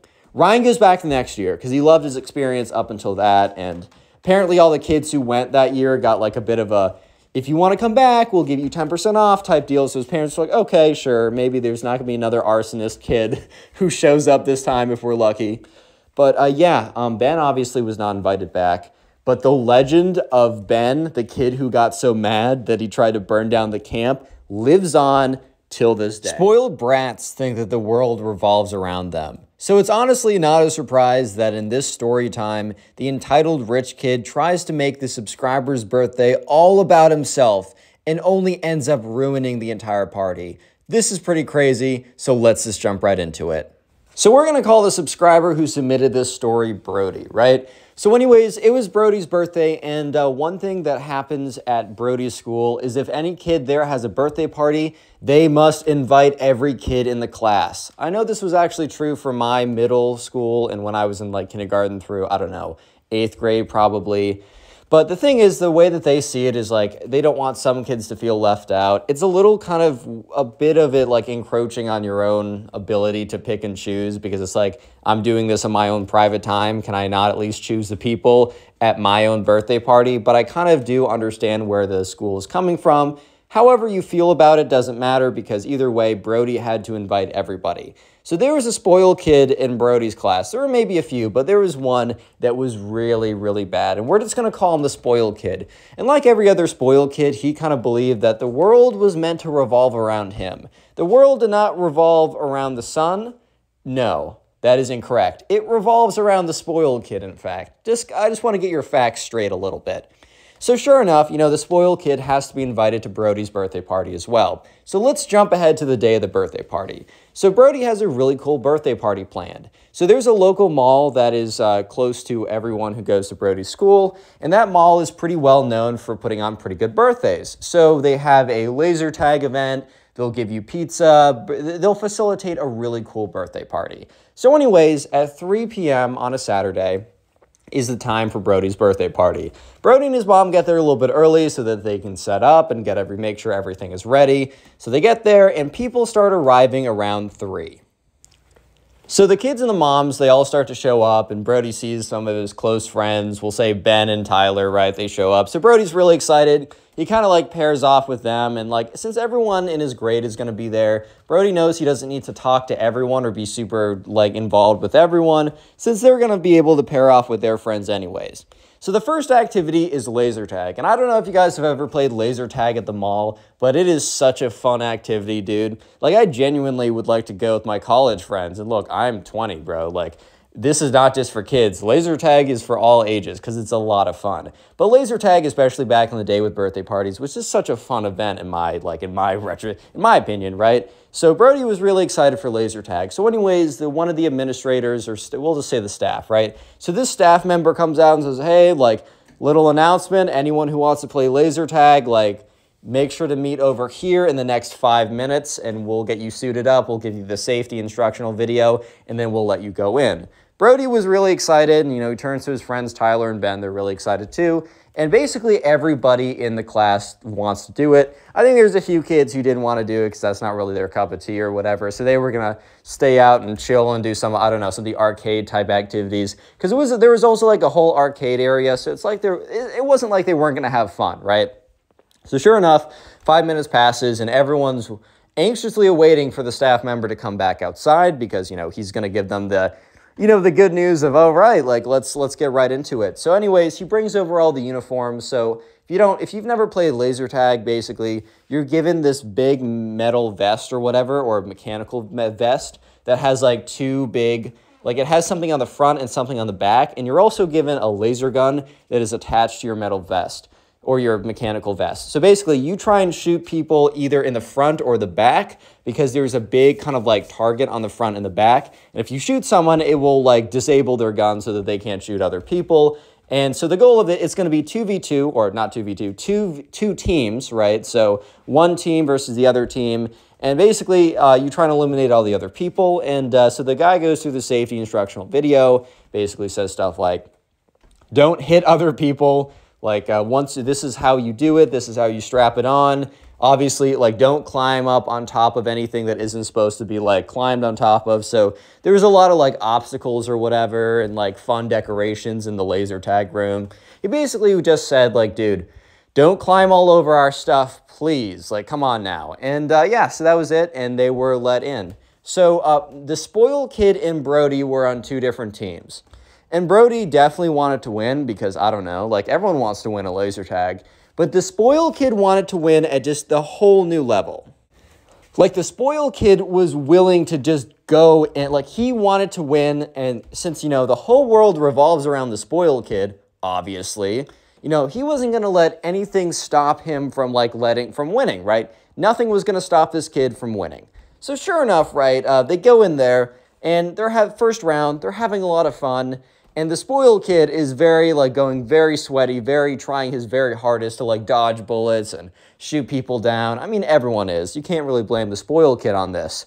But uh, basically, the spoiled kid gets shot in like his little vest thing. So his vest lights up and then his laser gun stops working.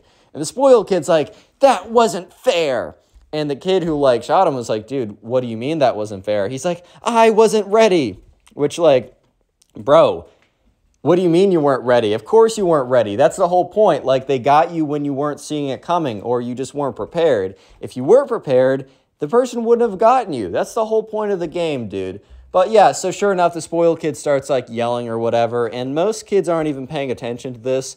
But you know, uh, Brody, the subscriber, is aware of this because I feel like Brody, as like the guest or he's not the guest, the host of his party, he needs to be. He's always like a little bit more aware of how things are going how people are talking with each other, stuff along those lines, right? Um, so yeah, he kind of notices all of this, even though most people don't. The thing is, though, the spoiled kid, right? He is starting to get really upset. Like he's like, I wasn't ready. I demand a redo. Like this is unacceptable. So the spoiled kid walks up to the staff member who's in there just to make sure everything's going normally. And oh, the kids go back to playing, right?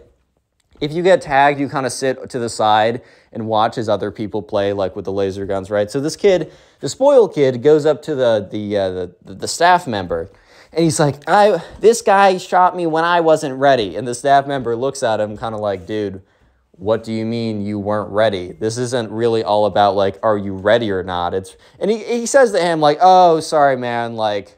We're playing another round, so just wait until then. The spoiled kid very angrily is like, fine. And he kind of like walks over to the side and like grumpily sits against the wall. And it's like, dude, like chill out. It's literally laser tag. And it's not even like the one game and you're done. You have multiple more rounds to go. I don't know, man. Ne- next time, just do better. just don't get shot, bro. Like, I don't know. Is it really that hard? So, sure enough, eventually there's a winning team because I the birthday kid, aka uh, Brody, his team has three people, the other team has zero at the very end, so they win. And they decide, so the teams are reshuffled, um, and they go again. This time, Brody and the spoiled kid are on the same team. And the spoiled kid is like, goes up to Brody and is like, yo, dude, we got to be like doubles or whatever. Basically, going up to the kid, being like, you and I, let's like flank them together. And, you know, the spoiled kids or the Brody, the birthday kid's like, yeah, sure, dude, whatever, cool. So they start the round and they're going in, and Brody and the Spoil kid are actually a pretty good duo. They're doing pretty good. So Brody and the Spoil kid are kind of, you know, taking people down, taking big W's. They're doing really well. But this one guy outflanked both of them and was able to shoot both of them and get them both out really quickly. And the Spoil kid is like, What? And Brody's like, Oh, good shot, man, whatever. And Brody's like, All right, man, let's go to the side and see how our team does. And the spoiled kid is like, no, I'm not doing that, man. That guy was obviously cheating. And Brody's like, what? And uh, the spoiled kid's like, yeah, he was like hacking IRL. And Brody's like, dude, what do you mean hacking IRL? Like, how does someone hack IRL? Like, I, isn't that just called cheating? Like, I, I just don't understand where you're coming from here. And so, anyways, right, you know, Brody keeps going on about like, or the spoiled kid goes on about like, ah, yeah, it's uh, he was cheating, he was doing something. So he goes up, right, goes up to the staff guy, and he starts complaining again. And the staff guy remembers him, the spoiled kid, as the last kid from last time who was complaining over nothing. So the staff member looks at him is like, "Little bro, like you got to stop. Like you got you got tagged by the laser gun. You got to chill out and you're good, whatever." So at this point, the spoiled kid instead of just going back, returns back into the battlefield. But remember, his laser gun no longer works cuz he got tagged. So instead of fighting people with the laser gun or like shooting people with the laser gun, he takes the laser gun and he starts swinging at people on the enemy team. He just starts swinging at them with the laser gun, trying to like hit them with it. And remember, this is a pretty big chunky piece of plastic, right? This isn't like some, I don't know, some big metal sword or something, but it is like if you make good contact with someone's head or something, it's definitely going to hurt a little bit. Like, it, I don't know. So, sure enough, uh, the staff member sees this and he has to literally pause the game. Like he has to shut down the whole game. He's like, no, no, no, you can't be doing that. Stop, stop. And the spoiled kid's like swinging. He's like, meow, meow. He's just like swinging on it. They have to pause the game. The staff member has to escort the spoiled kid out of the whole game or whatever. And because the staff member has to go escort him out of the game, the game is turned off. And it's like 15 minutes of like the staff member like dealing with the spoiled kid. And by the time the staff member gets back, he's like, hey guys, I'm so sorry, but your time slot is up. There's another party that's coming in in the next five minutes, so we got to call this short. So, yeah, basically, because of the spoiled kid, um, they had to stop playing. Like, they had to cut their. Uh, th- their laser tag a little bit early, which is just the first of many things the spoiled kid has done. Real quick comment tag down below. That'll be the secret word of the day. Uh, also, if, if you want to listen on Spotify, it'll be the pinned comment in the description. There'll be a link in there. And if you're listening on Spotify, please rate five stars. And finally, the best way to support the channel, the very best way to support the channel on YouTube, is to just binge watch these videos. So please let me know how many of these videos have you watched today? Because the more videos you watch on the channel, the more you support it, and I really appreciate it. I'm just curious who's watching the videos, and I'd love to hear it. So, anyways, let's get back to it. As as Brody's birthday is about to be completely destroyed by the spoiled kid. So, anyways, laser tag was the first activity, but now it was time for cake. Yeah, so sure enough, uh, the Brody, the birthday kid's mom, is like, "All right, guys, let's go to the whatever lunch table type thing," because it was like an it was like an arcade setting. So there's a lot of arcade games, a ball pit, obviously the laser tag, but you needed to reserve that, and then the sorry, and then there was also kind of like a a, a lunch type area that they reserved for like parties or whatever. And Brody's parents reserved one of the tables.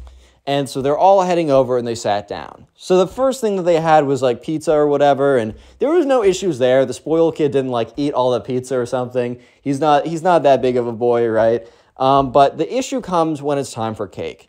So in uh, a lot of at least a lot of people I know, the tradition for your birthday is you come out with a cake and you have a bunch of candles, and the person whose birthday it is blows out the candles.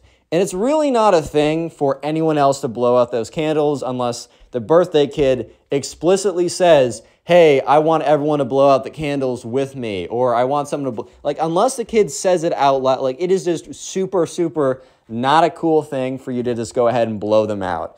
However, right, you have to remember the spoiled kid truly believes that the world revolves around him. He genuinely believes that if he wants something, he should get it, and it's justified because if he wants, he should get. So, sure enough, right, the spoiled kid felt like he wasn't getting enough attention. I mean, he just came off of not winning uh, the laser tag, which made him big mad, right? So, at this point, he also isn't getting all the attention from literally everyone, which is an absolute crime. I 100% agree. Sarcasm. So uh, the spoiled kid is noticing that, you know, after eating all the pizza or whatever, like some parents go behind, like they walk away, and then they come out. And so the spoiled, uh, sorry, not spoiled kid, the birthday kid, Brody, his mom comes out with a cake. It has a bunch of candles on it. They're all lit. And they all start singing happy birthday. So happy, like they're singing the happy birthday song. They're moving like, uh, sorry, the spoil, not spoiled kid. The birthday kid, Brody's mom, has come walking over very slowly to the table with the cake. And Brody's sitting down, and the spoil kid happens to be sitting down right next to him. So uh, Brody's mom puts the cake on the table, and the idea is at the end of singing happy birthday, Brody, as the birthday kid, is going to be the one who blows out the candles. But right before the song ends, the spoiled kid is like, blows out all the candles. And literally everyone goes dead silent. They don't even finish the song. They just go dead silent. It's a super awkward situation. I really don't know what went through the spoiled kid's mind. I think he was like, oh my God, I'm not getting all the attention at this very second. This is unacceptable. I must get all the attention always. So he decided that he wanted to be the one who blew out the candles. Uh, so yeah, the spoiled kid's mom sees this and is like, oh no, dude. Because look, everyone knows that you don't blow out someone else's candles, bro. That's the worst thing you can do. I'm sure there's worse things, but you know what I mean. Not a great thing to do. So, uh, you know, Brody doesn't take it that, like, he doesn't, like, take it that personally. He doesn't really care that much. He's like, okay, well, I kind of wanted to blow the candles out, but whatever, I guess, right? I'll just have some of the cake, right? You know, it's, it's cool, it's whatever. But so the spoiled kid's mom, like immediately after the spoiled kid, well, after like 20 seconds of an awkward silence, after he blows out the candles, comes over and the spoiled kid mom like grabs him by the scruff of his like shirt or whatever and drags him out to like another room, a private like a private room to go talk with him or something, to give him a little bit of a talk cuz he needs a little bit of a talking to right now. So the spoiled kid was out of the picture for a little bit. So they're all having cake or whatever, and the spoiled kid's mom eventually walks back into the room. But the spoiled kid does not walk back into the room with her. So uh, Brody, the birthday boy, overhears his mom walk over to the spoiled kid's mom and say, Hey, does your son want a piece of cake? Like, we can walk, like, where is he? And the spoiled kid's mom says, Oh, he's in a timeout right now. I'm so sorry for what my son did, stuff like that, right? Like, I'm sorry, I feel really bad. He will not be getting any cake. He will not be, re- be rewarded for such bad behavior, stuff like that. And Brody's mom was like, oh, okay. Brody's mom was not going to like push back on this because I think Brody's mom 100% agreed that it is totally not okay behavior to like blow out someone else's candles.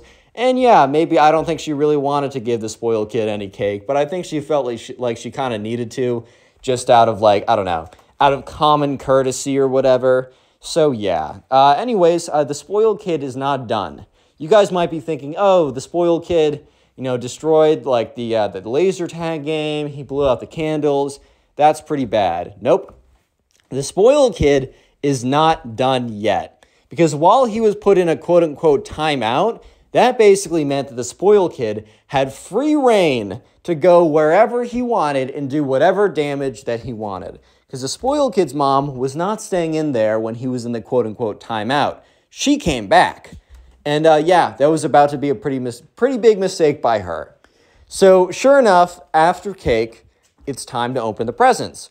And so, anyways, when people first arrived at 3 on that Saturday, there was a big table right in the front of the room that said Brody's party, put presents here, whatever.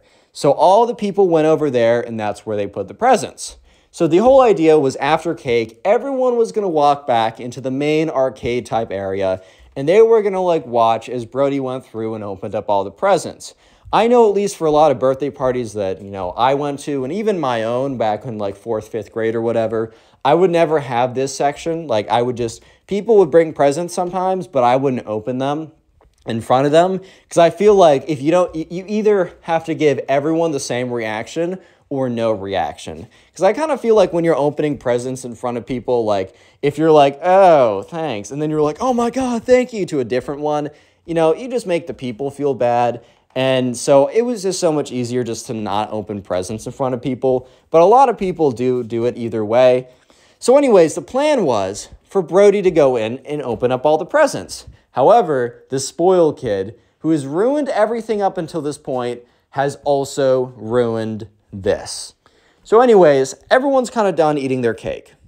So, you know, Brody's mom says, All right, guys, let's get up and let's go into the arcade room so we can open some presents. And by we, she meant they can watch her son open presents, as that's how it normally goes. Why would anyone else besides him open the presents? Hint, hint. So, anyways, they all walk in, and when they walk in, they see a crazy sight in front of them. They see something that they were not expecting Basically, this is the spoiled kid's revenge. So they walk into the arcade room, and instead of seeing a big pile of wrapped presents, they see a massive pile of shredded wrapping paper on the floor. And uh, they see all these like presents, like all over the place, unwrapped. Some of them have literally been opened up and played with. And sure enough, the spoiled kid is sitting right in the middle of all this chaos. So basically, what happened is when the spoiled kid was put on a quote unquote timeout, instead of just sitting there, he decided to wander around and he saw a big table full of presents that he did know were for Brody. And he was like, you know what? I'm bored and the world revolves around me. So I'm just going to open up all these presents as if these were my presents to open up in the first place. Yeah, I'm not even kidding right now. So sure enough, the spoiled kid had opened up every single present and had actually like not just like unwrapped them, had literally broken the plastic off of. He was building some Legos when they came in there. And at that point, the spoiled kid's mom was like, "Oh my god, like Jeremy, let's call the spoiled kid Jeremy, like, "Jeremy, what have you done?" And obviously, like Brody, the subscriber, is pretty disappointed. He's like, dude, what? Because, like, the presents you get are cool, but honestly, such a big part of the present, like the, the, the joy of it, is the anticipation as you're opening it up. Like, that's sometimes better than the present itself. I'm not to lie. So the spoiled kid basically stole that from him. The, the spoiled kid at this point has stolen the laser tag, stolen blowing out the candles, and stolen the joy of opening the presents. So the spoiled kid's mom grabs him, goes up to the Brody's mom, and is like, You apologize to Brody and his mom right now. And the spoiled kid's like, I'm sorry for I don't know. He gives some like really trash apology. And she's like, I'm so sorry. I'm gonna take my son out of here and punish him or something. So yeah, the spoiled kid's mom, I'm sure, quote unquote, punishes him by saying, That was very bad. Okay, here's some ice cream. Just give some like trash punishment because if she was a good parent in the first place, stuff like this just wouldn't be happening, bro. That's all I'm trying to say. So yeah, the spoiled kid is escorted out of there. Um, and, uh, you know, it's just kind of Brody and all the other people. Like the parents were like, oh, we're so sorry this happened. And Brody's like, no, it's fine. Um, can you guys just tell me who gave what? Because now I don't know. So what ended up happening was it was almost like a little, it, they recovered a little bit. So basically, each kid would run into the pile of, un, of opened presents and they would go and like Brody would turn around with his eyes closed. So the kids would run in, they would grab their present for Brody, and then they would like walk over and hand it to him. So there was still a little bit of a surprise factor.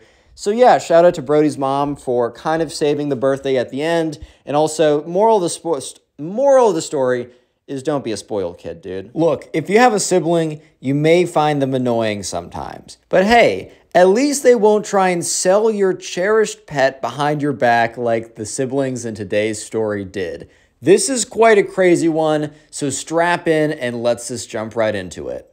So, we're gonna call the subscriber who submitted today's story Sebastian.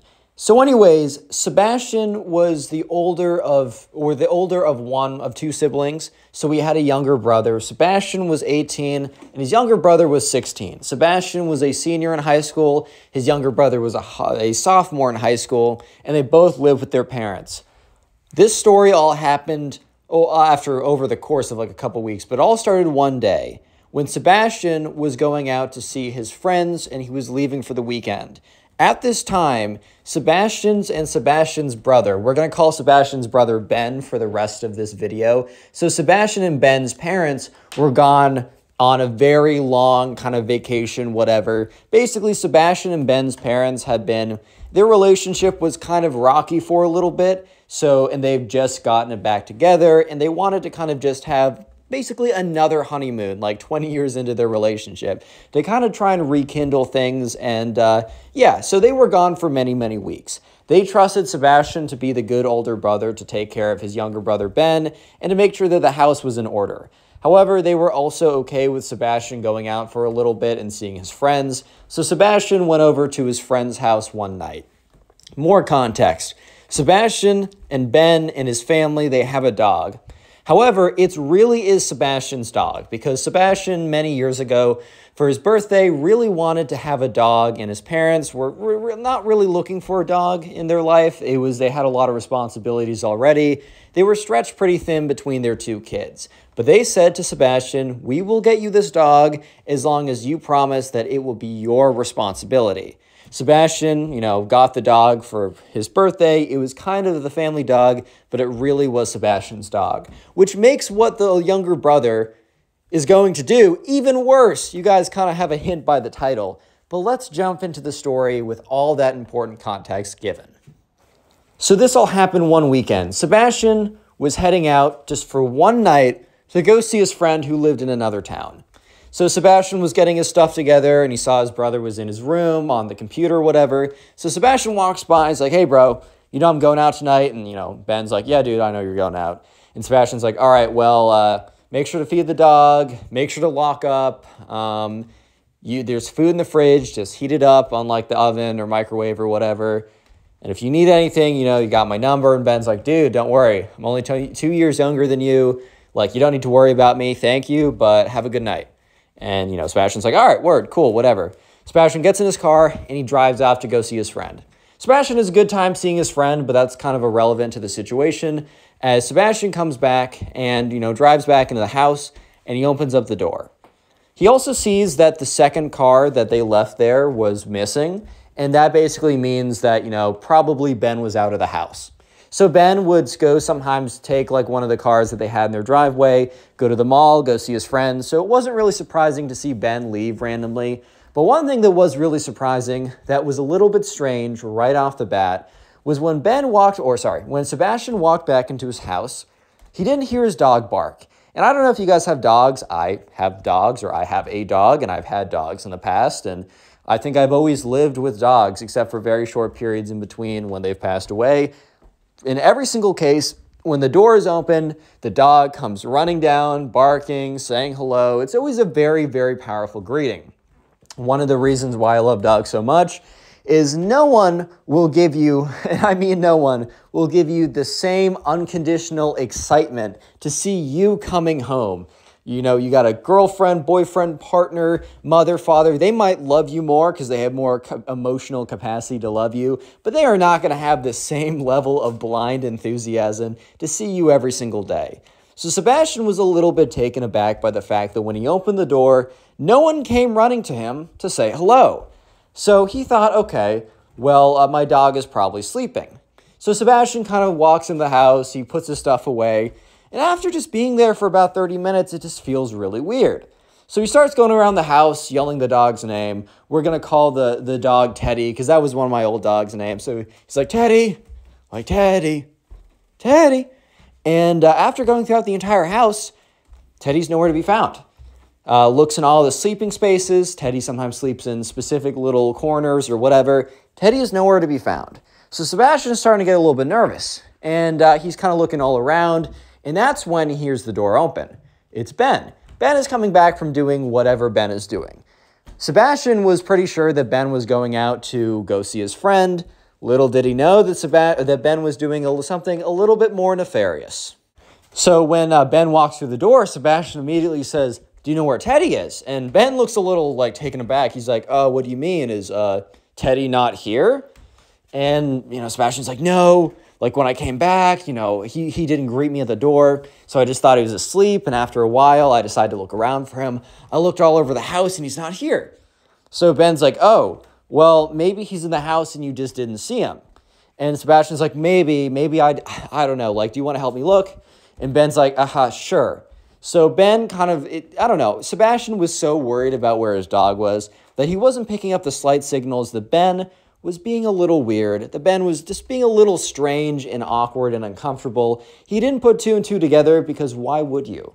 Anyways, so, you know, they're walking around the house and Sebastian's like, Teddy, Teddy, where are you? Right. I mean, this is this is his beloved dog, dude. Like, I would be really, really concerned and sad and frightened and all that stuff if my if I came home and my dog was gone and she was supposed to be here, right? So they're going around yelling, Teddy, Teddy, like, where are you? Whatever. And by the end of it, like after about 20 minutes later, Sebastian kind of comes to the conclusion, Teddy's not in this house. So at this point, they think like Ben's like, well, maybe I don't know. Teddy escaped somehow. Like I don't know how, but maybe he did. And so Sebastian's like, I don't know how that's possible, but that's like the only thing that makes sense. So they start walking around the neighborhood, or they're driving around the neighborhood, and Sebastian's like, I'm gonna keep driving. How about you get out? You start walking around, and Ben, who really does know the truth here, is like, oh, okay, sure. And obviously, Ben doesn't put the same effort into it because he knows exactly where Teddy is. Because he just sold Teddy to a, someone in their, not their neighborhood, but someone who lives near them because he wanted some money. Yup, I'm not even kidding you. But here's the thing Sebastian doesn't know this yet, and all this, all the truth will be revealed shortly. So, anyways, after about three to four hours of driving around, Sebastian is completely distraught, but he also feels extremely defeated. So he goes back home, and at this point, he realizes okay, I, I gotta be efficient about this, I gotta be quick about this. If you guys have ever watched, I don't know, those like TV shows or dramas of like when someone goes missing, you know, the first 24 hours is the most important. Obviously, that's a different situation, but definitely like the, the